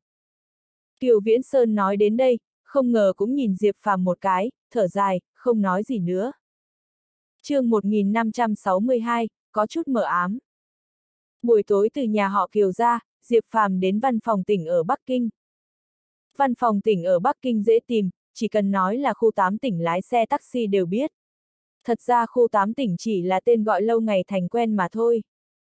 Sau khi nhận được điện thoại của Diệp Phàm, Hà Nghi Viễn sớm đứng ngoài cửa chờ. Nhìn lão giả vờ thản nhiên trong lòng Diệp Phàm thầm bật cười. Nói đến văn phòng tỉnh Nam Phúc, Diệp Phàm thật sự là chưa từng đến. Vừa mới bước vào đại sảnh, lão Hà liền nhìn một người trung niên chào. Chủ nhiệm Hưng Phong, xin chào. Xin chào giám đốc Hà. Người tên là Hưng Phong cũng cười chào. Trong lòng Diệp Phàm thầm nói lão Hà là người tài trong việc gây dựng mối quan hệ. Trước kia không biết đã tới chưa, không ngờ quen thuộc như vậy. Mà Hưng Phong có thể thân thiết với lão Hà như vậy, có lẽ quan hệ hai người trước kia cũng không tệ lắm. Chủ nhiệm văn phòng tỉnh ở Bắc Kinh cũng là cán bộ cấp giám đốc sở, nên y không nể Hà Nghi Viễn cũng là bình thường. Bọn họ coi trọng là cán bộ cấp phó tỉnh trở lên. Như Hà Nghi Viễn, không làm họ có nhiều hứng thú. Bí thư Diệp, cậu có thể không biết, trước kia tôi cùng Lão Phương đã từng là cộng sự, bạn già. Hà Nghi Viễn cười nói. Bí thư Diệp, Lão Hà, vị này đảm nhiệm bí thư của xã hay thị trấn nào? Tuổi trẻ đầy hứa hẹn, trẻ như vậy đã là một bí thư thị trấn, chúng tôi thời bằng tuổi cậu, đều xuống nông thôn hoặc lên núi, ha ha. Hưng Phong vẻ mặt cười nói, rất tự nhiên. Hơn nữa, Diệp Phàm thấy trong mắt ông ta một chút kiêu kỳ. Người ta là chủ nhiệm văn phòng ở Bắc Kinh, so với bí thư xã thị trấn thật sự là ưu thế hơn. Các anh khi đó là thời đại nào, lên núi xuống núi cũng là đặc thù của thời đại. Lúc này một giọng phụ nữ vang lên, Diệp Phàm đưa mắt nhìn phát hiện, một người phụ nữ khá xinh đẹp. Tuy không quá xinh nhưng nhìn qua rất có thiện cảm. Hơn nữa mặc bộ váy rất đẹp, Diệp Phàm thầm nói không biết có bao nhiêu người đàn ông đã ngã xuống dưới chân váy này. Trưởng phòng điều, xin chào. Hà Nghi Viễn vẻ mặt cười nói. Cậu nhỏ này là cấp dưới của anh đi, ha ha. Trưởng phòng điều nhìn Hà Nghi Viễn cười xong lại nhìn Diệp Phàm, nói. Cậu em, trẻ tuổi đã là bí thư, rất giỏi. Làm bí thư phòng thủy lợi huyện nào? Nói cho chị, hôm nay chị sắp cho cậu một phòng tốt. Trưởng phòng điều, chị nói hắn làm bí thư đảng ủy ở phòng thủy lợi huyện nào, ha ha. Hà Nghi Viễn phá lên cười. Chẳng lẽ tôi nói sai, không phải là phòng thủy lợi huyện mà là bí thư xã, thị trấn. Dù sao cấp bậc giống nhau, có gì buồn cười. Trưởng phòng điều không già, xem ra vẫn là một cô nàng, bĩu môi. Lão Hà, không phải là phó bí thư huyện ủy chứ? Cậu này trẻ tuổi như thế cũng quá tài giỏi. Lúc này Phong Hưng cũng cười trêu. Ha ha, anh chị đều đã đoán sai, người ta cũng rất ghê gớm, cấp bậc giống tôi. Hà Nghi Viễn cười. Giống với anh. Chủ nhiệm Phương nhìn Hà Nghi Viễn căn bản là không tin, còn lắc lắc đầu nói. Lão Hà, anh nói đùa. Anh hiện nay là giám đốc sở, sao có thể có khả năng? Giám đốc Hà cứ nói đùa. Trưởng phòng điều cũng nháy mắt nói. Ha ha, thật sự là anh ấy nói đùa, tôi chẳng qua là phó bí thư thành ủy thành phố Thủy Châu, sao có thể so sánh với nhân vật số một của một sở, đùa này hơi quá. Diệp Phàm vẻ mặt nghiêm túc nói. Phó bí thư thành ủy thành phố Thủy Châu. Chủ nhiệm phương cuối cùng khó có thể che giấu vẻ mặt kinh ngạc, nhìn chăm chăm Diệp Phàm vài giây. Thế nào lão Phương, tôi có lừa anh đâu. Hà Nghi Viễn đắc ý cười nhìn chủ nhiệm Phương một cái nói. Cậu Diệp, chúng ta vào trong nói chuyện. Biết Hà Nghi Viễn không chờ được, Diệp Phàm cười chào chủ nhiệm Phương và trưởng phòng điều theo Hà Nghi Viễn bước đi. Ôi! Nhìn bóng dáng Diệp Phàm, chủ nhiệm Phương thở dài. Chủ nhiệm Phương, than cái gì? Trưởng phòng điều nhìn lão Phương một cái, cười khanh khách nói. Hậu sinh khảo ý. Phương Hưng Phong không khỏi lắc đầu. Ừ, đây là lần đầu tiên tôi gặp một cán bộ cấp giám đốc sở trẻ tuổi như vậy. Điều băng hai mắt sáng lên. Điều băng, cô đi hỏi bí thư Diệp, cần cái gì chúng ta phải hết sức đáp ứng. Văn phòng tỉnh ở Bắc Kinh đối với các đồng chí đều là nhà mẹ đẻ. Phải làm cho bọn họ vừa lòng, thoải mái mới được. Bằng không, sao có thể làm công tác cách mạng? Chủ nhiệm Phương vẻ mặt nghiêm túc nói. Ừ. Điều băng gật gật đầu, nhìn chủ nhiệm Phương một cái, hỏi. Chủ nhiệm Phương, hay là dọn phòng B một chút để bí thư Diệp ở thì sao? Việc này, chủ nhiệm Phương hơi sừng sốt, bởi vì phòng 808 trang trí không thể chê. Tuy là bề ngoài của văn phòng tỉnh nhìn không đẹp nhưng phòng B có thể so sánh với phòng hạng sang của khách sạn 5 sao tiêu chuẩn. So sánh với phòng tổng thống không kém hơn nhiều, cho đến giờ đều lãnh các ủy viên thường vụ quan trọng đến ở. Bình thường đều là nhân vật xếp hạng 3 trong nội bộ đảng. Nói như tỉnh Nam Phúc, chỉ có ba người phí mãn thiên, Yến Xuân Lai và Tề Trấn Đào là có thể sử dụng phòng chuyên dụng này. Tuy nhiên, gần đây phòng này cơ bản là không ai ở. Bởi vì phí mãn thiên và Yến Xuân Lai đều ở nhà riêng, người ta về Bắc Kinh là trở về nhà, chỉ có Tề Trấn Đào đến ở. Không được thì thôi vậy. Điều băng thản nhiên hừ một tiếng. Thì phòng 808 đi. Chủ nhiệm không do dự nữa. Điều băng rất có lai lịch, hơn nữa cô rất xinh đẹp, giao tiếp rộng, cũng là người khéo léo. Văn phòng tỉnh Nam Phúc ở Bắc Kinh đúng là không thể thiếu nhân tài như vậy. Để tôi đi sắp xếp dọn dẹp lại một chút. Điều băng cười quyến rũ nói. Ha ha, trưởng phòng điều, cô nên cố gắng, phục vụ khách chu đáo, về sau. Không thể tưởng tượng được chủ nhiệm Phương đột nhiên cười gượng một tiếng. Vớ vẩn, miệng chó không nói ra điều tốt. Điều băng mắng chủ nhiệm Phương mấy câu. Ha ha ha.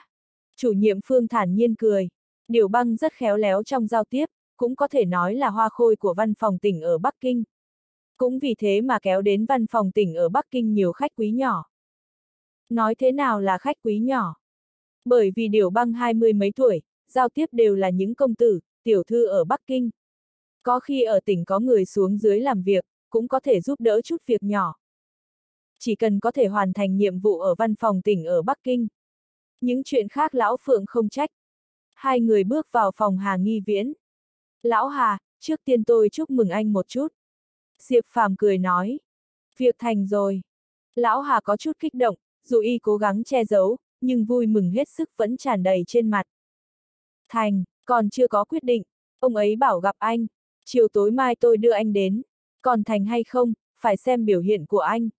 Diệp Phàm thản nhiên cười nói. Người anh em, tôi không nói cảm ơn nữa. Về sau chỉ cần có tôi một ngày, cậu mãi mãi là người anh em thân thiết nhất của tôi. Hà Nghi Viễn vẻ mặt xúc động nói. Hắn biết, Kiều Viễn Sơn đồng ý gặp mình việc kia tám phần đã thành một nửa. Mặc dù lần này không được cũng tạo ấn tượng tốt cho Kiều Viễn Sơn. Người phân công công tác của nước Cộng hòa Nhân dân Trung Hoa có ấn tượng tốt với anh, còn sợ không có vị trí tốt sao? Không có gì, đều là anh em. Diệp Phàm cười nói. Đúng lúc này, có tiếng gõ cửa nhẹ, cửa vừa mở, Hà Nghi Viễn cười nói. Trưởng phòng điều có chỉ thị gì? Ha ha! Điều băng đầu tiên cười thay cho trả lời câu hỏi của Hà Nghi Viễn. Sau đó liếc mắt đưa tình nhìn Hà Nghi Viễn một cái rồi mới nói. Giám đốc Hà, tôi là một trưởng phòng nhỏ dám chỉ thị một giám đốc như anh sao? Đó khác gì đánh đâu? Vậy trưởng phòng đến có phải sắp xếp phòng cho Diệp Phàm không? Hà Nghi Viễn vừa thấy vẻ mặt của Điều Băng liền rõ cười nói. Ừ. Điều Băng gật gật đầu nhìn Diệp Phàm một cái, nói. Bí thư Diệp, vừa rồi chủ nhiệm Phương có giao cho chúng tôi chuẩn bị phòng tốt cho cậu, tôi đưa cậu đi xem một chút. Không phiền. Diệp Phàm vừa định nói đã có chỗ ở, tuy nhiên, Điều Băng cũng cười khanh khách, nói. Bí thư Diệp, anh là đi công tác, văn phòng tỉnh ở Bắc Kinh chúng tôi phải dành cho anh một sự phục vụ tốt. Bằng không, còn có văn phòng tỉnh chúng ta ở Bắc Kinh làm gì? Vậy được, tôi đi xem.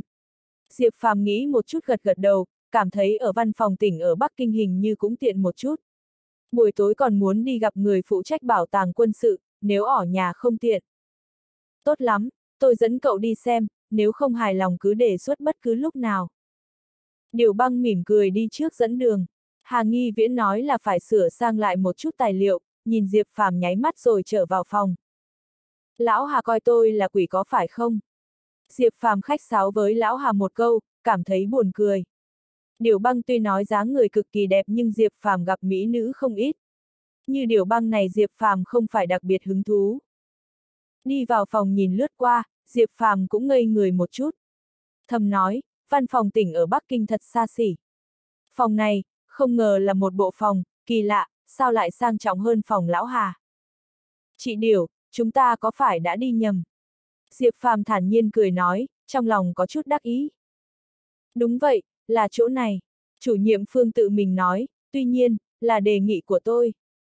Điều băng cười cười. Được sủng ái mà lo sợ Diệp Phàm thở dài nhìn Điểu băng một cái nói. Căn phòng này chắc là lãnh đạo tỉnh ở đi. Đoán không sai, phải nói là trong tỉnh ủy xếp thứ ba trở lên ở. Điểu băng có chút đắc ý, nhìn Diệp Phàm một cái, nhẹ nhàng đóng cửa nói. Bí thư Diệp, tôi đưa anh vào một chút, cần gì anh cứ nói. Ở trong này, phải giống như đang ở nhà mới được. Vừa rồi chủ nhiệm Phương có dặn dò, phải phục vụ lãnh đạo các anh thoải mái mới được. Làm công tác cách mạng cũng phải nhiệt tình đúng không? chương 1563, Trương Nhất Đống ra tay. Nói đến đây, ô băng cảm thấy câu này có chút mở ám liếc mắt một cái, khuôn mặt ửng đỏ. Hầu hạ. Diệp Phàm hơi sừng sốt, nhìn ô băng một cái, như cười như không. Được, vậy cách hầu hạ của chị thế nào? Vậy Diệp Phàm muốn ô băng hầu hạ bằng cách nào? Mặt ô băng ửng đỏ, nhìn Diệp Phàm một cái, mạnh dạn đùa. Diệp Phàm đột nhiên giơ tay, ôm ô băng vào lòng, đi vào trong phòng. Đừng, không thể, không được. Ô băng liều dẫy rụa, Diệp Phàm có thể cảm giác được, ô băng dẫy rụa thật là tuyệt. Chính là giống cô nàng làm nũng với đàn ông. Ha ha! Diệp Phàm cười to, nhẹ nhàng buông ô băng xuống, còn chỉnh lại chút quần áo cho cô, cười nói. Sợ rồi có phải không? Tôi mới không sợ, anh là lãnh đạo lớn, anh chẳng lẽ thật sự dám làm gì ô băng? Điều băng vinh mặt hừ nói. Đúng lúc này điện thoại Diệp Phàm vang lên. Hắn đi đến bên nghe, giọng vụ trưởng Phong Thanh Lục có chút lo lắng. Vụ trưởng Phong, có chuyện gì mời nói. Diệp Phàm cảm giác có gì không ổn. Tử kỳ bị ủy ban kỷ luật đưa đi, lúc đó tôi nghe được tin tức đi sang đã muộn. Hiện tại cũng không biết đang ở đâu, mau nghĩ cách. Phong Thanh Lục lo lắng nói. Sốt cuộc là vì cái gì? Cậu có hỏi thăm không? Diệp Phàm trầm mặt xuống, hừ nói.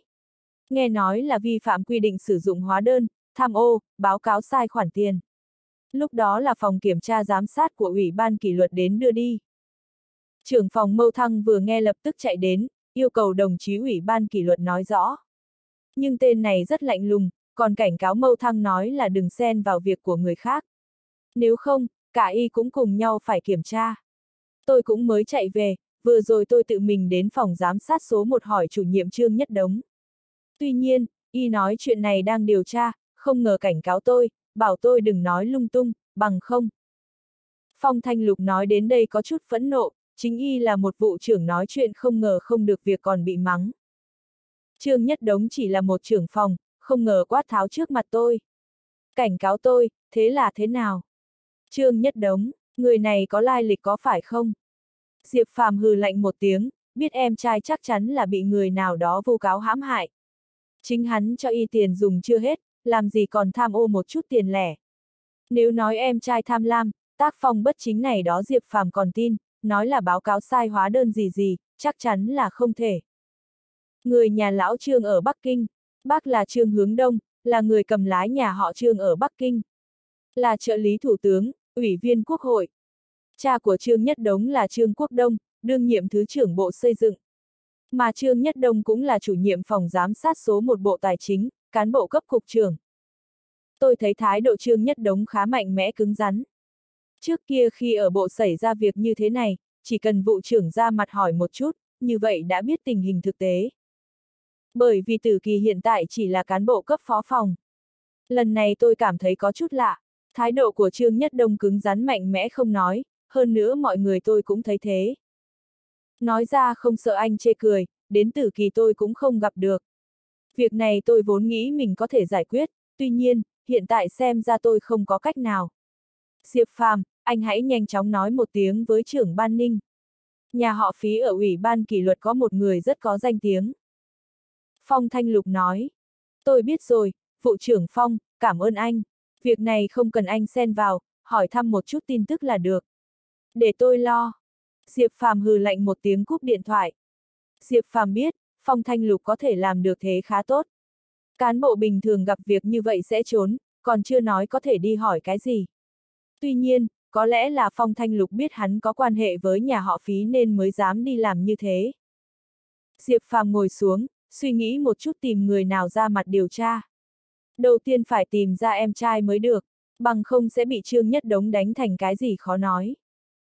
Diệp Phàm suy nghĩ một hồi, cuối cùng biết rõ. Hắn nhớ thời gian trước triệu quát đến Thủy Châu có đề cập với hắn về Trương Nhất Đống. Hình như người này đang làm bạn với tiểu thư triệu tứ. Ý của Trương Nhất Đống là ám chỉ hắn về sau kết giao với triệu tứ chú ý.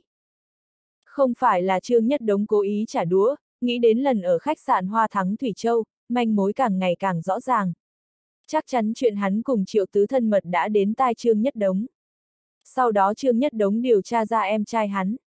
Diệp Phàm, không có việc gì chứ, uống chén trà đi. Lúc này giọng điều băng vang lên, Diệp Phàm giờ mới phát hiện cô đang cầm một ly trà thơm ngào ngạt đứng trước mặt mình. Cảm ơn. Diệp Phàm nhận trà uống một ngụm, sau khi buông xuống chào điều băng rồi đi ra cửa. Nhất độ, cậu ở đâu?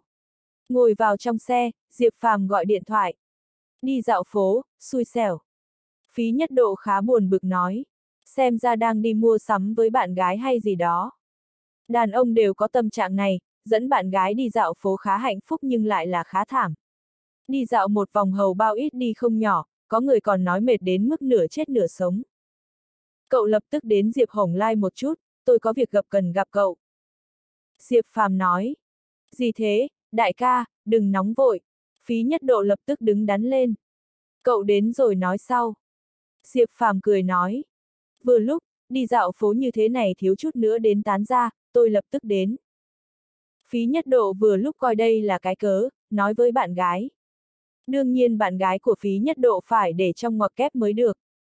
Không lâu sau đến Hồng Diệp Lai, sau khi nghe Diệp Phàm nói xong, phí nhất độ không kìm nổi mắng. Trương Nhất Đống cũng quá kiêu ngạo, tìm ai cũng được sao lại hãm hại anh em tôi. Mắng xong phí nhất độ lập tức cầm điện thoại lên. Nói vài câu sau đó buông điện thoại, không ngờ nhíu mày, nhìn Diệp Phàm một cái nói. Quái, tôi cho người đi kiểm tra một chút, lại nói không có việc này. Không có việc này, em trai của tôi bị Trương Nhất Đống đưa đi thì sao? Diệp Phàm mặt càng nặng. Đừng nóng vội, tôi tìm người đến hỏi trực tiếp Trương Nhất Đống. Phí nhất độ mặt có chút khó coi, cầm lấy điện thoại.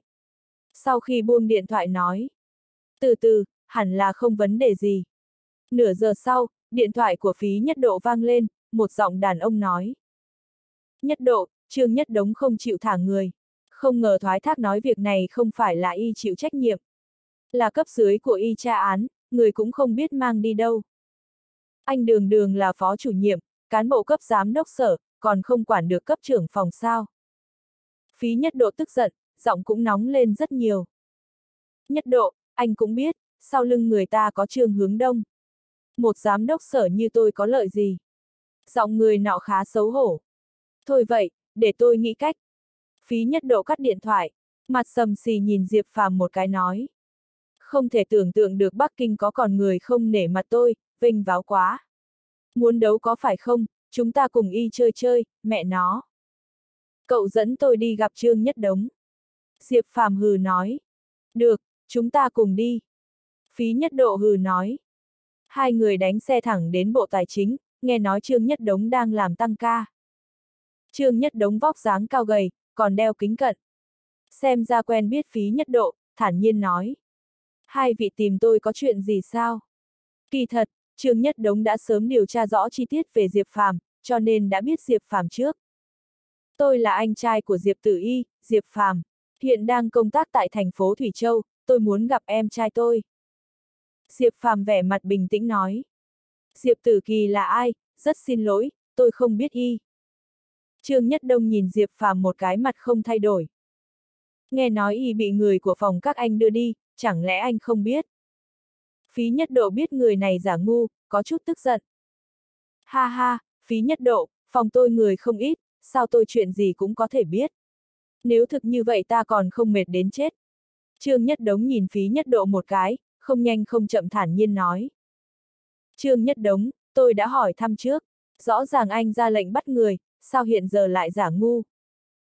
Giọng Phí Nhất Độ dần dần đã có mùi thuốc súng. Gì? Trương Nhất Đống nhìn Phí Nhất Độ một cái hử nói. Anh nghe ai nói, gọi y ra nói cho tôi nghe một chút đi. Tôi lúc nào ra lệnh bắt người. Phí Nhất Độ, không có chứng cứ gì đừng nói bậy, phải chịu trách nhiệm pháp luật. Được, anh không biết có phải không?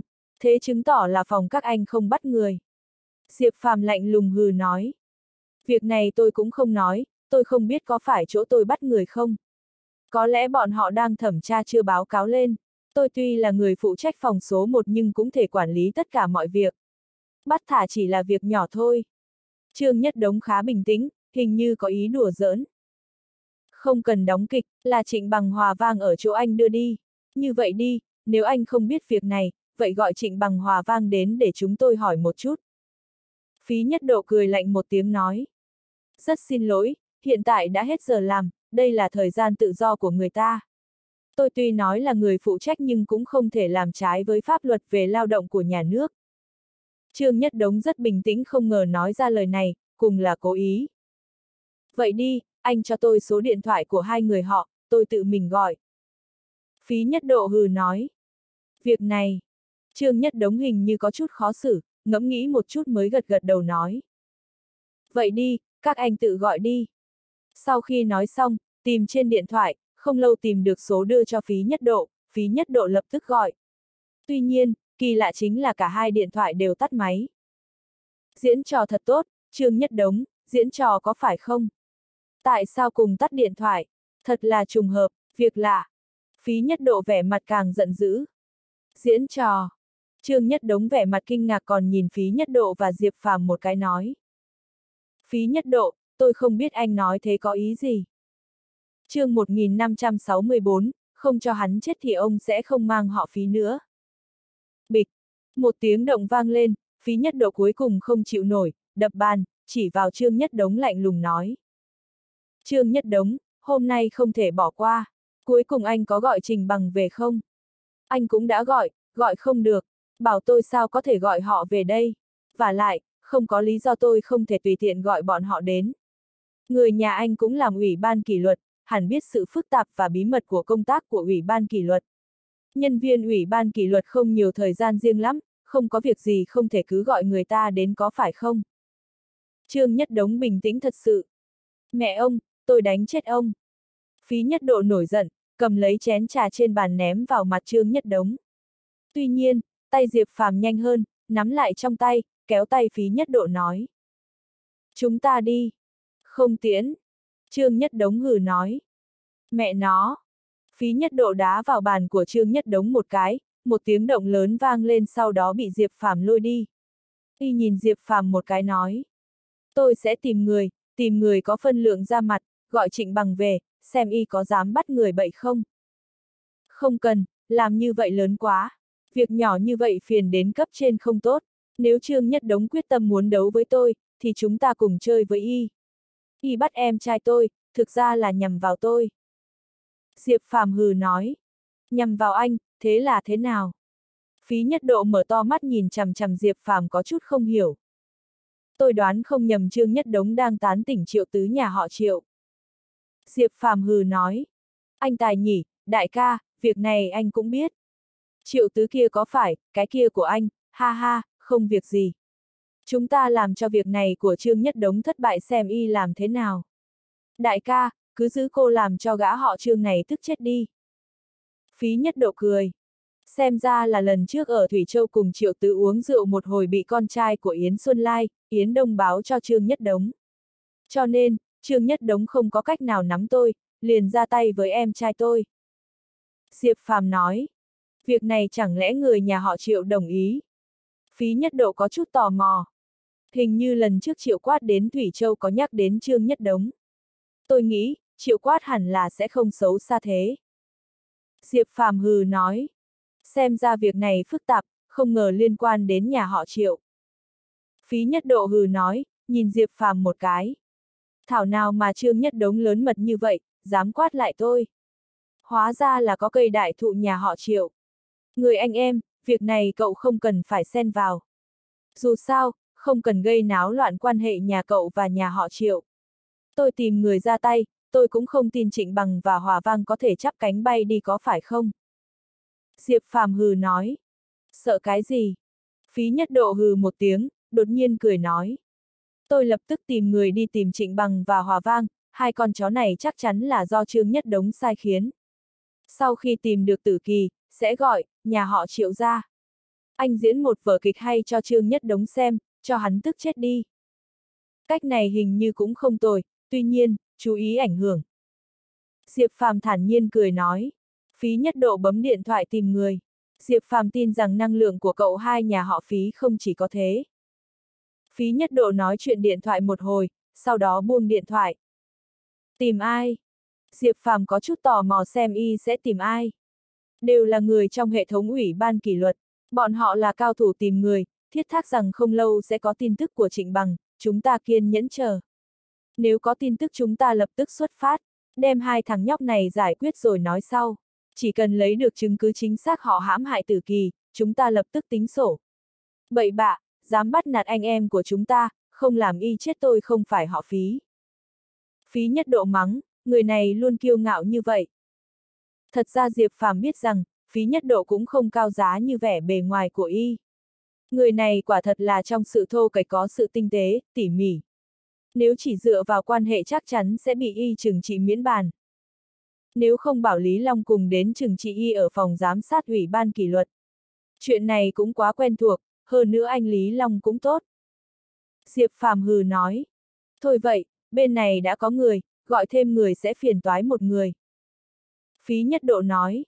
Đại ca, tôi cảm thấy hình như Trương Nhất Đống không một chút sợ hãi, người này hình như đã sớm tính toán việc này.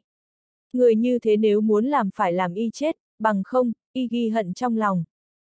Tử kỳ ở Bắc Kinh có chút phiền toái. Phí nhất độ nghiêm túc nói. Để xem tình hình đã, nếu thật sự y muốn làm cho tôi chết, chúng ta thay triệu tứ loại bỏ đi một phiền toái. Hai người vừa bước vào Hồng Diệp Lai, bạn gái Diệp Tử Kỳ Tống Thiến Thiến đã từ trong phòng đi ra. Vừa thấy Diệp Phàm đén hỏi. Anh, Tử Kỳ sao giờ vẫn chưa về? Di động cũng tắt, không biết đi đâu. Thật là bực mình, điện thoại cũng không gọi một cuộc. Ừ, vừa rồi y gọi điện thoại cho tôi, nói là có nhiệm vụ đột xuất đi ra ngoài. Chắc phải mai kia mới về. Hơn nữa, còn nói là dùng di động không tiện, bảo tôi bảo với em. Diệp Phàm vẻ mặt không thay đổi nói. Quái lạ, sao không gọi điện thoại cho em, lại phiền như vậy. Tống Thiến Thiến nói thầm một câu, cũng không hỏi nhiều, đi pha trà của Diệp Phàm. Bởi vì cô hoàn toàn tin lời Diệp Phàm. Nghe nói Akiyama Lifu đã đến Bắc Kinh, gần đây y làm gì? Diệp Phàm hỏi. Làm gì, còn có thể làm gì? Vừa đến Bắc Kinh đã đi dạo các quán võ một vòng. Nói là đi thăm, thật ra có ý khoe khoang. Mỗi võ quán y đến, luôn khoe khoang, thách đấu, nói là luận bàn nhưng có ý đá quán võ, đến khi làm cho các quán võ kinh hãi y mới phất tay áo rời khỏi. Phí nhất độ hừ nói. Ha ha, để y đi khoe khoang đi, tin rằng đại sư Trần Vô sẽ làm y nếm vị ngọt. Diệp Phàm hừ nói. Không nhất định, gần đây nghe một tin đồn, nói Trần Đại Sư vài năm trước cũng bị thương, công lực vẫn không tiến. Xem ra, lần này có vượt qua Akiyama Lifu không cũng khó nói. Đến lúc đó Trần Đại Sư thực sự thua, chúng ta có thể mất hết. Phí nhất độ giọng có chút cảm thán. Không việc gì, Trần Đại Sư ngã xuống, có khi là Trung Quốc của chúng ta có nhân tài. Như sư bá Thanh Sơn mà nói đi, chỉ cần ông ấy đồng ý ra mặt, Akiyama Lifu căn bản chỉ là đứng nhìn. Diệp Phàm thản nhiên nói. Có hắn ra mặt đương nhiên không cần phải nói. Một trong sáu người đứng đầu của Trung Hoa. Khi xưa lúc bọn họ xưng hùng, Akiyama Lifu đang còn nhỏ. Sư bá hiện tại đã là cao thủ cửu đẳng. Ở Trung Quốc, có mấy người có thể là đối thủ của anh ấy. Nói về phí Thanh Sơn, hai mắt phí nhất độ sáng lên, vẻ cực kỳ hâm mộ. Sư bá Thanh Sơn đã về rồi. Diệp Phàm hỏi.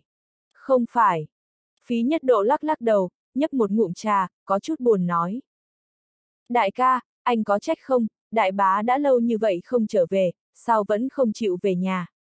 Việc này chẳng lẽ có nguyên nhân không thể về nhà?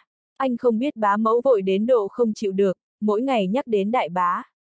Tìm không thấy bóng người, cặp mắt kia đã mờ. Người ta nói cao thủ cô đơn. Thật ra, làm một cao thủ, ông trời cho ông ta năng lực đặc biệt này, ông ta sẽ không có thể có cuộc sống của người thường. Cao thủ có buồn phiền của cao thủ, bọn họ đều có vòng luẩn quẩn của chính mình. Các anh đều không đạt đến mức độ này của họ, cho nên, như ếch ngồi đáy giếng họ là không ổn. Diệp Phàm nói. Đúng thế, vòng luẩn quẩn càng cao, cấp bậc càng cao. Trước kia lục đẳng đối với tôi là xa không thể với tới. Ừ, không nghĩ một viên thuốc của đại ca có thể giải quyết. Hiện tại đến lục đẳng rồi, quay đầu nhìn lại ngũ đẳng, cảm thấy có chút trẻ con. Phí nhất độ cười nói. Đây là vấn đề cấp bậc. Diệp Phàm gật gật đầu. Tuy nhiên, hiển nhiên Trương Nhất Đống chuẩn bị đầy đủ. Ước chừng qua 3 giờ, bên kia vẫn chưa có tin tức gì. Thấy Diệp Phàm có chút nỏng này, phí nhất độ lại gọi điện thoại hỏi. Chủ nhiệm Dương, sao vẫn chưa có tin tức? Đang tìm hiểu, việc này có người cố ý gây ra, chắc chắn tìm chỗ bí mật. Tôi lo lắng người anh nói có chịu được không? Chủ nhiệm Dương nói. Nhanh lên một chút, tôi sợ y sẽ bị tra tấn. Phí nhất độ có chút nỏng này. Việc này không dễ làm, Bắc Kinh lớn như vậy, có hơn 100 triệu nhân khẩu, tìm một người như mỏ kim đáy bể. Tôi chỉ có thể ra tay với cấp dưới của Trịnh Bằng. Tuy nhiên, trước mắt cũng chưa có tin tốt. Chủ nhiệm Dương nói. Nhất độ, bảo chủ nhiệm Dương tìm số điện thoại của Trình Bằng. Tìm tung tích của bọn họ để tôi giải quyết. Diệp Phàm vẻ mặt đặc biệt nghiêm trọng, không thể đợi thêm. Được. Phí nhất độ nói xong, nhớ số điện thoại. Y đang tò mò xem Diệp Phàm dùng cách gì tìm ra người giữa thành phố hơn 100 triệu nhân khẩu này. Đến cao thủ của Ủy ban kỷ luật cũng không làm được. Trương Hùng, tôi là Diệp Phàm, hãy điều tra cho tôi mấy người này đang ở đâu. Diệp Phàm trực tiếp gọi cho Trương Hùng ở Bộ An ninh Quốc gia. Được, chờ một chút. Trương Hùng đáp, sau khi cúp điện thoại lập tức hành động. Đại ca, có thể được không, nếu không tôi sẽ tìm người. Phí nhất độ có chút không tin. Không việc gì, y không làm được xem ra không ai ở trong nước có thể làm được. Diệp Phàm thật ra yên tâm, bình tĩnh ngồi uống trà. Ha ha, có phải tổ bí mật không? Phí nhất độ cảm thấy hứng thú, cảm thấy đại ca có chút thần bí, hình như người nào cũng quen biết. Ha ha! Diệp Phàm cười không đáp, việc này đương nhiên không thể nói. Hai tiếng sau Trương Hùng gọi điện thoại đến nói. Mấy người này đang ở Bộ Tài chính. Theo chúng tôi xác định, hiện tại đang ở trong phòng thẩm tra của Ủy ban kỷ luật ở Bộ Tài chính. Họ có phòng thẩm vấn bí mật, bốn phía không thông gió, rất thần bí. Tuy nhiên, muốn có phòng thẩm vấn như vậy phải gửi hồ sơ cho Bộ An ninh Quốc gia chúng tôi. Đó là an ninh quốc gia thôi, Bộ Tài chính là vị trí yết hầu của đất nước, nắm trong tay quyền lực tài chính của cả nước, qua loa không được. chương 1565, nụ hôn của Triệu Tứ. Mẹ nó, chỗ nguy hiểm nhất lại là chỗ an toàn nhất, câu nói này rất có lý. Sau khi buông điện thoại Diệp Phàm không kìm nổi mắng một câu. Cảm thấy Trương Nhất Đống quả thật là một nhân tài, không ngờ có thể bình tĩnh đến thế, thật sự là đối thủ đáng sợ. Thế nào, điều tra ra chưa? Phí Nhất Độ hỏi. Ngay trong phòng thẩm tra bí mật của Ủy ban kỷ luật. Cậu hỏi chủ nhiệm Dương hẳn là biết chỗ này. Cậu hỏi một chút xem. Không được tôi bảo anh thiết cho người ra tay. Người của Ủy ban kỷ luật tuy nói là lợi hại nhưng có thể không nể người của Bộ Công an sao? Diệp Phàm hừ nói. Được. Phí nhất độ lấy điện thoại ra, nói qua với chủ nhiệm Dương. Chủ nhiệm Dương chính là phó chủ nhiệm Dương Kỳ của phòng giám sát số 1 Ủy ban kỷ luật Trung ương, cán bộ cấp phó giám đốc sở. Ở Ủy ban kỷ luật Trung ương cũng là nhân vật có tiếng. Phòng giám sát một của Ủy ban kỷ luật Trung ương phụ trách giám sát về các bộ và ủy ban liên quan đến kinh tế. Xét xử liên quan đến Ủy ban Kế hoạch và Phát triển, Bộ Công nghiệp và Công nghệ Thông tin Ủy ban Quản lý Giám sát Tài sản Nhà nước, Giám sát Cục An toàn và Cục Thống kê. Cục Thuốc lá, Cục Lương thực, Mạng lưới điện quốc gia, các vụ án liên quan đến các công ty lớn đặc biệt. Dương Kỳ cũng là cấp dưới thân thiết của phí nhất hoàn. Đã từng bắt hai trưởng ban và năm cán bộ cấp thứ trưởng. Ở Ủy ban kỷ luật Trung ương cũng khá nổi tiếng, được gọi là Dương Hổ. Có thể nói, cán bộ vác Ủy ban kỷ luật Trung ương đều nghe tiếng Dương Kỳ. Không thể nào, tôi cho người kiểm tra. Dương Kỳ căn bản là không thể tin mình không tìm được, trong hai tiếng lại có người tìm được địa điểm chuẩn xác. Đại ca, anh chắc chắn phải không? Phí nhất độ trong lòng thực ra cũng thiếu tự tin, quay đầu hỏi Diệp Phàm nói. Chắc chắn là ở đó. Diệp Phàm vô cùng quả quyết, hắn tin tưởng phương pháp của Trương Hùng chắc chắn tốt hơn chủ nhiệm Dương. Chắc chắn, chủ nhiệm Dương, phiền anh nghĩ cách lập tức hành động. Trước tiên phải khống chế mấy người trịnh bằng mới được. Tôi lập tức gọi người đến Bộ Tài chính bí mật điều tra, sau đó sẽ nói cho anh tình hình ở đó. Dương Kỳ nói dứt khoát. Diệp Phàm cùng phí nhất độ cũng lái xe thẳng đến Bộ Tài chính, xuống xe cách đó không xa. Một người đàn ông trung niên mặt tròn, tai khá lớn. Chú Dương xin chào. Phí nhất độ cười nói, chỉ vào Diệp Phàm giới thiệu. Hắn là đại ca của tôi, Diệp Phàm, đang là phó bí thư thành ủy thành phố Thủy Châu ở tỉnh Nam Phúc. Xin chào bí thư Diệp. Dương Kỳ giơ tay ra bắt tay Diệp Phàm, vẻ mặt không ngờ rất bình tĩnh. Xem ra tâm lý không tồi. Vừa rồi điều tra qua, mấy người trịnh bằng thật sự đang tránh ở phòng thẩm vấn bí mật. Làm gì thì không rõ, Trương Nhất Đống thì đang trong phòng làm việc, muốn vào phòng bí mật khống chế người không rõ ràng. Cậu cũng biết lão Trương gia cũng không phải đèn cạn dầu, chúng ta mạo muội đi vào không được tốt. Dương Kỳ vẻ mặt nghiêm túc nói. Tuy nhiên y nhìn Diệp Phàm hỏi. Bí thư Diệp, cậu có thể chắc chắn là em cậu bị hại sao? Chắc chắn trăm phần trăm. Diệp Phàm gật gật đầu. Việc này, cậu dựa vào cái gì chắc chắn trăm phần trăm? Ủy ban kỷ luật chúng tôi phá án cũng phải chú trọng chứng cứ. Tuy nói rằng việc này mặc kệ thế nào chúng tôi cũng sẽ ra tay nhưng nếu thế chúng tôi cũng có một lý do đúng không? Người nhà lão trương cũng có chút lai lịch, không có lý do chúng tôi ra tay, như vậy không ổn. Dương Kỳ vẻ mặt nghiêm túc, nói, ý không cần nói cũng biết, y đang nể mặt phí nhất độ mới làm, không có cách nào. Nếu Diệp Tử Kỳ thực sự phạm tội, ngay cả Dương Kỳ cũng không giúp được. Nguyên nhân rất đơn giản, anh cả của chúng tôi Diệp Cường hiện tại có tập đoàn bàn đế ở Thủy Châu, có tài sản mấy trăm triệu. Tết năm trước anh ấy cho anh em chúng tôi một người một khoản tiền, cho nên, hiện tại mấy anh em chúng tôi đều là tỷ phú. Anh thử nghĩ lại, bản thân có hơn một triệu lại còn đi tham ô mấy trăm ngàn kia sao? Tôi đã nói với em trai tôi, đến bộ tài chính làm cán bộ tốt. Tin rằng y sẽ nghe lời tôi. Diệp Phàm bình tĩnh nói. Dương Kỳ nhìn phí nhất độ, phí nhất độ gật gật đầu cười nói. Chú Dương, cháu sẽ không lừa chú đúng không? Ba cháu rất yêu quý Diệp Phàm. Nói đến đây phí nhất độ nhìn Dương Kỳ một cái, cười nói. Cháu không nói dối chú. Diệp Phàm là đồ đệ của chú ba cháu, ông cháu cũng rất quý Diệp Phàm. Không việc gì, tuy nhiên, hiện tại quan trọng là phải đưa Trương Nhất Đống ra khỏi bộ tài chính mới tiện cho chúng tôi làm việc. Dương Kỳ nói, việc này để tôi giải quyết. Diệp Phàm nói, đi sang một bên, gọi điện thoại cho Triệu Tứ. Triệu Tứ, đi chơi thì thế nào? Anh ở đâu, tôi đang ở Bắc Kinh. Triệu Tứ có chút kiêu kỳ nói. Thật may, anh cũng đang ở Bắc Kinh, đi dạo phố đi. Diệp Phàm cười nói. Quái, tôi có chút nghi ngờ, có phải anh không yên tâm? Đã sắp nửa đêm còn muốn đi dạo phố, tôi có chút sợ anh. Triệu Tứ hử nói. Sợ anh ăn mất em. Diệp Phàm cười gượng một tiếng.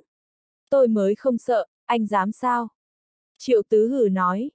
Vậy em đi ra, xem anh có dám không? Diệp Phàm cười nói. Đi ra thì đi ra, ai sợ ai. Triệu tứ hừ một tiếng, hỏi địa điểm. Chủ nhiệm Dương, anh nghĩ cách nói cho Trương Nhất đống tin tức tôi và tiểu thư Triệu tứ đang đi dạo phố là được. Diệp Phàm nói. Việc này rất dễ. Dương Kỳ hiển nhiên hơi ngạc nhiên, nhưng cũng không nói gì. Nhìn Diệp Phàm lái xe đi Dương Kỳ hỏi. Nhất độ, vị Diệp Phàm có phải đang yêu đương với triệu tứ nhà họ triệu? Không rõ lắm. Phí nhất độ lắc lắc đầu, nhìn Dương Kỳ nói. Nghe nói Trương Nhất Đống đang tán tỉnh triệu tứ nhà họ triệu, ha ha. Việc này thật vui, chú nhanh chóng nghĩ cách truyền lời đi. Việc này dễ, chờ họ gặp nhau tôi sẽ truyền lời, xem ra phải 10 phút. Dương Kỳ không ngờ cười cười, trong lòng cũng rõ một chút nguyên nhân. Không lâu Diệp Phàm gọi điện thoại đến, Dương Kỳ cũng đi sắp xếp. Thế nào triệu tứ, tối nay muốn ăn gì, chúng ta đến bát đại phủ đồng ăn chút gì nhé. Diệp Phàm vẻ mặt cười cười dịu dàng nói. Tùy anh, hôm nay anh đến làm khách, tôi là chủ nhân mời khách chọn. Triệu tứ nghiêng người nhìn Diệp Phàm một cái, thản nhiên cười nói. Đêm nay triệu tứ dáng vẻ vô cùng dịu dàng, không ngờ mặt một chiếc váy liền trắng tinh. Làm cho Diệp Phàm cảm giác đang nhìn thấy hằng Nga. Hơn nữa, triệu tứ dáng người rất gợi cảm, mặc chiếc váy trắng làm những phần gợi cảm của cơ thể lộ ra trước mắt. Tuy là buổi tối nhưng, dưới đèn đường, dưới đôi mắt ưng của Diệp Phàm, triệu tứ có chút mờ ảo. Diệp Phàm ngậm một điếu thuốc, tay phải gõ gõ lên đùi nhìn triệu tứ cười nói. Nắm tay anh, buổi tối chúng ta khó có cơ hội ngắm trăng, rất thú vị có phải không? Việc này có phải là giống tình nhân? Triệu tứ đột nhiên cười khanh khách. Em nói thế. Diệp Phàm hai mắt bình tĩnh nhìn chằm chằm triệu tứ, tối nay chỉnh là muốn biểu hiện một chút tình cảm thầm kín mới được. Để trương nhất đống đến, khiến y chua sót một trận mới được. Tôi sợ cái gì? Triệu tứ bĩu môi, khoác tay Diệp Phàm. Hơn nữa, ngực bên trái ép sát vào cách tay bên phải của Diệp Phàm. Lập tức làm cho trái tim Diệp Phàm không cầm được đập mạnh lên. Tay phải của Diệp Phàm cũng vuốt vuốt mông của Triệu Tứ, cười gượng vài tiếng nói. Triệu Tứ, chỗ này hình như càng ngày càng đầy đặn. Thật chán, em vẫn thế, anh giờ mới phát hiện sao. Triệu Tứ quay đầu nhìn Diệp Phàm. Dễ chịu quá. Diệp Phàm hít một hơi thuốc, nói. Quay sang nhìn Triệu Tứ, đột nhiên cười nói. Triệu Tứ, có thể cầm một chút. Không được. Triệu Tứ vẻ mặt đứng đắn lắc đầu, nhìn Diệp Phàm có chút trách móc, rồi đột nhiên cười nói. Tuy nhiên, có thể chạm, nhưng chỉ có thể chạm không thể cầm. Được, thế thì chạm. Diệp Phàm cười gượng một tiếng, thấy mặt triệu tứ hơi ửng đỏ. Hơn nữa, cơ thể càng nhanh, triệu tứ miệng lẩm bẩm nói. Anh, thật thoải mái, trăng đêm thật đẹp, nếu không, tìm một vùng ngoại ô vắng người ngồi trên cỏ tâm sự thật tốt. Đi dạo phố trước rồi nói sau. Diệp Phàm thản nhiên cười rồi bước đi, thầm nói, đến vùng ngoại ô, hiện giờ Trương Nhất Đống còn chưa đến, chờ y đến diễn cho y nhìn một chút. Triệu Tứ rất vui vẻ, khoát tay Diệp Phàm, vừa đi vừa vừa nói luyên thuyên như một cô bé. Lúc này, điện thoại của Diệp Phàm vang lên, phí nhất độ cười nói. Trương Nhất Đống quả nhiên đi ra, hơn nữa mặt hầm hầm hiện tại chắc đã đến chỗ các anh. Đại ca, diễn phải thật mốt chút, tốt nhất phải làm cho Trương Nhất Đống tức chết, ha ha. Nói chuyện với ai mà vui vẻ thế? Triệu Tứ lườm Diệp Phàm một cái nói. Không có gì, nói đùa với bạn. Diệp Phàm cười nói, nhìn Triệu Tứ một cái đột nhiên giật mình nói. Vừa rồi bạn anh hỏi anh đang làm gì, anh nói đang cùng một cô gái đẹp đi dạo phố. Y không tin, nói là nếu có bản lĩnh thì hôn một cái. Anh nói Y không nhìn thấy thì làm sao, Y nói có thể cảm giác. Nghĩ đến. Triệu tứ nhìn bốn phía, mặt càng đỏ hơn. Đánh yêu Diệp Phàm một cái. Hôm nay anh đã quyết định rồi. Diệp Phàm ra vẻ người chủ động, đột nhiên lôi triệu tứ vào dưới gốc cây. Diệp Phàm ôm triệu tứ vào lòng.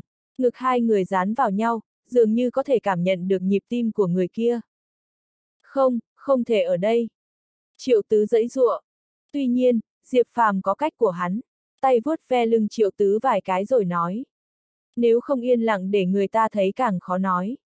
Triệu tứ vừa nghe, quả nhiên không từ chối.